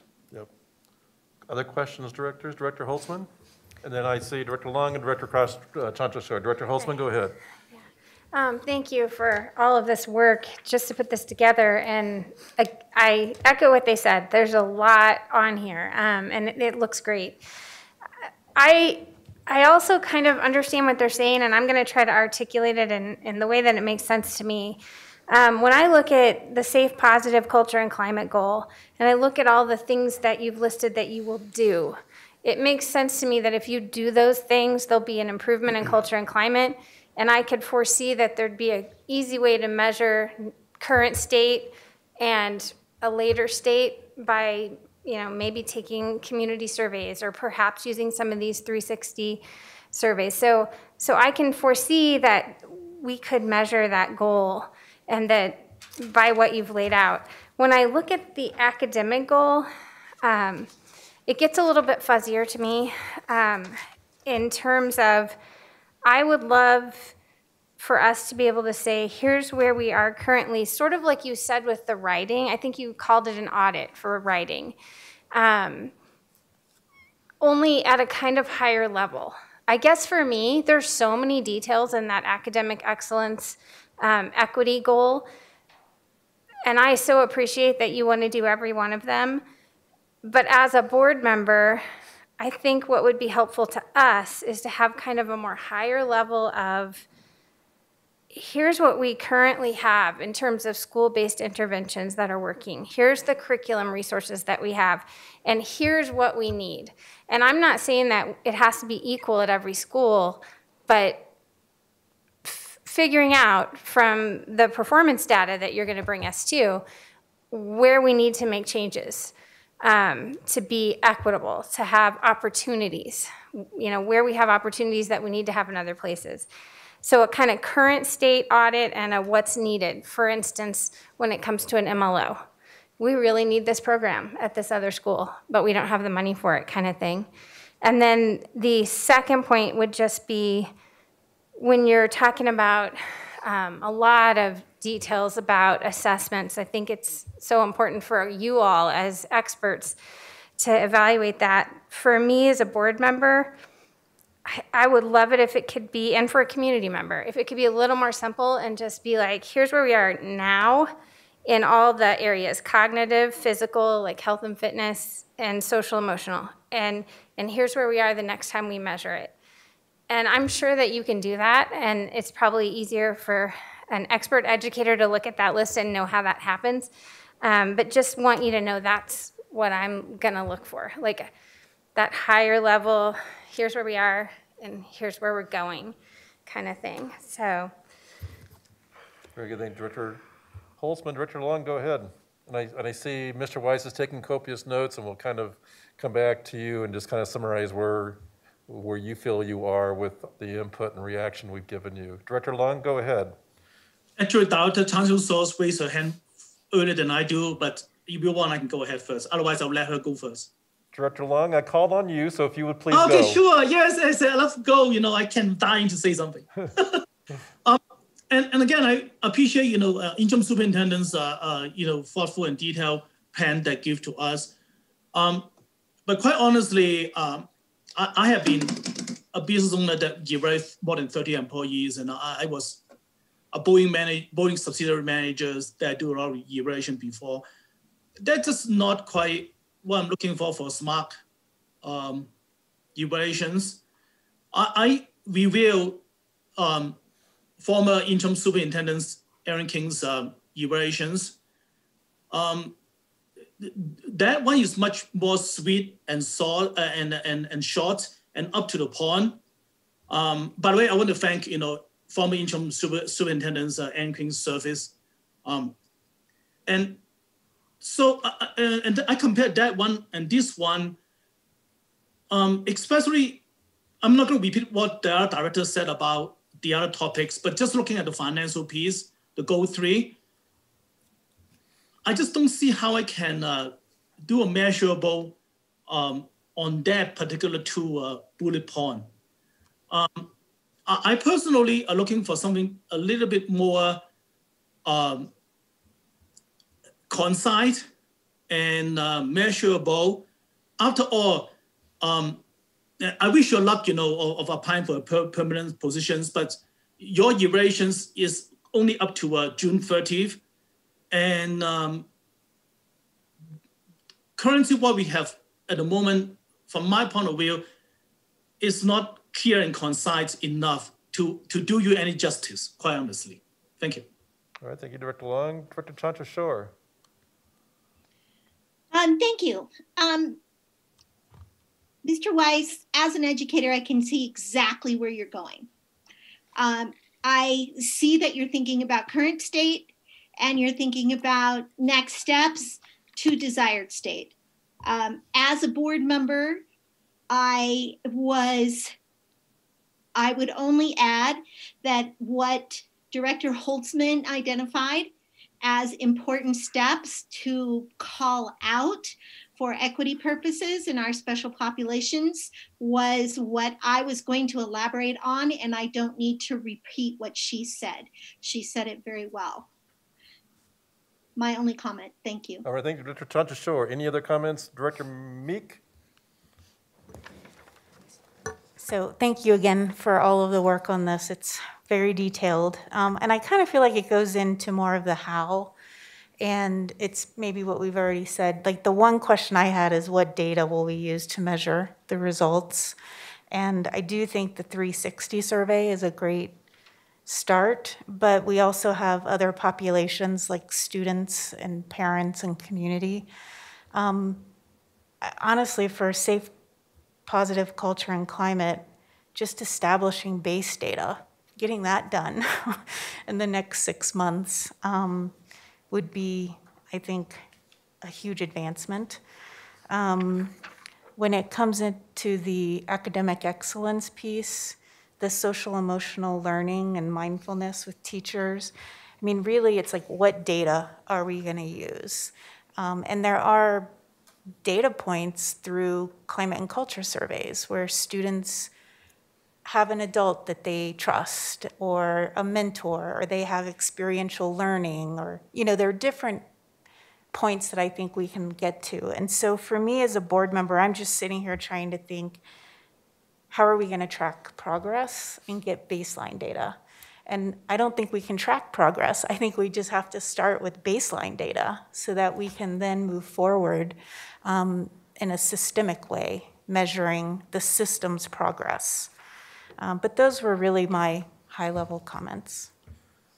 So one of the questions I have, um, directors, so as far as baseline data and monitoring progress, we have a vehicle in terms of monitoring reports where the system is going to do that through Corey's leadership, of course, but the system is going to do that. So I guess in my own mind, I'm trying to distinguish between superintendent behavior and performance and system performance because we've already set up, we've already got the structure set up for monitoring reports. We will get data that says, here's where they started, here's where we're going, based on our board emphases that we approved already. These things, though, are specific to how he behaves, how he performs, what he does. So I think that's one of the distinctions I, I think I would challenge us all as we're kind of rocking through this is what's going to come up in our monitoring reports and that superintendent evaluation is a little different. Uh, Director Meek? Yeah, so I think about this ad nauseum.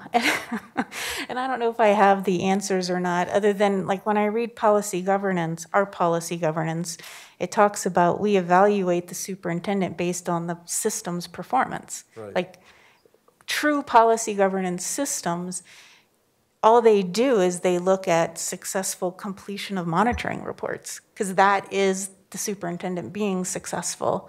And I know we're trying to get started with our monitoring reports. And so for me, I would just love to see us get started in establishing that system that would allow us to be successful. Yeah.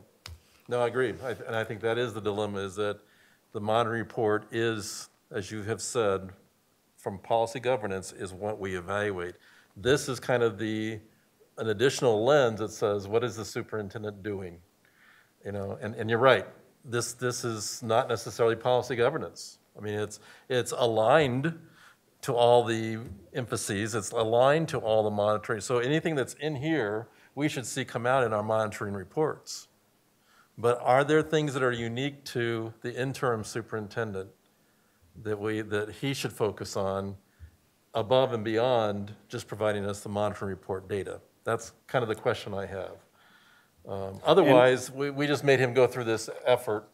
Um, So if we just going to out- say monitoring reports, Can I throw out measurables? Sure. So when you look at actions, part of these goals of being visible and, and attending things um, is a clear statement of what I feel might have been, might be needed.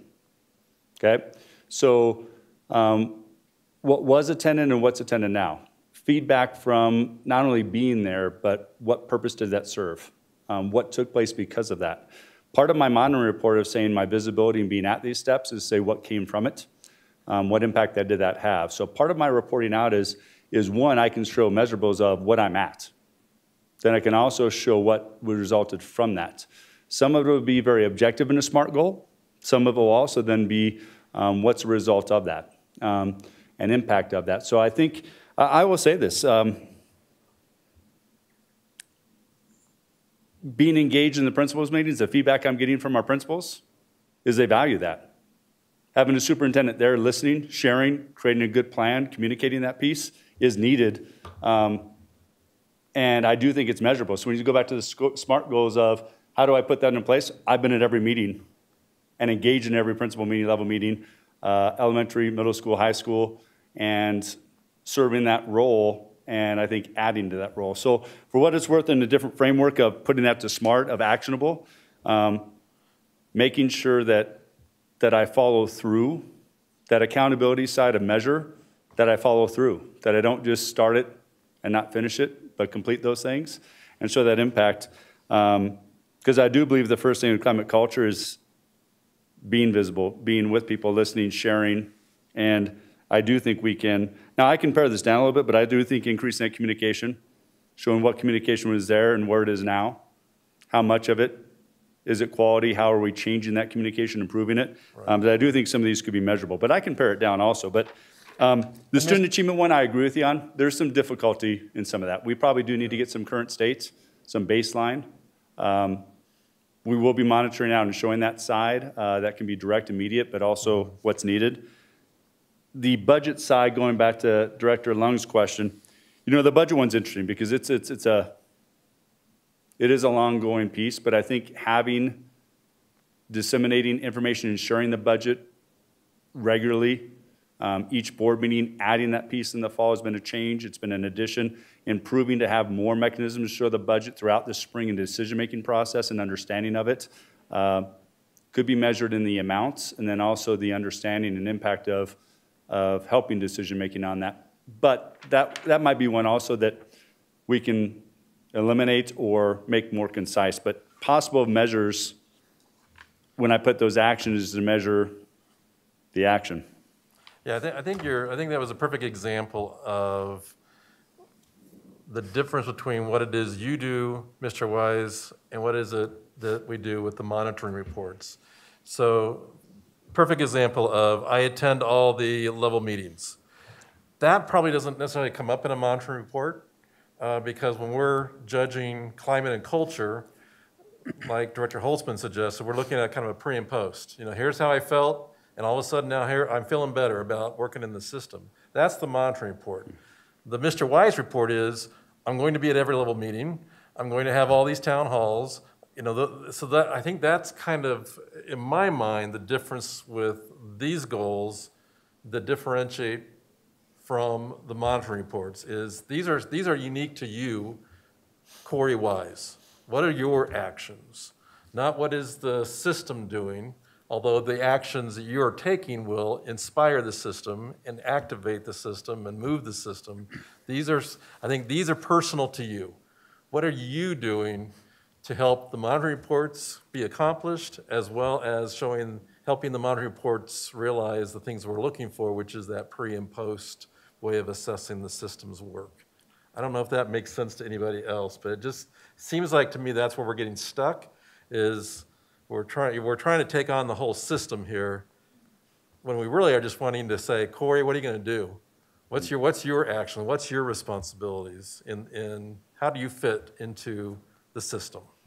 Does that make sense? And to be quite honest, you're evaluating me on a lot more than these three goals. You have a system to evaluate me.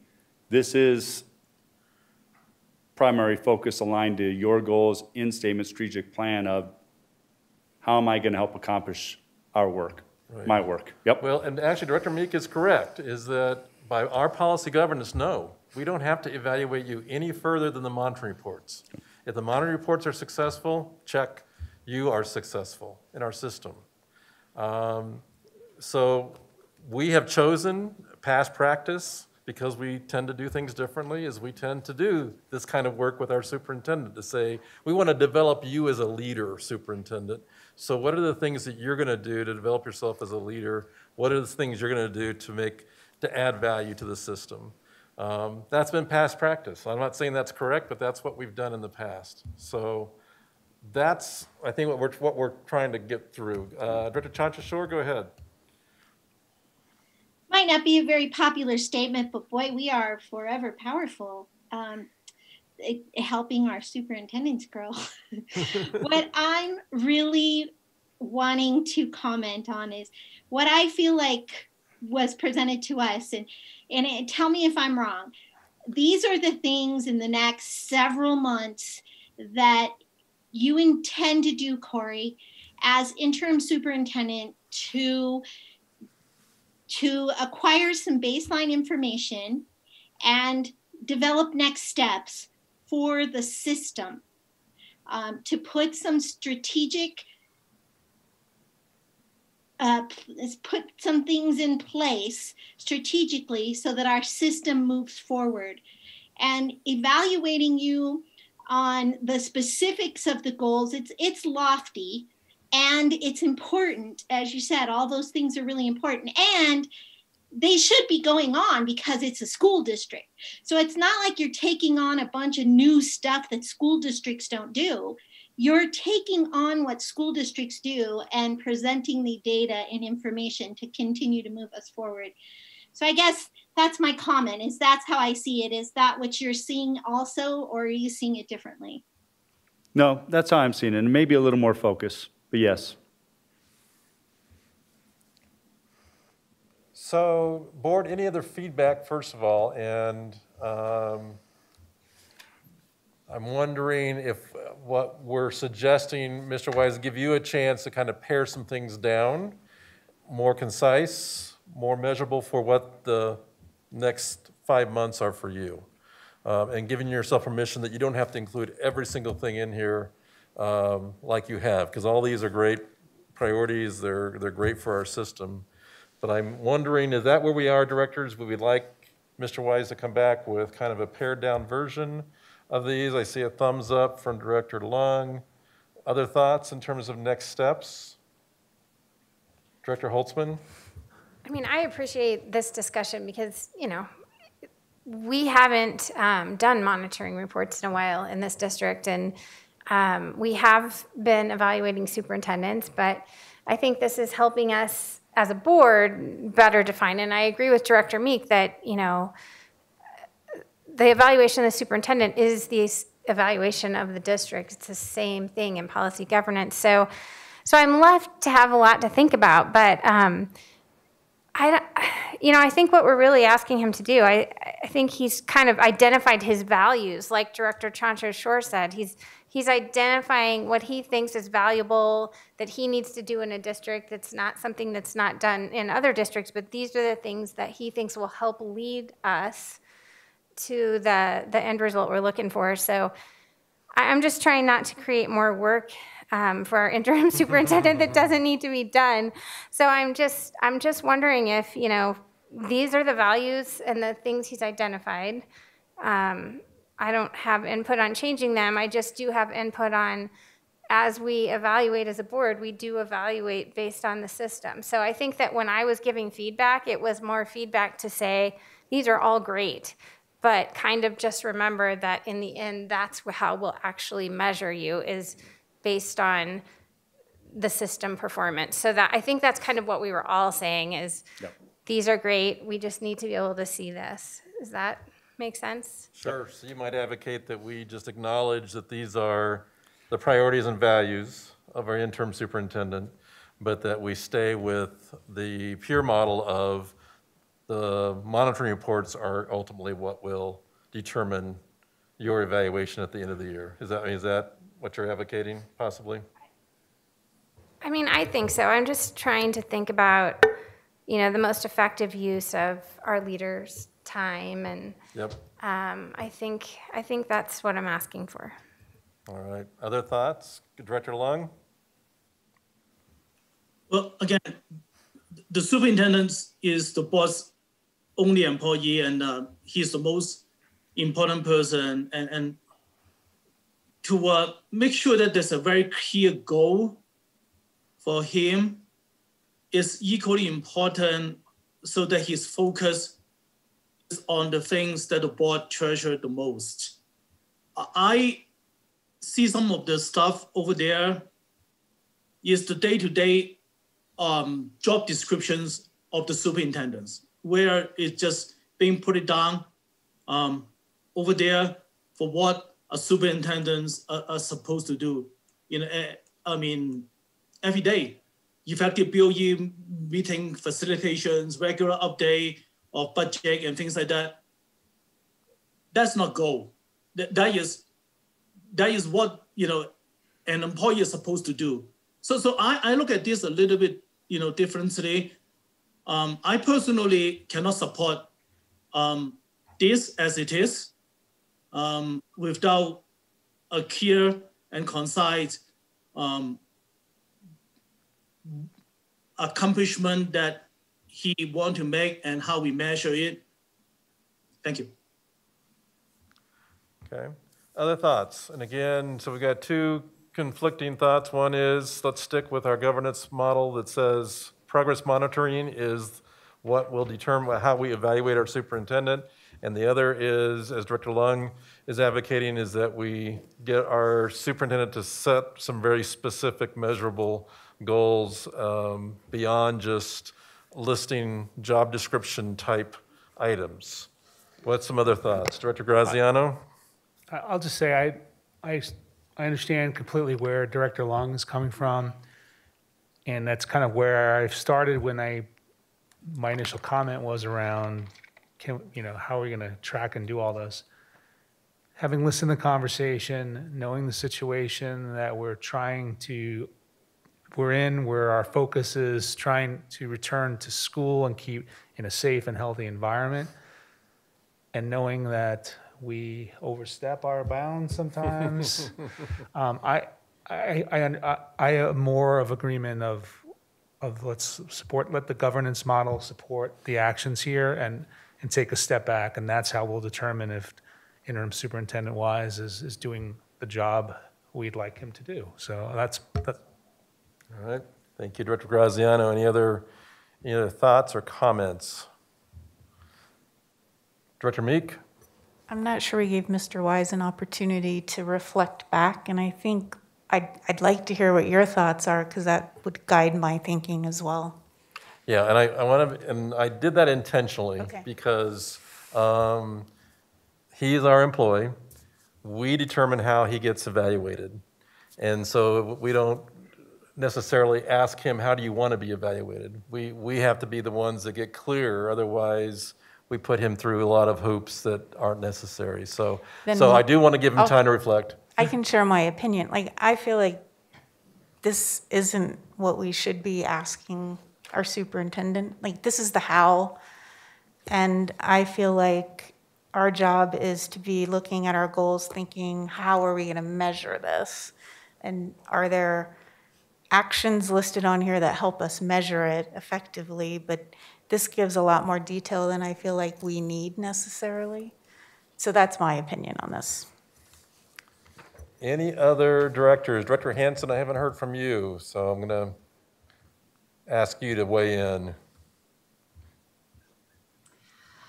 Well, I um, probably tend to fall with Director Graziano. And when we initially began our discussion, I um, I am just more accustomed to a, a, performance evaluation that has very specific and measurable criteria.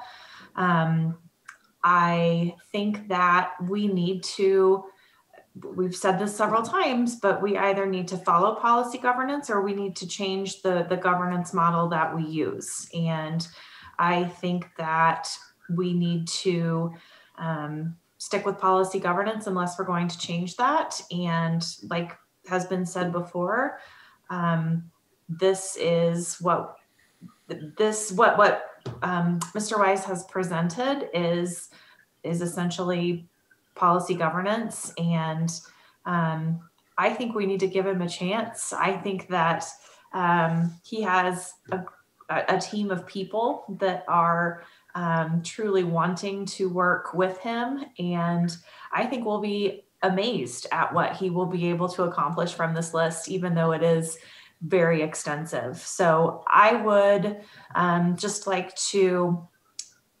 evaluate the superintendent on the performance of the district as a whole. And I think that the criteria that he's laid out is a really good um, tool for that. Dr. Holtzmann? So I would only say that um, going this route, you know, we still don't really know what we're going to be expecting in a monitoring report. Um, so I think we've all kind of said what we're looking for, but we still don't really know what we're going to get. And so I guess, you know, that is one drawback. But so that's true. We, we missed that time where we really were going to determine the format of a monitoring report and come to some agreement, and we haven't uh, done that, although Mr. Wise certainly has done some preliminary work with helping us know how they interpret the goals that we've emphasized, as well as some suggestions for what kind of data he, the system is going to collect to show progress is being made. So, um, so yes, we've got a couple of um, unknowns that make this even more challenging.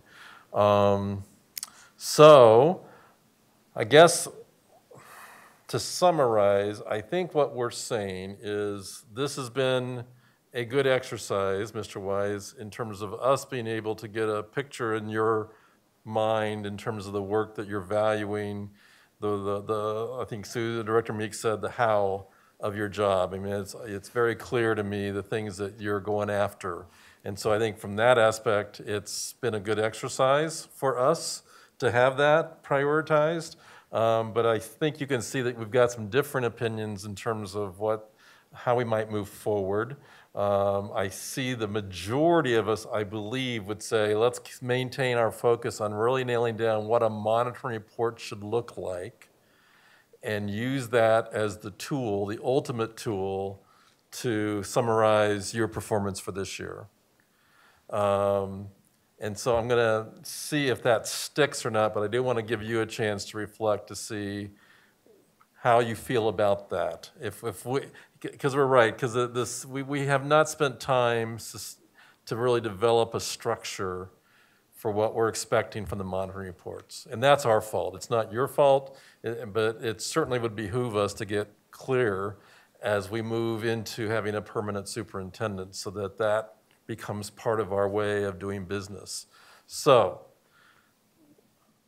I'm going to suggest where we are is that we move forward with really honing in on spending some, some good time on developing our format for the monitoring report, coming to an agreement, and using that as our tool to summarize Mr. Wise's performance at the end of the year. Uh, that's going to be my recommendation. Mr. Wise, um, and, I, and then I'm going to see if that sticks. We'll, we'll put that out as a motion in just a moment. But before I do that, Mr. Wise, do you want to now reflect on this conversation? Yeah, I'm comfortable with the monitor reports. I also can pare this down into one, two to three SMART goals. So in that process, really paring this down to a SMART goal, if that's what's wanted uh, in that piece, similar to a, a monitoring report, but to pare it down to specific action and measurables, I can do that too. So I'm good either way. Okay, so I'm going to entertain a motion of what, how we move forward with the interim superintendent goals in terms of how we want to move forward.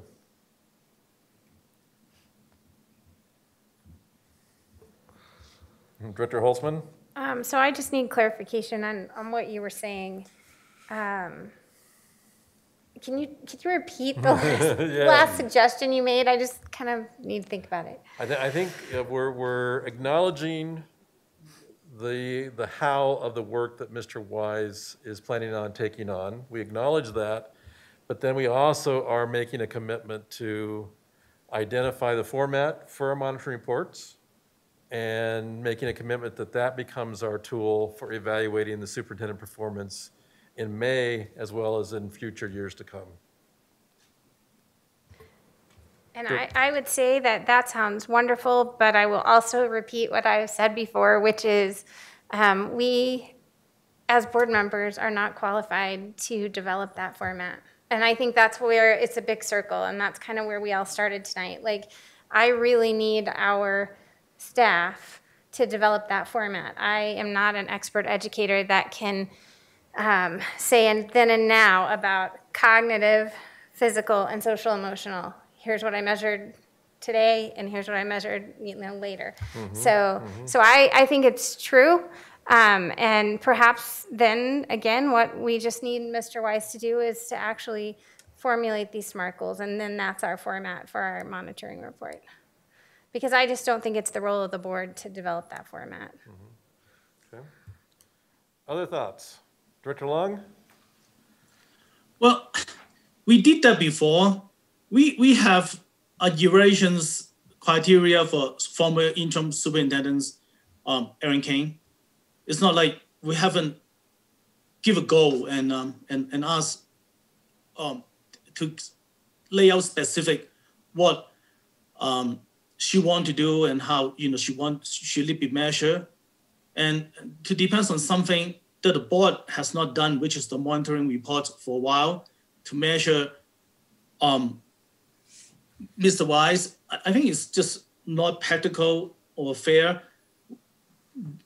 We most of the times when our meeting really late, um, just trying to find time uh, to talk to um, the, the the firm who trying to find superintendents is is to take an act of Congress to find a time for seven of us, and what's the likelihood we'll get a very good and very uh, concise monitoring report um, to measure him. I just don't know how we could uh, achieve that. I, I just um, I think I still stuck with what I think what a smart is, um, and I think he can uh, refine what he's doing and give us something that is more concise and um, and measurable. Uh, we established a system in here to measuring our superintendents. Um, circumstances is tough, but we shouldn't just let it be because um, because we don't want to. I mean, I thank you. All right, so I'm looking for a motion, board, um, how we move Move forward. to, move to approve what's been proposed um, by uh, interim superintendent Wise. So Say, say it one more time for me, Director. Burrow. move to approve um, the plan, the goals that have been proposed by interim superintendent Wise. Okay, there's been a motion to approve the goals as presented by uh, Mr. Wise tonight. Is there a second? Second. Second by Ciancio-Schor. All right. Further discussion? Director Ciancio-Schor? Um, I would just add that I think it is the um, work of the school district to look at what information we would need to monitor the goals that we have set up as our in our strategic plan and as our board goals. It isn't the work of the board to come up with what that looks like because that would look different because there are people on the dance floor doing the work and they would be identifying what work they would be doing and we're not on the dance floor. So I would advocate that the school district personnel make a decision and come up with a form that they would present that looks like a monitoring report. And then we could review and preview and make adjustments accordingly. But that's really not the work of a Board of Education, that's work of a school district. So I would add that also um, a Board of Education Policy Governance Board um, is in the job of looking at how our school district is functioning from a very high level and so, if we are going to operate at that level, I would agree with Director Meek and Director Holtzmann. In then let's operate at that level. Um, and we review monitoring notes to look at how our school district is doing as presented by our school district and make adjustments accordingly. So I concur that this is the job of the school district, and I concur that um, Mr. Wise's goals and reflections today. I would hate for him to spend more time refining what he how he's going to do the work of the monitoring reports and how he's going to do his daily work. I'd really like to see more time spent in letting him do his daily work instead of trying to appease the board. All right. Any other discussion? So there's, there's been a motion made and seconded to accept the goals as stated by direct, or by uh, Mr. Wise. Any other discussion? Uh, Although I, Director Ciancio, you kind of went off into another arena about monitoring reports, which I don't know how that relates. Are you assuming that the goals that have been set here today is the monitoring report, is synonymous? No, no, everybody was talking about and director director meek said it best i think in monitoring reports are how we are measuring how the district is doing but the how Corey Wise is doing in working into those monitoring reports, though she's it's the how. So let's let that be the how. And he has laid those things out pretty prolifically with lots of information about the steps he's going to take in the next many months. So I was just comparing the the two are different documents. And i don't really think that they that one is the how of doing the other. The what how he would be presenting what he is doing through this goal sheet that he gave us. So leave it there. So there's still, there's still two parallel ways that we're assessing would be these goals plus the monitoring reports. the goals that that Mr. Wise presented to us, he is giving us here's what I'm going to be doing. Monitoring reports shows us how our school district is doing, not how how the superintendent is doing that work. Right, right, right. So. I can I'm do not you see what I'm saying, or do I need to clarify? No, I'm not questioning your definition. I'm questioning is if, are we going to maintain this notion that we've got two parallel things going on? One is, is Mr. Wise's goals as written, and then two is that there's still a monitoring report for the system. So we're still saying we've got two parallel kinds of universes that are going on as far as how we are evaluating the performance of our superintendent as well as the performance of our system. Director Meek? Well, I guess, Oh, sorry. Director Ray, the question you're asking is, are we going to be a policy governance board or are we going to get in onto the dance floor? Because that's really the No. two different questions at this Right. point. I'm just trying to clarify what we're voting on. So right now, we're voting on the goals that Mr. Wise has set, but we're also sending a message that there's also this monitoring report that we're still expecting as well.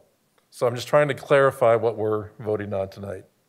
Director Meek? I guess the way I look at it, we have six months that we're looking at, and we don't have monitoring reports in place.